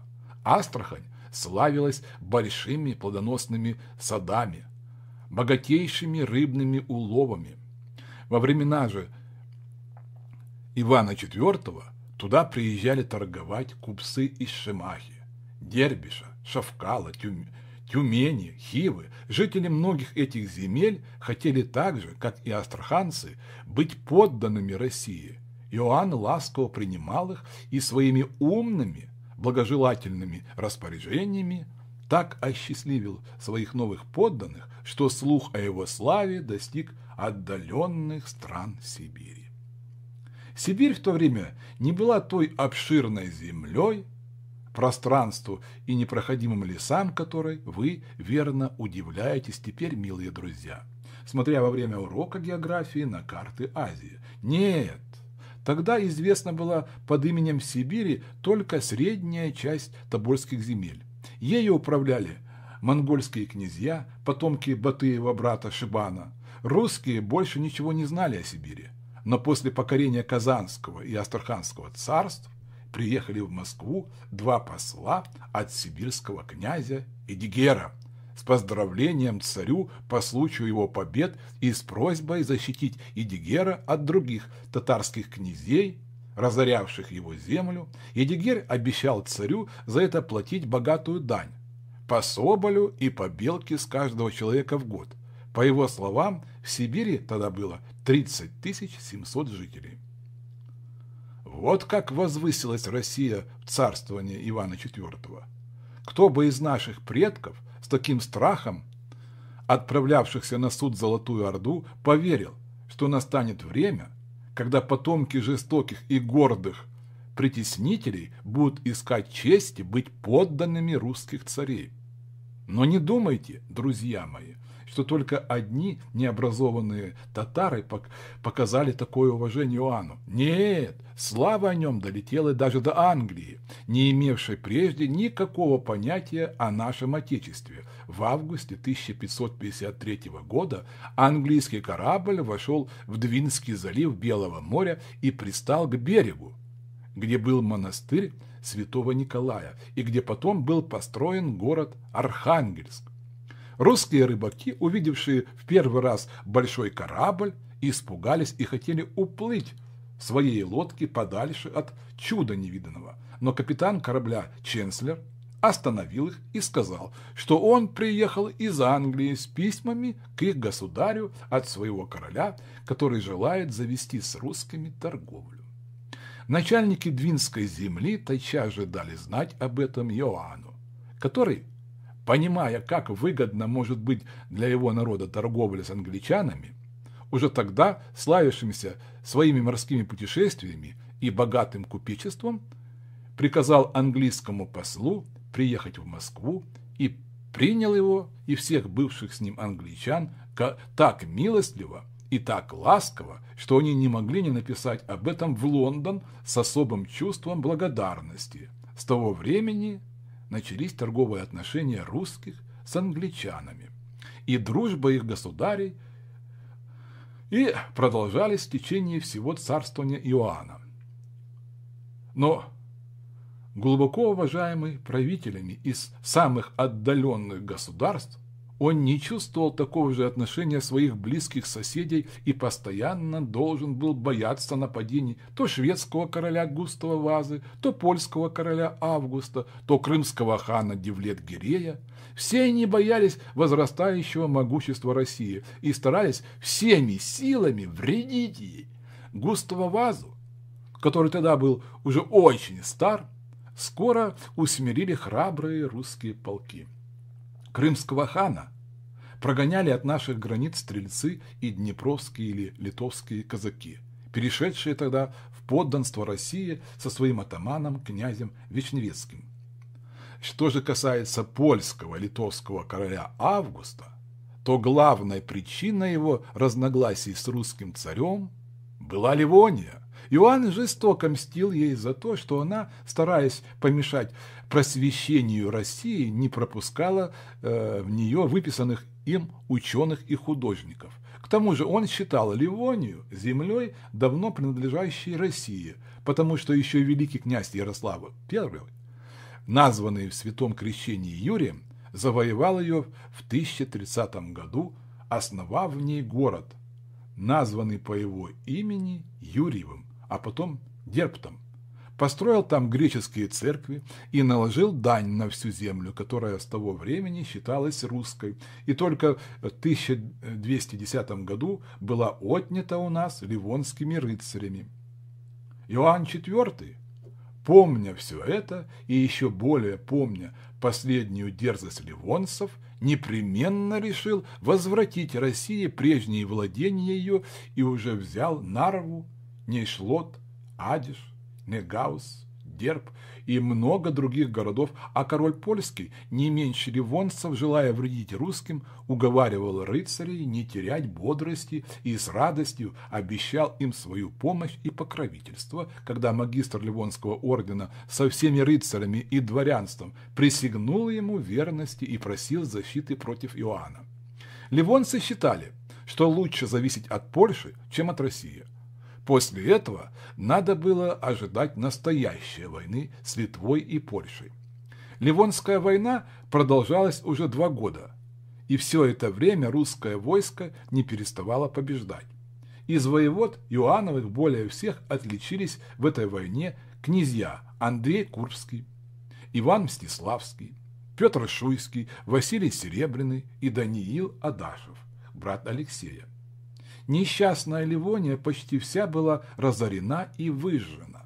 Слабые рыцари, несмотря на всю храбрость своего магистра, молодого Кетлера, везде уступали. Между тем русские, гордясь необыкновенными достоинствами своего царя, его славой, его неизменным счастьем и своими победами, надеялись уже скоро поздравить друг друга с усмирением Ливонии и Польши. Но вдруг но вдруг разнеслась горестная весть о неожиданном несчастье и остановила надежду на их победу, остановила все радости народа, все мечтания о счастье самого Иоанна. Этой ужасной вестью была кончина кроткого ангела прекрасной царицы Анастасии. В июле 1560 года она вдруг занемогла и, и больная и больная испугалась сильно сильного жара, случившегося в Москве пожар, испуг усилил боль. И несмотря на все искусства врачей, Анастасия скончалась 7 августа. Как описать то, что происходило тогда в Москве? Государь был в совершенном отчаянии. Этот твердый, мужественный, великий Иоанн плакал и рвался, когда, как слабая женщина. Бояре, окружавшие его, и даже брат его, князь Юрий Васильевич, боялся утешать его. Один митрополит иногда осмеливался подходить к нему и напоминать о том, что христианин должен быть покорен Богу. Народ неутешно рыдал, бедные, идучи за, за гробом доброй благодетельницы своей, называли ее всеми нежнейшими именами и в глубокой горести даже отказывались принимать милостыню. Одним словом, все как будто предчувствовали, что вместе с прекрасной душой Анастасии отлетят на небо и добродетели царя, и счастье его народа. Они угадали. Слава Иоанна, добро, добродетельного кончилась жизнью его супруги, и, оплакивая первую, незабвенную свою царицу, наши предки готовились к тем горьким слезам, которые проливали они потом из-за жестокостей уже не великого, но грозного и страшного своими пороками Иоанна. Опричники и Слобода Александровская от 1560 до 1569 года. Мы дошли теперь до ужасного периода в нашей истории, милые читатели. До сих пор мы видели, что русские государи всегда любили свой народ, всегда заботились о нем с отеческой нежностью. И если в старину во времена междоусобий были в их числе жестокие князья, безжалостно разорявшие свои области, то это были князья-враги, которые мстили за нанесенные им обиды и, примирясь друг с другом, старались вознаградить народ за несчастья, причиненные их разногласиями. Но теперь наши бедные предки видели перед собой государя, который был жесток не к врагам своим, а к своим верным подданным, который с удовольствием мог смотреть на мучения умирающих, который иногда даже собственными руками отрезал в шутку уши у своих любимцев или убивал их за одно неосторожное слово. Вы пугаетесь и, конечно, едва верите тому, что я рассказываю. Друзья мои, нам трудно поверить в жестокости прошедших времен. Но и наши предки, видевшие их собственными глазами, едва верили в это и говорили, что эти жестокости идут не от сердца царя, а по воле Божией, наказывающей их за грехи. Эта мысль помогала им переносить без малейшего ропота свои страдания, а нам поможет выслушать рассказ об ужасных делах Ивана IV, еще совсем недавно доброго и великого. Вы помните совет, который дал молодому государю старый епископ Васиан? Этот совет причинил первое зло. Он отдалил от Иоанна тех людей, усердию и добродетелям которых он был обязан своей славой, священника Сильвестра и Алексея Адашева. Возвратясь из Кириллова монастыря, он уже не любил их, но еще уважал их заслуги и при жизни своего ангела-хранителя, доброй Анастасии, еще мог удерживать дурные наклонности и злые помыслы свои. Но с тех пор, как ее не стало, все переменилось. Пылкая душа Иоанна, потеряв милое и единственное существо, имевшее власть над ней, увлекаемое льстецами, раздражаемая злыми людьми, пришла снова в то состояние, в каком она была за 30 лет до случившегося, и стала еще хуже. Ожесточилась так, что Иоанна уже не могли умолить никакие просьбы, не могли смягчить никакие слезы.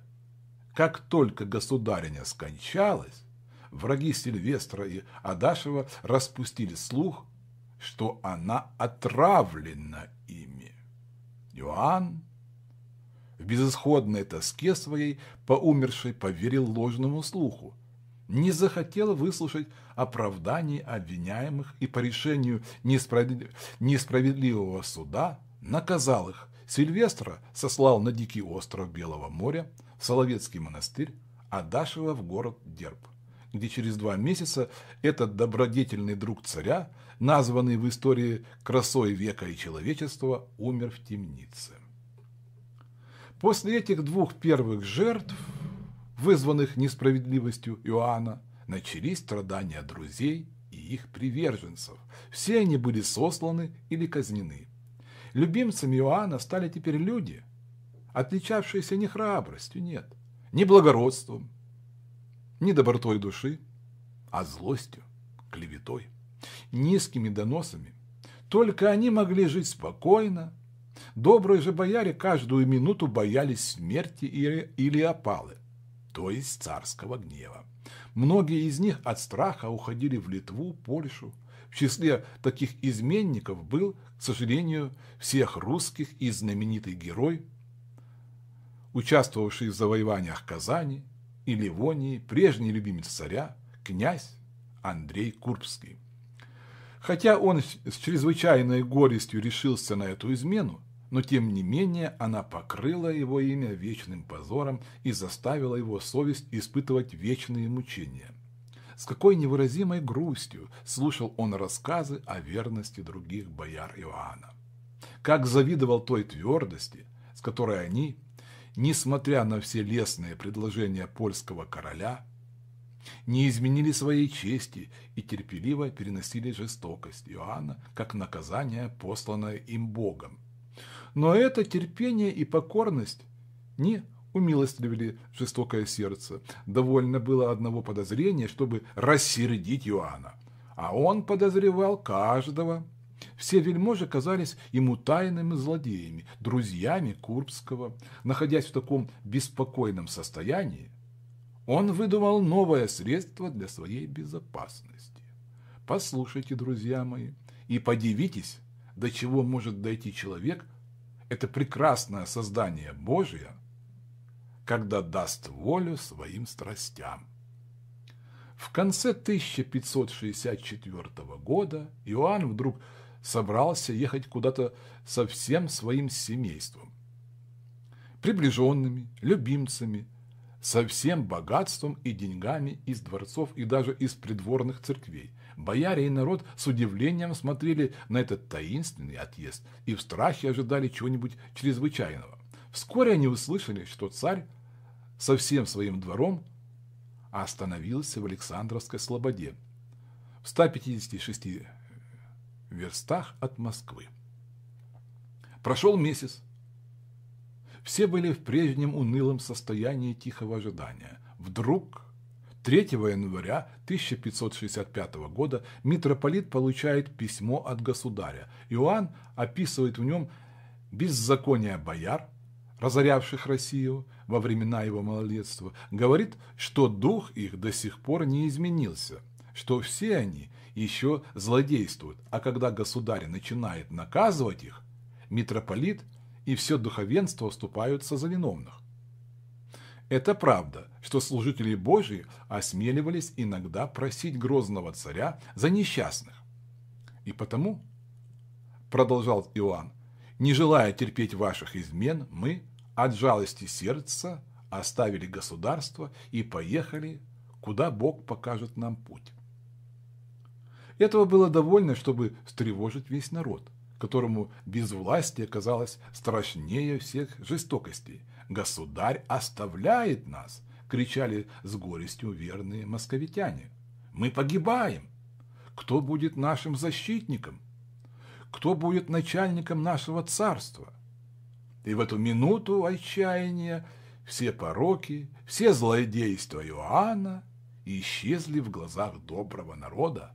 Он видел в нем только своего царя и умолял митрополита умилостливить Иоанна.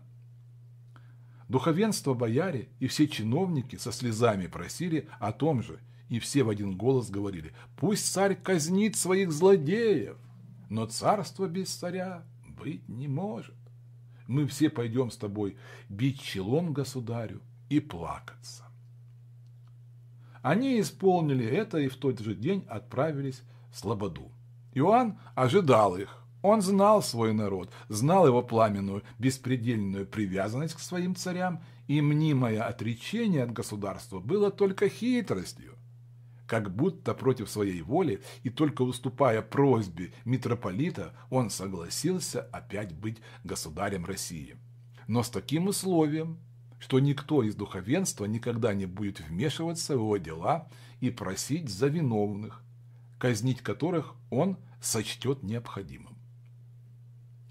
2 февраля царь въехал в Москву и на другой же день созвал к себе духовенство, бояр, чиновников, но как же удивились все, увидев Иоанна. Наружность его, прежде привлекательная, так изменилась, что верные подданные едва узнали его. Светлые, проницательные, полные огня глаза его были теперь мрачны и дикие. Все черты прежнего миловидного лица сделались безобразны, а на голове и в бороде не осталось почти ни одного волоса. И все это произошло от того, что он беспрестанно предавался сильному гневу и жестокости. Это ужасно, ужасно, милые читатели мои. Иоанн объявил боярам, что он намерен для своей государственной безопасности учредить новых телохранителей. Сначала никто не удивился этой новости, потому что все знали его боязливость с тех пор, как он перестал быть добродетельным. Но когда выяснилось, что это будут за телохранители, то все ужаснулись. Иоанн объявил своей собственностью 19 городов с разными властями, выбрал 6 тысяч человек из князей, дворян и боярских детей и дал им имения в этих городах. А тамошних владельцев перевел в другие места. В самой Москве взял себе также несколько улиц, откуда должны были выехать все, все записанные царские телохранители. Назначил себе особых чиновников для услуг, для услуг дворецкого, казначеев, ключников, даже поваров – хлебников и других ремесленников и, не желая жить во дворце своих предков, приказал строить себе новый, за речкою Неглинной. Вот этой части России и Москвы, это дружина телохранителей, этот новый двор, не имевший другого начальника, кроме самого царя, были названы опричниной.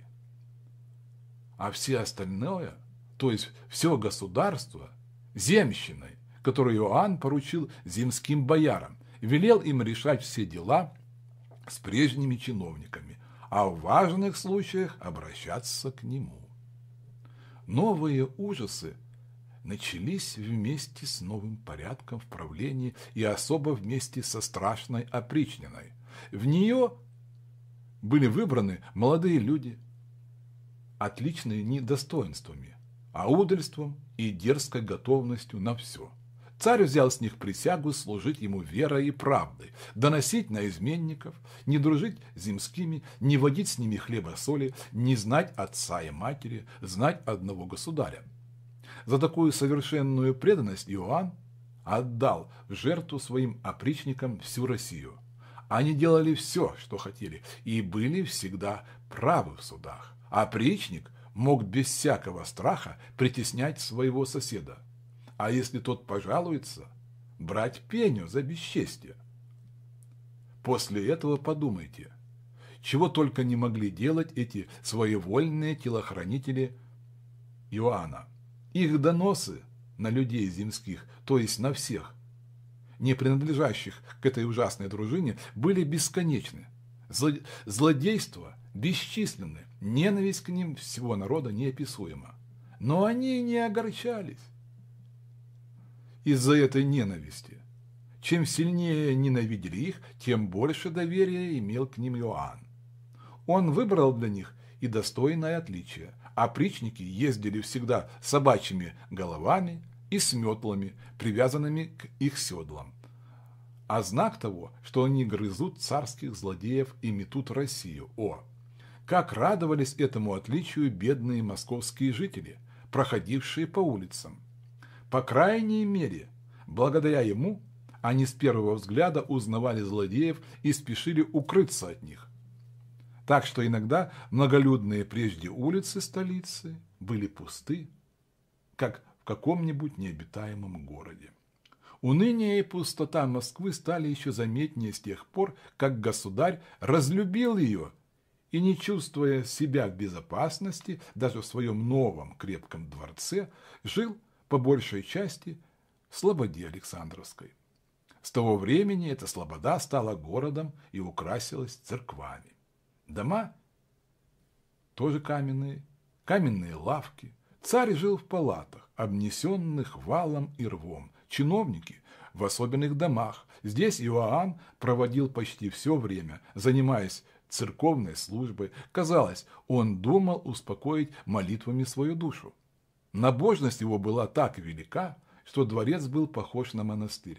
Своих любимцев он называл монахами, себя – игумном. Все они ходили в скуфейках и черных рясах, под которыми носили богатые кафтаны с собольями и опушками. В четыре часа утра Иоанн ходил сам на колокольню со своим первым любимцем и другом, Малютой Скуратовым. Благовестил к заутренне, потом сам же пил, читал, молился так усердно, что на лбу у него всегда оставались знаки земные. То есть поклонов. Восемь часов опять собирались к обедне, вечером к вечерним. В трагедии Пушкина Борис Годунов есть рассказ одного старца-монаха о тогдашней жизни Иоанна. Царь Иоанн искал успокоения в подобии монашеских трудов, и вот дворец любимцев город их полный.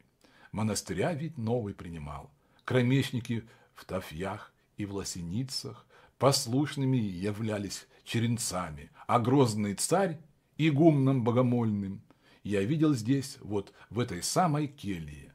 В ней жил тогда Кирилл, многострадальный, муж праведный. Тогда уж и меня сподобил Бог уразумить ничтожность мирских сует. Здесь видел я царя, усталого, от гневных дум и казней, задумчив, тих сидел меж нами грозный. Мы перед ним недвижимо стояли, и тихо он беседу с нами вел. Он говорил игумну, и всей братья, отцы мои, желанный день придет, предстану здесь алкающий спасения. Ты, Никодим, ты, Сиргий, ты, Кирилл, вы все обед примите мой духовный. Приду к вам, преступник окаянный, и схему здесь восприму. К стопам твоим, святой отец, припадший, так говорил державный государь. И сладко речь из уст его лилась, и плакал он, а мы в слезах молились. Да не спошлет Господь любовь и мир его душе, страдающей и бурной. Но напрасно молились они. Характер Иоанна не исправлялся. Может быть, в наше время искусство врачей открыло бы, что причина его необыкновенной жестокости была какая-нибудь болезнь тела или расстройство души, слишком сильно пораженная невозвратной потерей нежно любимой супруги, но когда об этом не думали, тогда никогда не представлял, что сильное горе могло иметь какое-нибудь чрезвычайное влияние на здоровье человека. И потому не подозревая никакой болезни в Иоанне, наши предки отнесли его к числу тех ужасных правителей, которых иногда Бог посылает для наказания народов. И какими у римлян был Калигула, Нерон, у французов Людовик XI. И римляне, и французы ужасались имени этих государей, но не таким было чувство русских к Иоанну, когда раздавалась весть о победах его храбрых войск, когда его умными распоряжениями русская торговля расцветала не только в Москве, Астрахани и Казани, но даже в Германии и Англии, когда он торжественно въезжал в Москву и с обычным своим великолепием принимал знаменитых иностранных послов, когда они со всеми знаками глубочайшего уважения стояли перед ним и слушали его остроумные разговоры о важных государственных делах, Добрый народ забывал свои страдания, забывал слободу со всеми ее ужасами и, гордясь величием России, помнил только, что Иоанн – их царь. Это имя, священное для русских, оказывало в так, такие минуты свое чудесное воздействие на их сердца. Им казалось, им казалось, что они любят Иоанна. Слабость России от 1569 до 1582 годов. Однако величие России не могло быть продолжительно при таком государе и после таких событий в государстве. Иоанн, истребляя иногда целое поколение князей и бояр, не щадил и тех из них, которые отличались своими великими заслугами в военных или гражданских делах. Он казнил их наравне с обыкновенными преступниками, и оттого число умных и знаменитых царских советников беспрестанно уменьшалось, так что вскоре Иоанн остался почти один со своими недостойными любимцами, со своей ужасной дружиной опричников и со своими шутами и забавниками. Враги окружавшие Россию и завистью смотревшие на ее могущество, обрадовались такой перемене и спешили воспользоваться ею. Тогда-то жестокий Иоанн понял свою ошибку, Тогда-то он сам почувствовал отвращение к ненавистным опричникам, лишившим его своей клеветой лучших вельмож и полководцев. Но напрасны были все его сожаления. Сделанного изменить было невозможно. В пылу досады и гнева он уничтожил опричнину. Это случилось спустя семь лет после ее учреждения. Однако этим дело не поправилось. Убитые князья Горбатый Шуйский, Серебряный, Адаевский, Кураткин не воскресли, а между тем враги нападали со всех сторон на бедное отечество. Первым из них был крымский хан Девлет Гирей. Набрав более ста тысяч войска, он неожиданно подошел к городу Серпухову, где находился сам Иоанн. Вместо того, чтобы оказать решительное сопротивление, царь, уже не прежний мужественный великий Иоанн, окруженный героями, но слабый, не надеявшийся не только на искусство, но даже и на усердие своих полководцев, бежал в Коломну, потом в Александровскую Слободу, наконец в Ярославль. А хан, между тем, пробрался прямо в Москву, разорил и сжег ее так, что из всех зданий остался один Кремль. Девлет Гирей не хотел осаждать его, и на другой день, посмотрев с Воробьиных гор на опустошенную столицу, отправился назад, испугавшись ложного слуха, что многочисленное войско идет на помощь русским. Так бедная Москва еще раз побывала в руках варваров. Возвратившийся государь не скоро смог опять поправить ее разрушенные стены, заселить ее опустошенные улицы. Не успел он еще заняться этим, как новые враги уже спешили в Россию. То были поляки. Но прежде, чем мы будем говорить о них читателям, надо сказать о главной причине их ссор с русскими, о земле Ливонской. Вы верно не забыли, какое жалкое состояние привели победы Иоанна эту несчастную страну еще в 1560 году. С того времени русские не переставали разорять ее и в 1561 рыцари Ливонские уже более не существовали, их орден уничтожился, и ливонцы признали своим государем польского короля Августа, который, получив в свое владение всю Южную Ливонию, обещал не менять ни ее веры, ни ее законов. Последний магистр, Кетлер, сложив в себя это достоинство получил от короля звание наследственного герцога Курлянского. Прочие орденские земли разделились еще на три части – Нарва, Дерб и все соседние с Россией места были завоеваны Иоанном. Гария, Ревель и половина Верландии – шведам. Езель принадлежал датскому принцу Магнусу. Все эти владетели беспрестанно ссорились между собой, желая вытеснить один другого. Пока знаменитые полководцы Ивана IV еще жили и командовали его войском, русские были везде победителями, и города Ливонии один за другим покорялись их оружию. Но когда в 1577 году Иоанн казнил последнего из героев, прославившегося при взятии Казани, князя Михаила Воротынского, счастье, как будто желая справедливо наказать Иоанна, совершенно оставило его. Русское войско, лучше, чем когда-нибудь устроенное, но под командованием новых, неискусных предводителей, забыло о победах и после каждого сражения должно было стыдиться то шведов, то поляков. Особо Последние славились в это время своими успехами. Они обязаны были этой славой новому знаменитому в историю королю своему Стефану Баторию. Еще в 1573 умер слабый Сигизмунд Август, не оставив после себя наследников. Поляки долго не знали, кого выбрать своим государем. Многие из них, чтобы обезопасить свое отечество от врагов, окружавших его, турок, австрийцев охотно желали видеть на своем престоле сильного русского царя или одного из его сыновей и даже посылали для этого своих вельмож в Москву.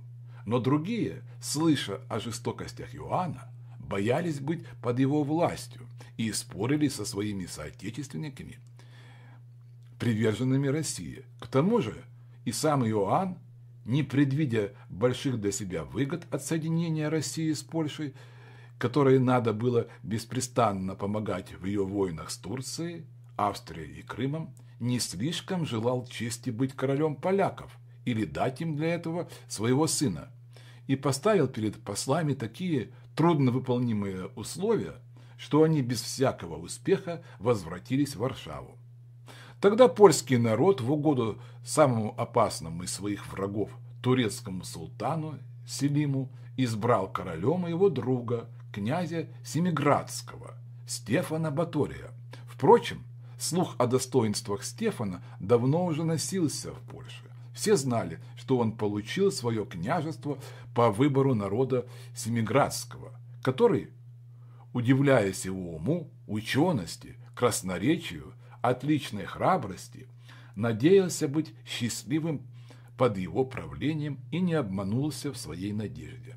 Видя это, и поляки с радостью великой назвали его своим королем.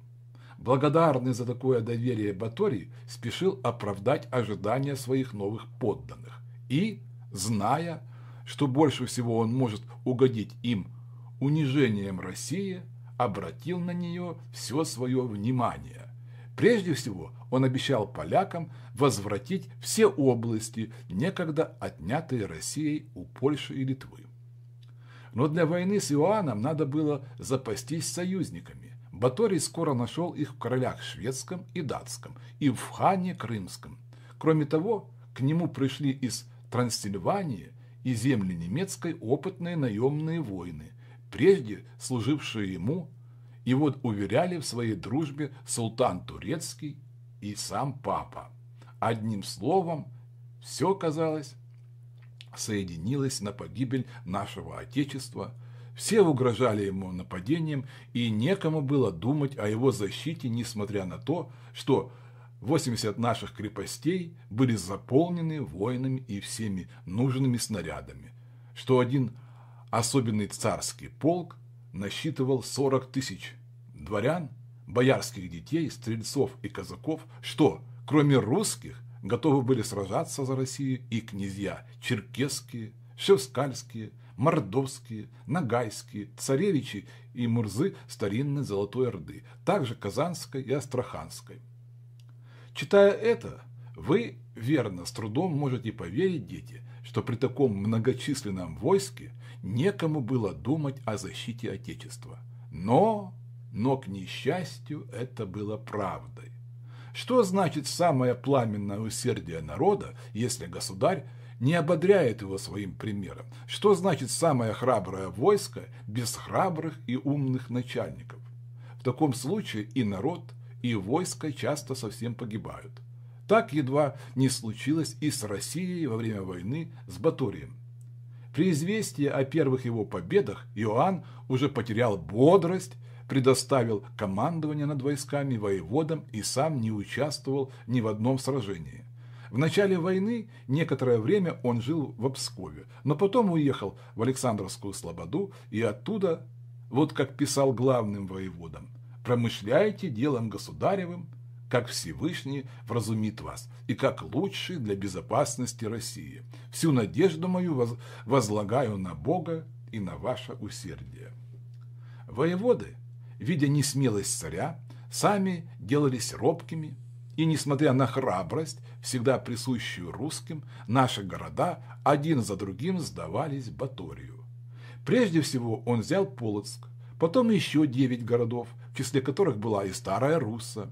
В Ливонии войска Стефана опустошили все города, совсем недавно еще завоеванные русскими. И Бог знает, до какого унижения – доведено было бы наше Отечество этой несчастной войной, если бы, наконец, гордость Батория не смирилась у стен древнего города Ольги, Пскова. Здесь еще были надежные воеводы, присягнувшие Иоанну умереть, но не сдаваться неприятелю.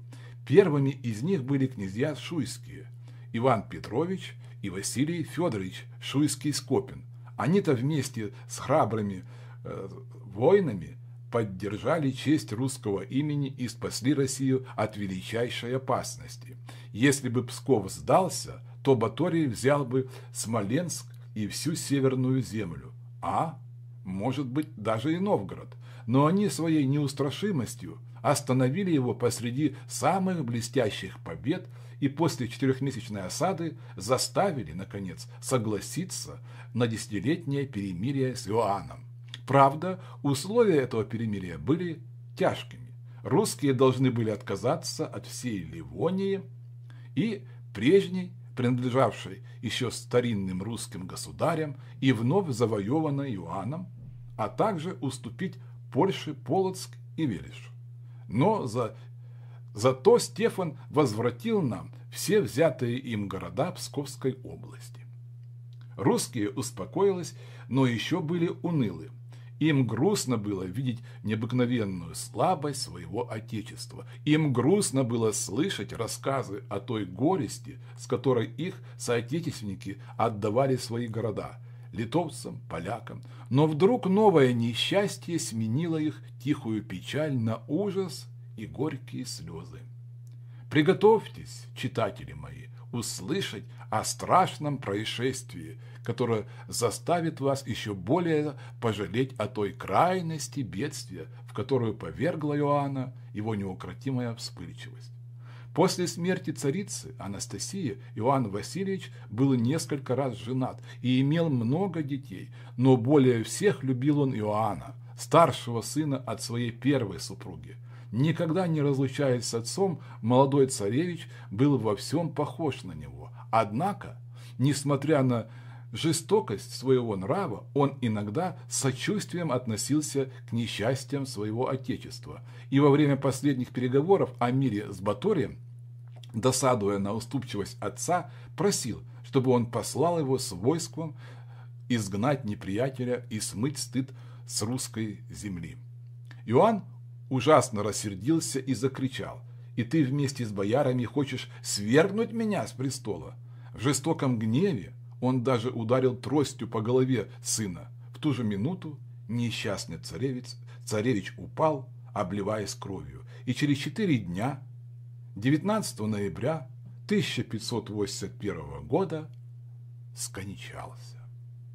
Ужасно было отчаяние Иоанна. Никто не думал тогда, что печальный государь, в немой горести сидевший над телом милого сына, был тот же грозный Иоанн, перед которым дрожали и подданные, и чужеземцы. Неумолимое сердце его готово было в то ужасное для него время прощать и миловать всех. Готово было даже отдать собственную жизнь, чтобы только воскресить свое драгоценное дитя. Но ни раскаяние, ни слезы, не помогали. Надо было покориться воле Божией. Иоанн чувствовал, что это ужасное несчастье послано на него с небес, как страшное наказание за бесчисленные его жестокости. И был так глубоко пораженным, предавался такому горестному отчаянию, что не только все добрые подданные его, но даже и те, которые ненавидели его за страдания, не могли без слез смотреть на его горесть. Иногда мучения совести внушали виновному Иоанну мысль о покаянии, и тогда любимой мыслью его было покончить жизнь в монастыре. Такая мысль казалась новым несчастьем верному народу, еще так недавно испытывающему слабость своего Отечества. Огорченная и встревоженная Россия давно уже не была в таком несчастном положении, но, но, благодаря Богу, оно было непродолжительно, и вскоре новое завоевание воскресило надежды ее и несколько, несколько развеяло ужасную тоску царя. Ермак, покоритель Сибири, 1582-1584 годы. Император наш, милые дети, в титуле своем называется также государем Югорским, Абдорским и Кандийским. Но знаете ли вы, от чего произошли эти названия и где лежат эти югорские, абдорские и кандийские земли? Верно? Нет. Потому что теперь их так не зовут. Они лежат в богатой Сибири, которую еще предки наши, не имевшие понятия о ее драгоценных рудниках, называли золотым дном, и из которой мы получаем теперь самые лучшие металлы, самые прекрасные камни, яшмы, самые дорогие меха, бобровые, собольи, куни, лисьи. Смелые новгородцы были первые из предков наших, решившиеся еще в XI веке переехать горы Уральские, отделяющие Сибирь от Европы. Смелость их была вознаграждена. Полудикие жители стран зауральских, страшась незнакомых пришельцев, согласились платить им выгодную дань прекрасными мехами. Новгородцы назвали земли новых, данников своих, югорскими. Впоследствии купцы – ездившие торговать в богатую югорскую землю, называли страны, лежавшие по берегам реки Аби, Абдорией, по берегам Конды, Кондией. Но эти страны еще не принадлежали русским совершенно, хотя Иоанн IV уже назывался не только государем Абдорским и Кандийским, но даже и Сибирским, с тех пор, как Эдгер – князь Сибирский сам захотел быть его данником. Читатели мои, конечно, не забыли, что Эдигер сделал это не столько из уважения к славе государя русского, сколько из страха перед окружавшими его татарскими князьями, которые часто нападали на его владения. Но Эдигер ошибся в своих расчетах. Отдаленность Сибири от Москвы помешала Иоанну вовремя оказать ему помощь и, Прежде, нежели царь узнал об опасном положении своего нового данника, Эдигер уже был убит Кучумом, сыном киргизского хана. Счастливый победитель завладел его столицей Искером и назвался царем сибирским. Город Искер назывался также и Сибирью и был построен на реке Иртыш в 16 верстах от нынешнего Тобольска. Сначала Кучум – боясь гнева Иоанна и еще не уверенный в покорности новых подданных своих, признал над собою, как и Эдегер, верховную власть русского царя, но потом, утвердясь в своих владениях, не только не хотел платить назначенной дани, но даже часто делал набеги на границы наши, и особо на землю пермскую, лежавшую ближе всех к его владениям. Иоанн занятый в это время беспристрастными войнами, не мог послать ни одного отряда войск своих для усмирения дерзкого князя татарского. Но в богатой земле Пермской жило много русских семейств, занимавшихся выгодной торговлей с соседними народами. Самыми знаменитыми из них были Яков и Григорий Строгановы. Они отличались умом, богатством, усердием государю, любовью к Отечеству. Зная уважение и привязанность всех жителей страны Пермской к Строгановым, Иоанн избрал их быть защитниками границ наших и для того дал им много земель по рекам Каме, Сылме и Часовой, позволил строить крепости, иметь свое войско, торговать 20 лет беспошлин с бухарцами, киргизами, одним словом, Иоанн сделал Строгановых почти владетельными князьями с тем условием только, чтобы они оберегали Россию от нападений сибирских татар на то время, пока войска его имеют дело с другими неприятелями. Строгановы верно исполняли возложенную на них обязанность, но не могли справиться с Кучумом. Полки их, набранные из вольных людей, были немногочисленны, потому что жители земли Пермской более любили заниматься торговлей, нежели войною. Строгановы решили где-нибудь в другом месте искать храбрых, неустрашимых воинов, с которыми можно было бы вернее исполнить желание царя и победить врагов его. Как вы думаете, друзья мои, где надеялись они найти таких воинов? Точно, вы угадали, у казаков. Эти ловкие наездники имели то, чего не было у пермских жителей, если они сами не вели ни с кем войны и никто из соседних государей не нанимал их сражаться за себя. То самые отважные и, может быть, можно сказать, самые дурные из них выезжали на большие дороги и там грабили и бились с проезжими. У них было в это время пять атаманов. Ермак Тимофеев, Иван Кольцо, Яков Михайлов, Никита Пан и Матвей Мещеряк. Они делали так много зла, что уже вызвали гнев государя, а Иван Кольцо был даже осужден им на смерть. Строгановы сумели обратить на пользу Отечества их отчаянную храбрость и дерзкое бесстрашие, необходимые для войны жестокими варварами среди бесчисленных опасностей, какие могли встретиться войску в стране чужой неизвестной. Они думали сделать в одно время два добрых дела – доставить царю нужных людей и обратить на путь истинный преступников. Усердие Строгановых имело полный успех. В ту самую минуту, как атаманы прочитали ласковое письмо, их мысли примириться совестью и заслужить снова милость государя так тронула еще не совсем ожесточенные сердца пяти казаков, что они с радостью согласились на предложение Астрогановых защищать христиан пермских от притеснений неверных. Скоро собрали они дружину из 540 храбрых казаков и под начальством лучшего из них Ермака весело поплыли по Волге к Строгановым. Как только бесстрашные донцы показались в разных местах границы русских, кончились набеги татар, и они так присмирели, что уже через год и Строганов, и Ермак могли думать о походе в землю сибирскую, чтобы выгнать из нее хана Кучума.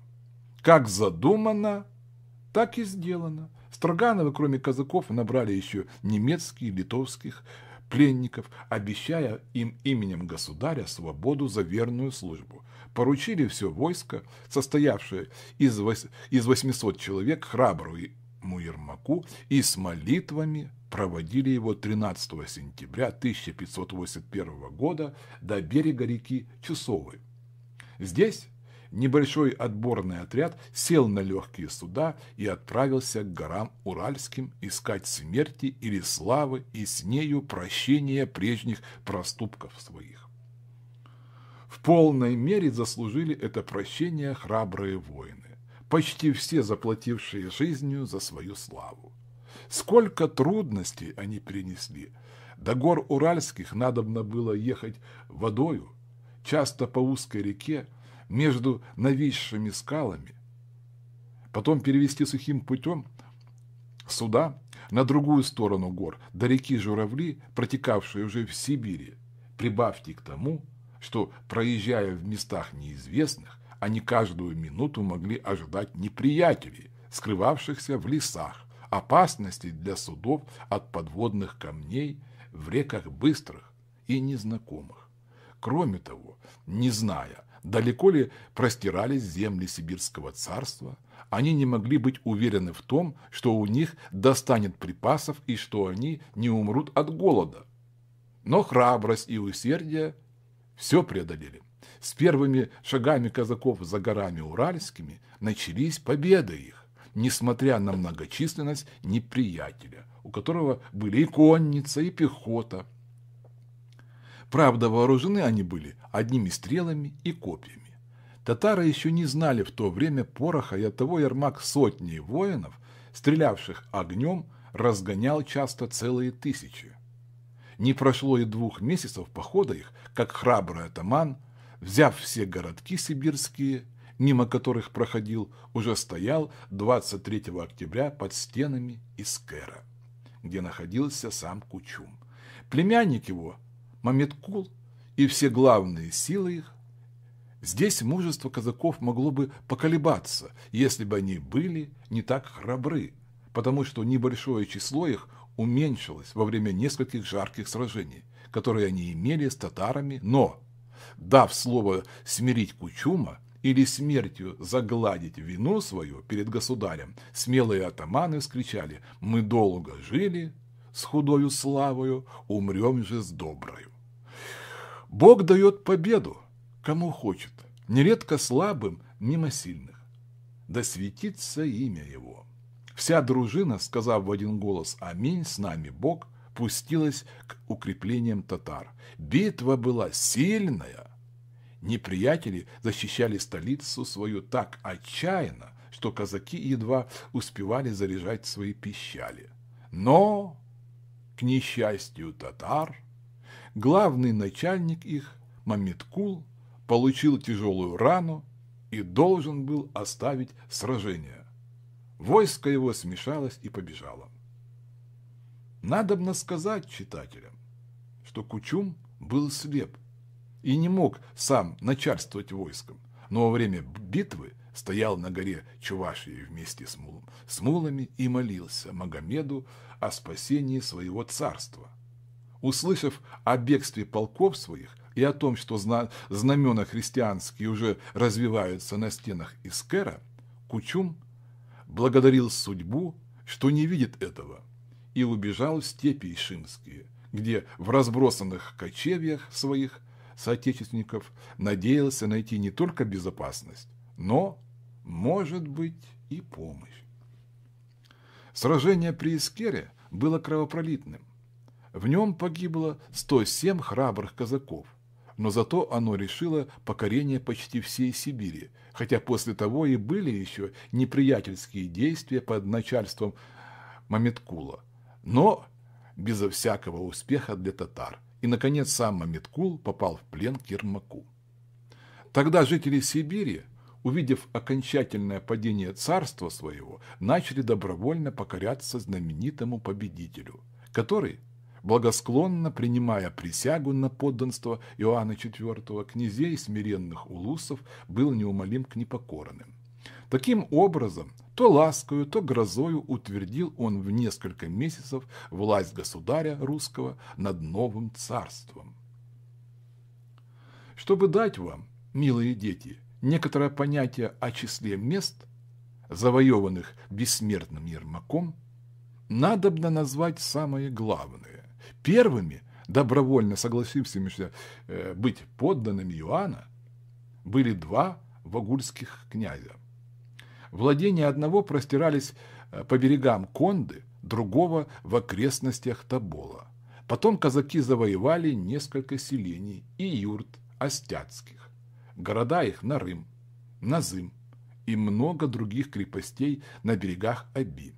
Здесь остановился Эрмак и не захотел идти далее. Природа в этих северных местах была так бедна, так сурово, так уныло, что не могла представить никакой приятности завоевателю.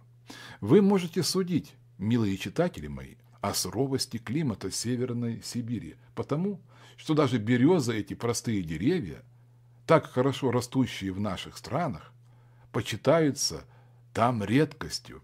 И в 900 верстах от Тобольска есть маленький городок, построенный спустя 10 лет после покорения Сибири и названный Березовым.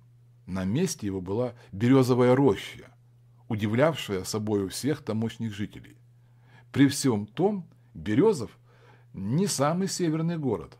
В Сибири есть еще 300 верст далее его Абдорск. В этом городе не только берез нет, но даже и трава растет худо, Взгляните же на юг Сибири.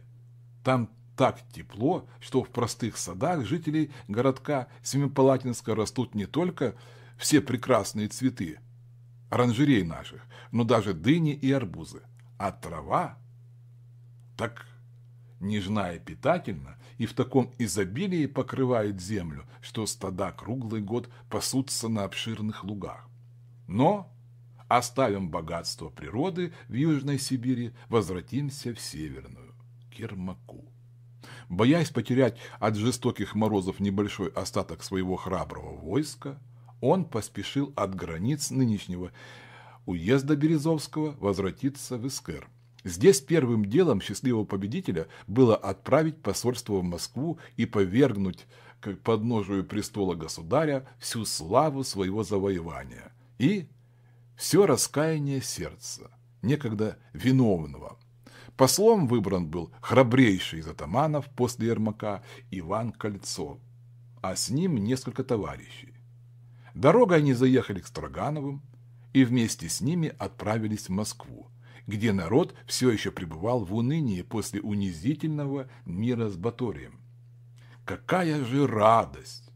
Какое веселье оживили сердца, когда все узнали о покорении нового царства, когда увидели послов Ермака, вошедших во дворец с богатыми дарами от своего предводителя.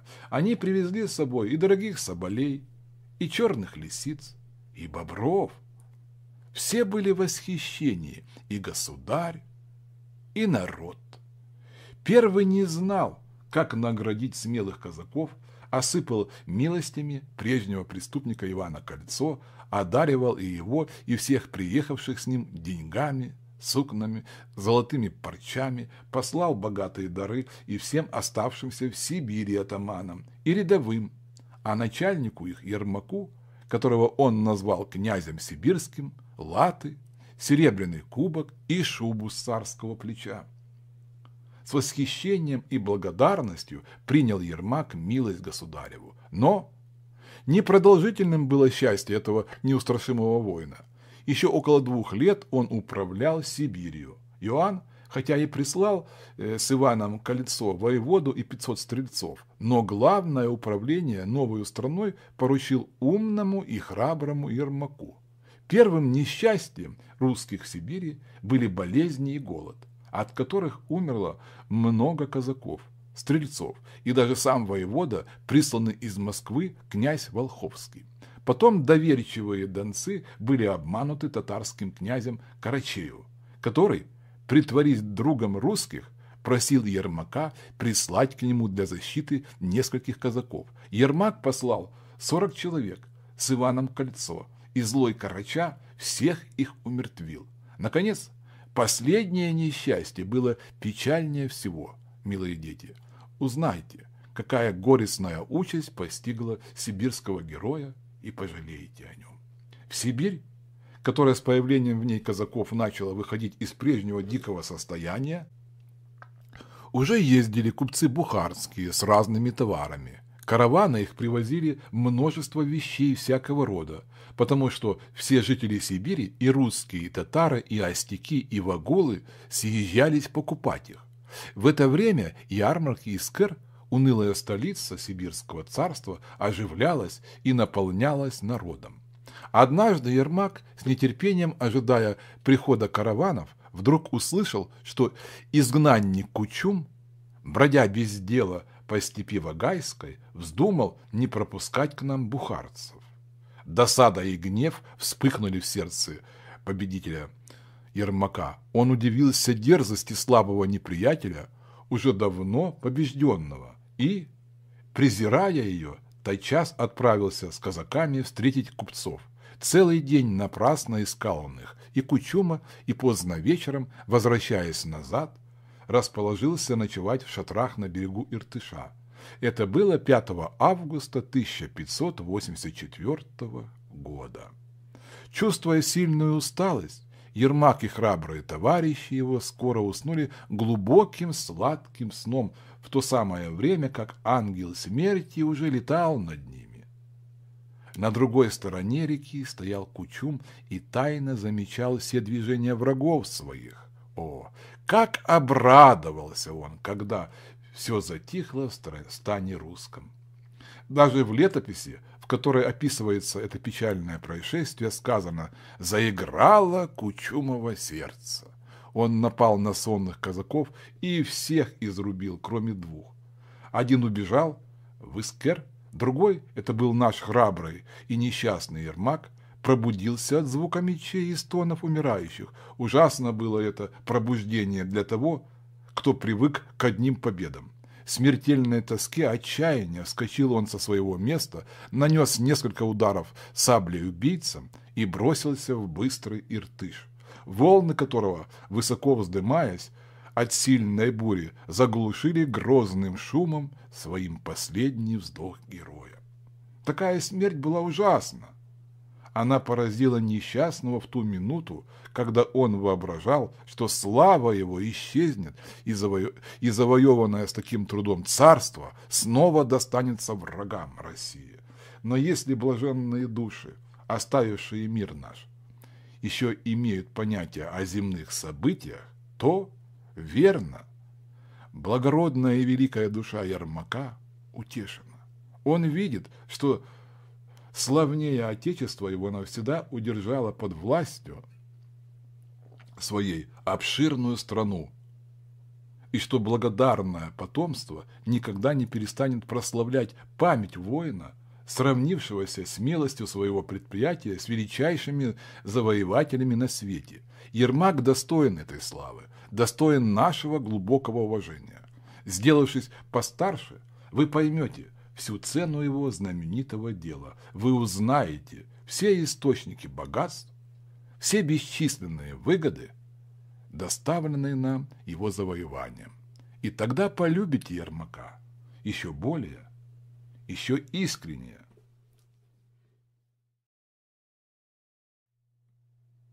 Кончина Иоанна Грозного, 1584 год. Пасмурным был рассвет утром 18 марта 1584 года. Тихо звонили московские колокола, уныло стоял народ в церквах и усердно молился. Все, и старые, и молодые, плакали. Казалось, все просили Бога о какой-то милости, о каком-то великом благодеянии.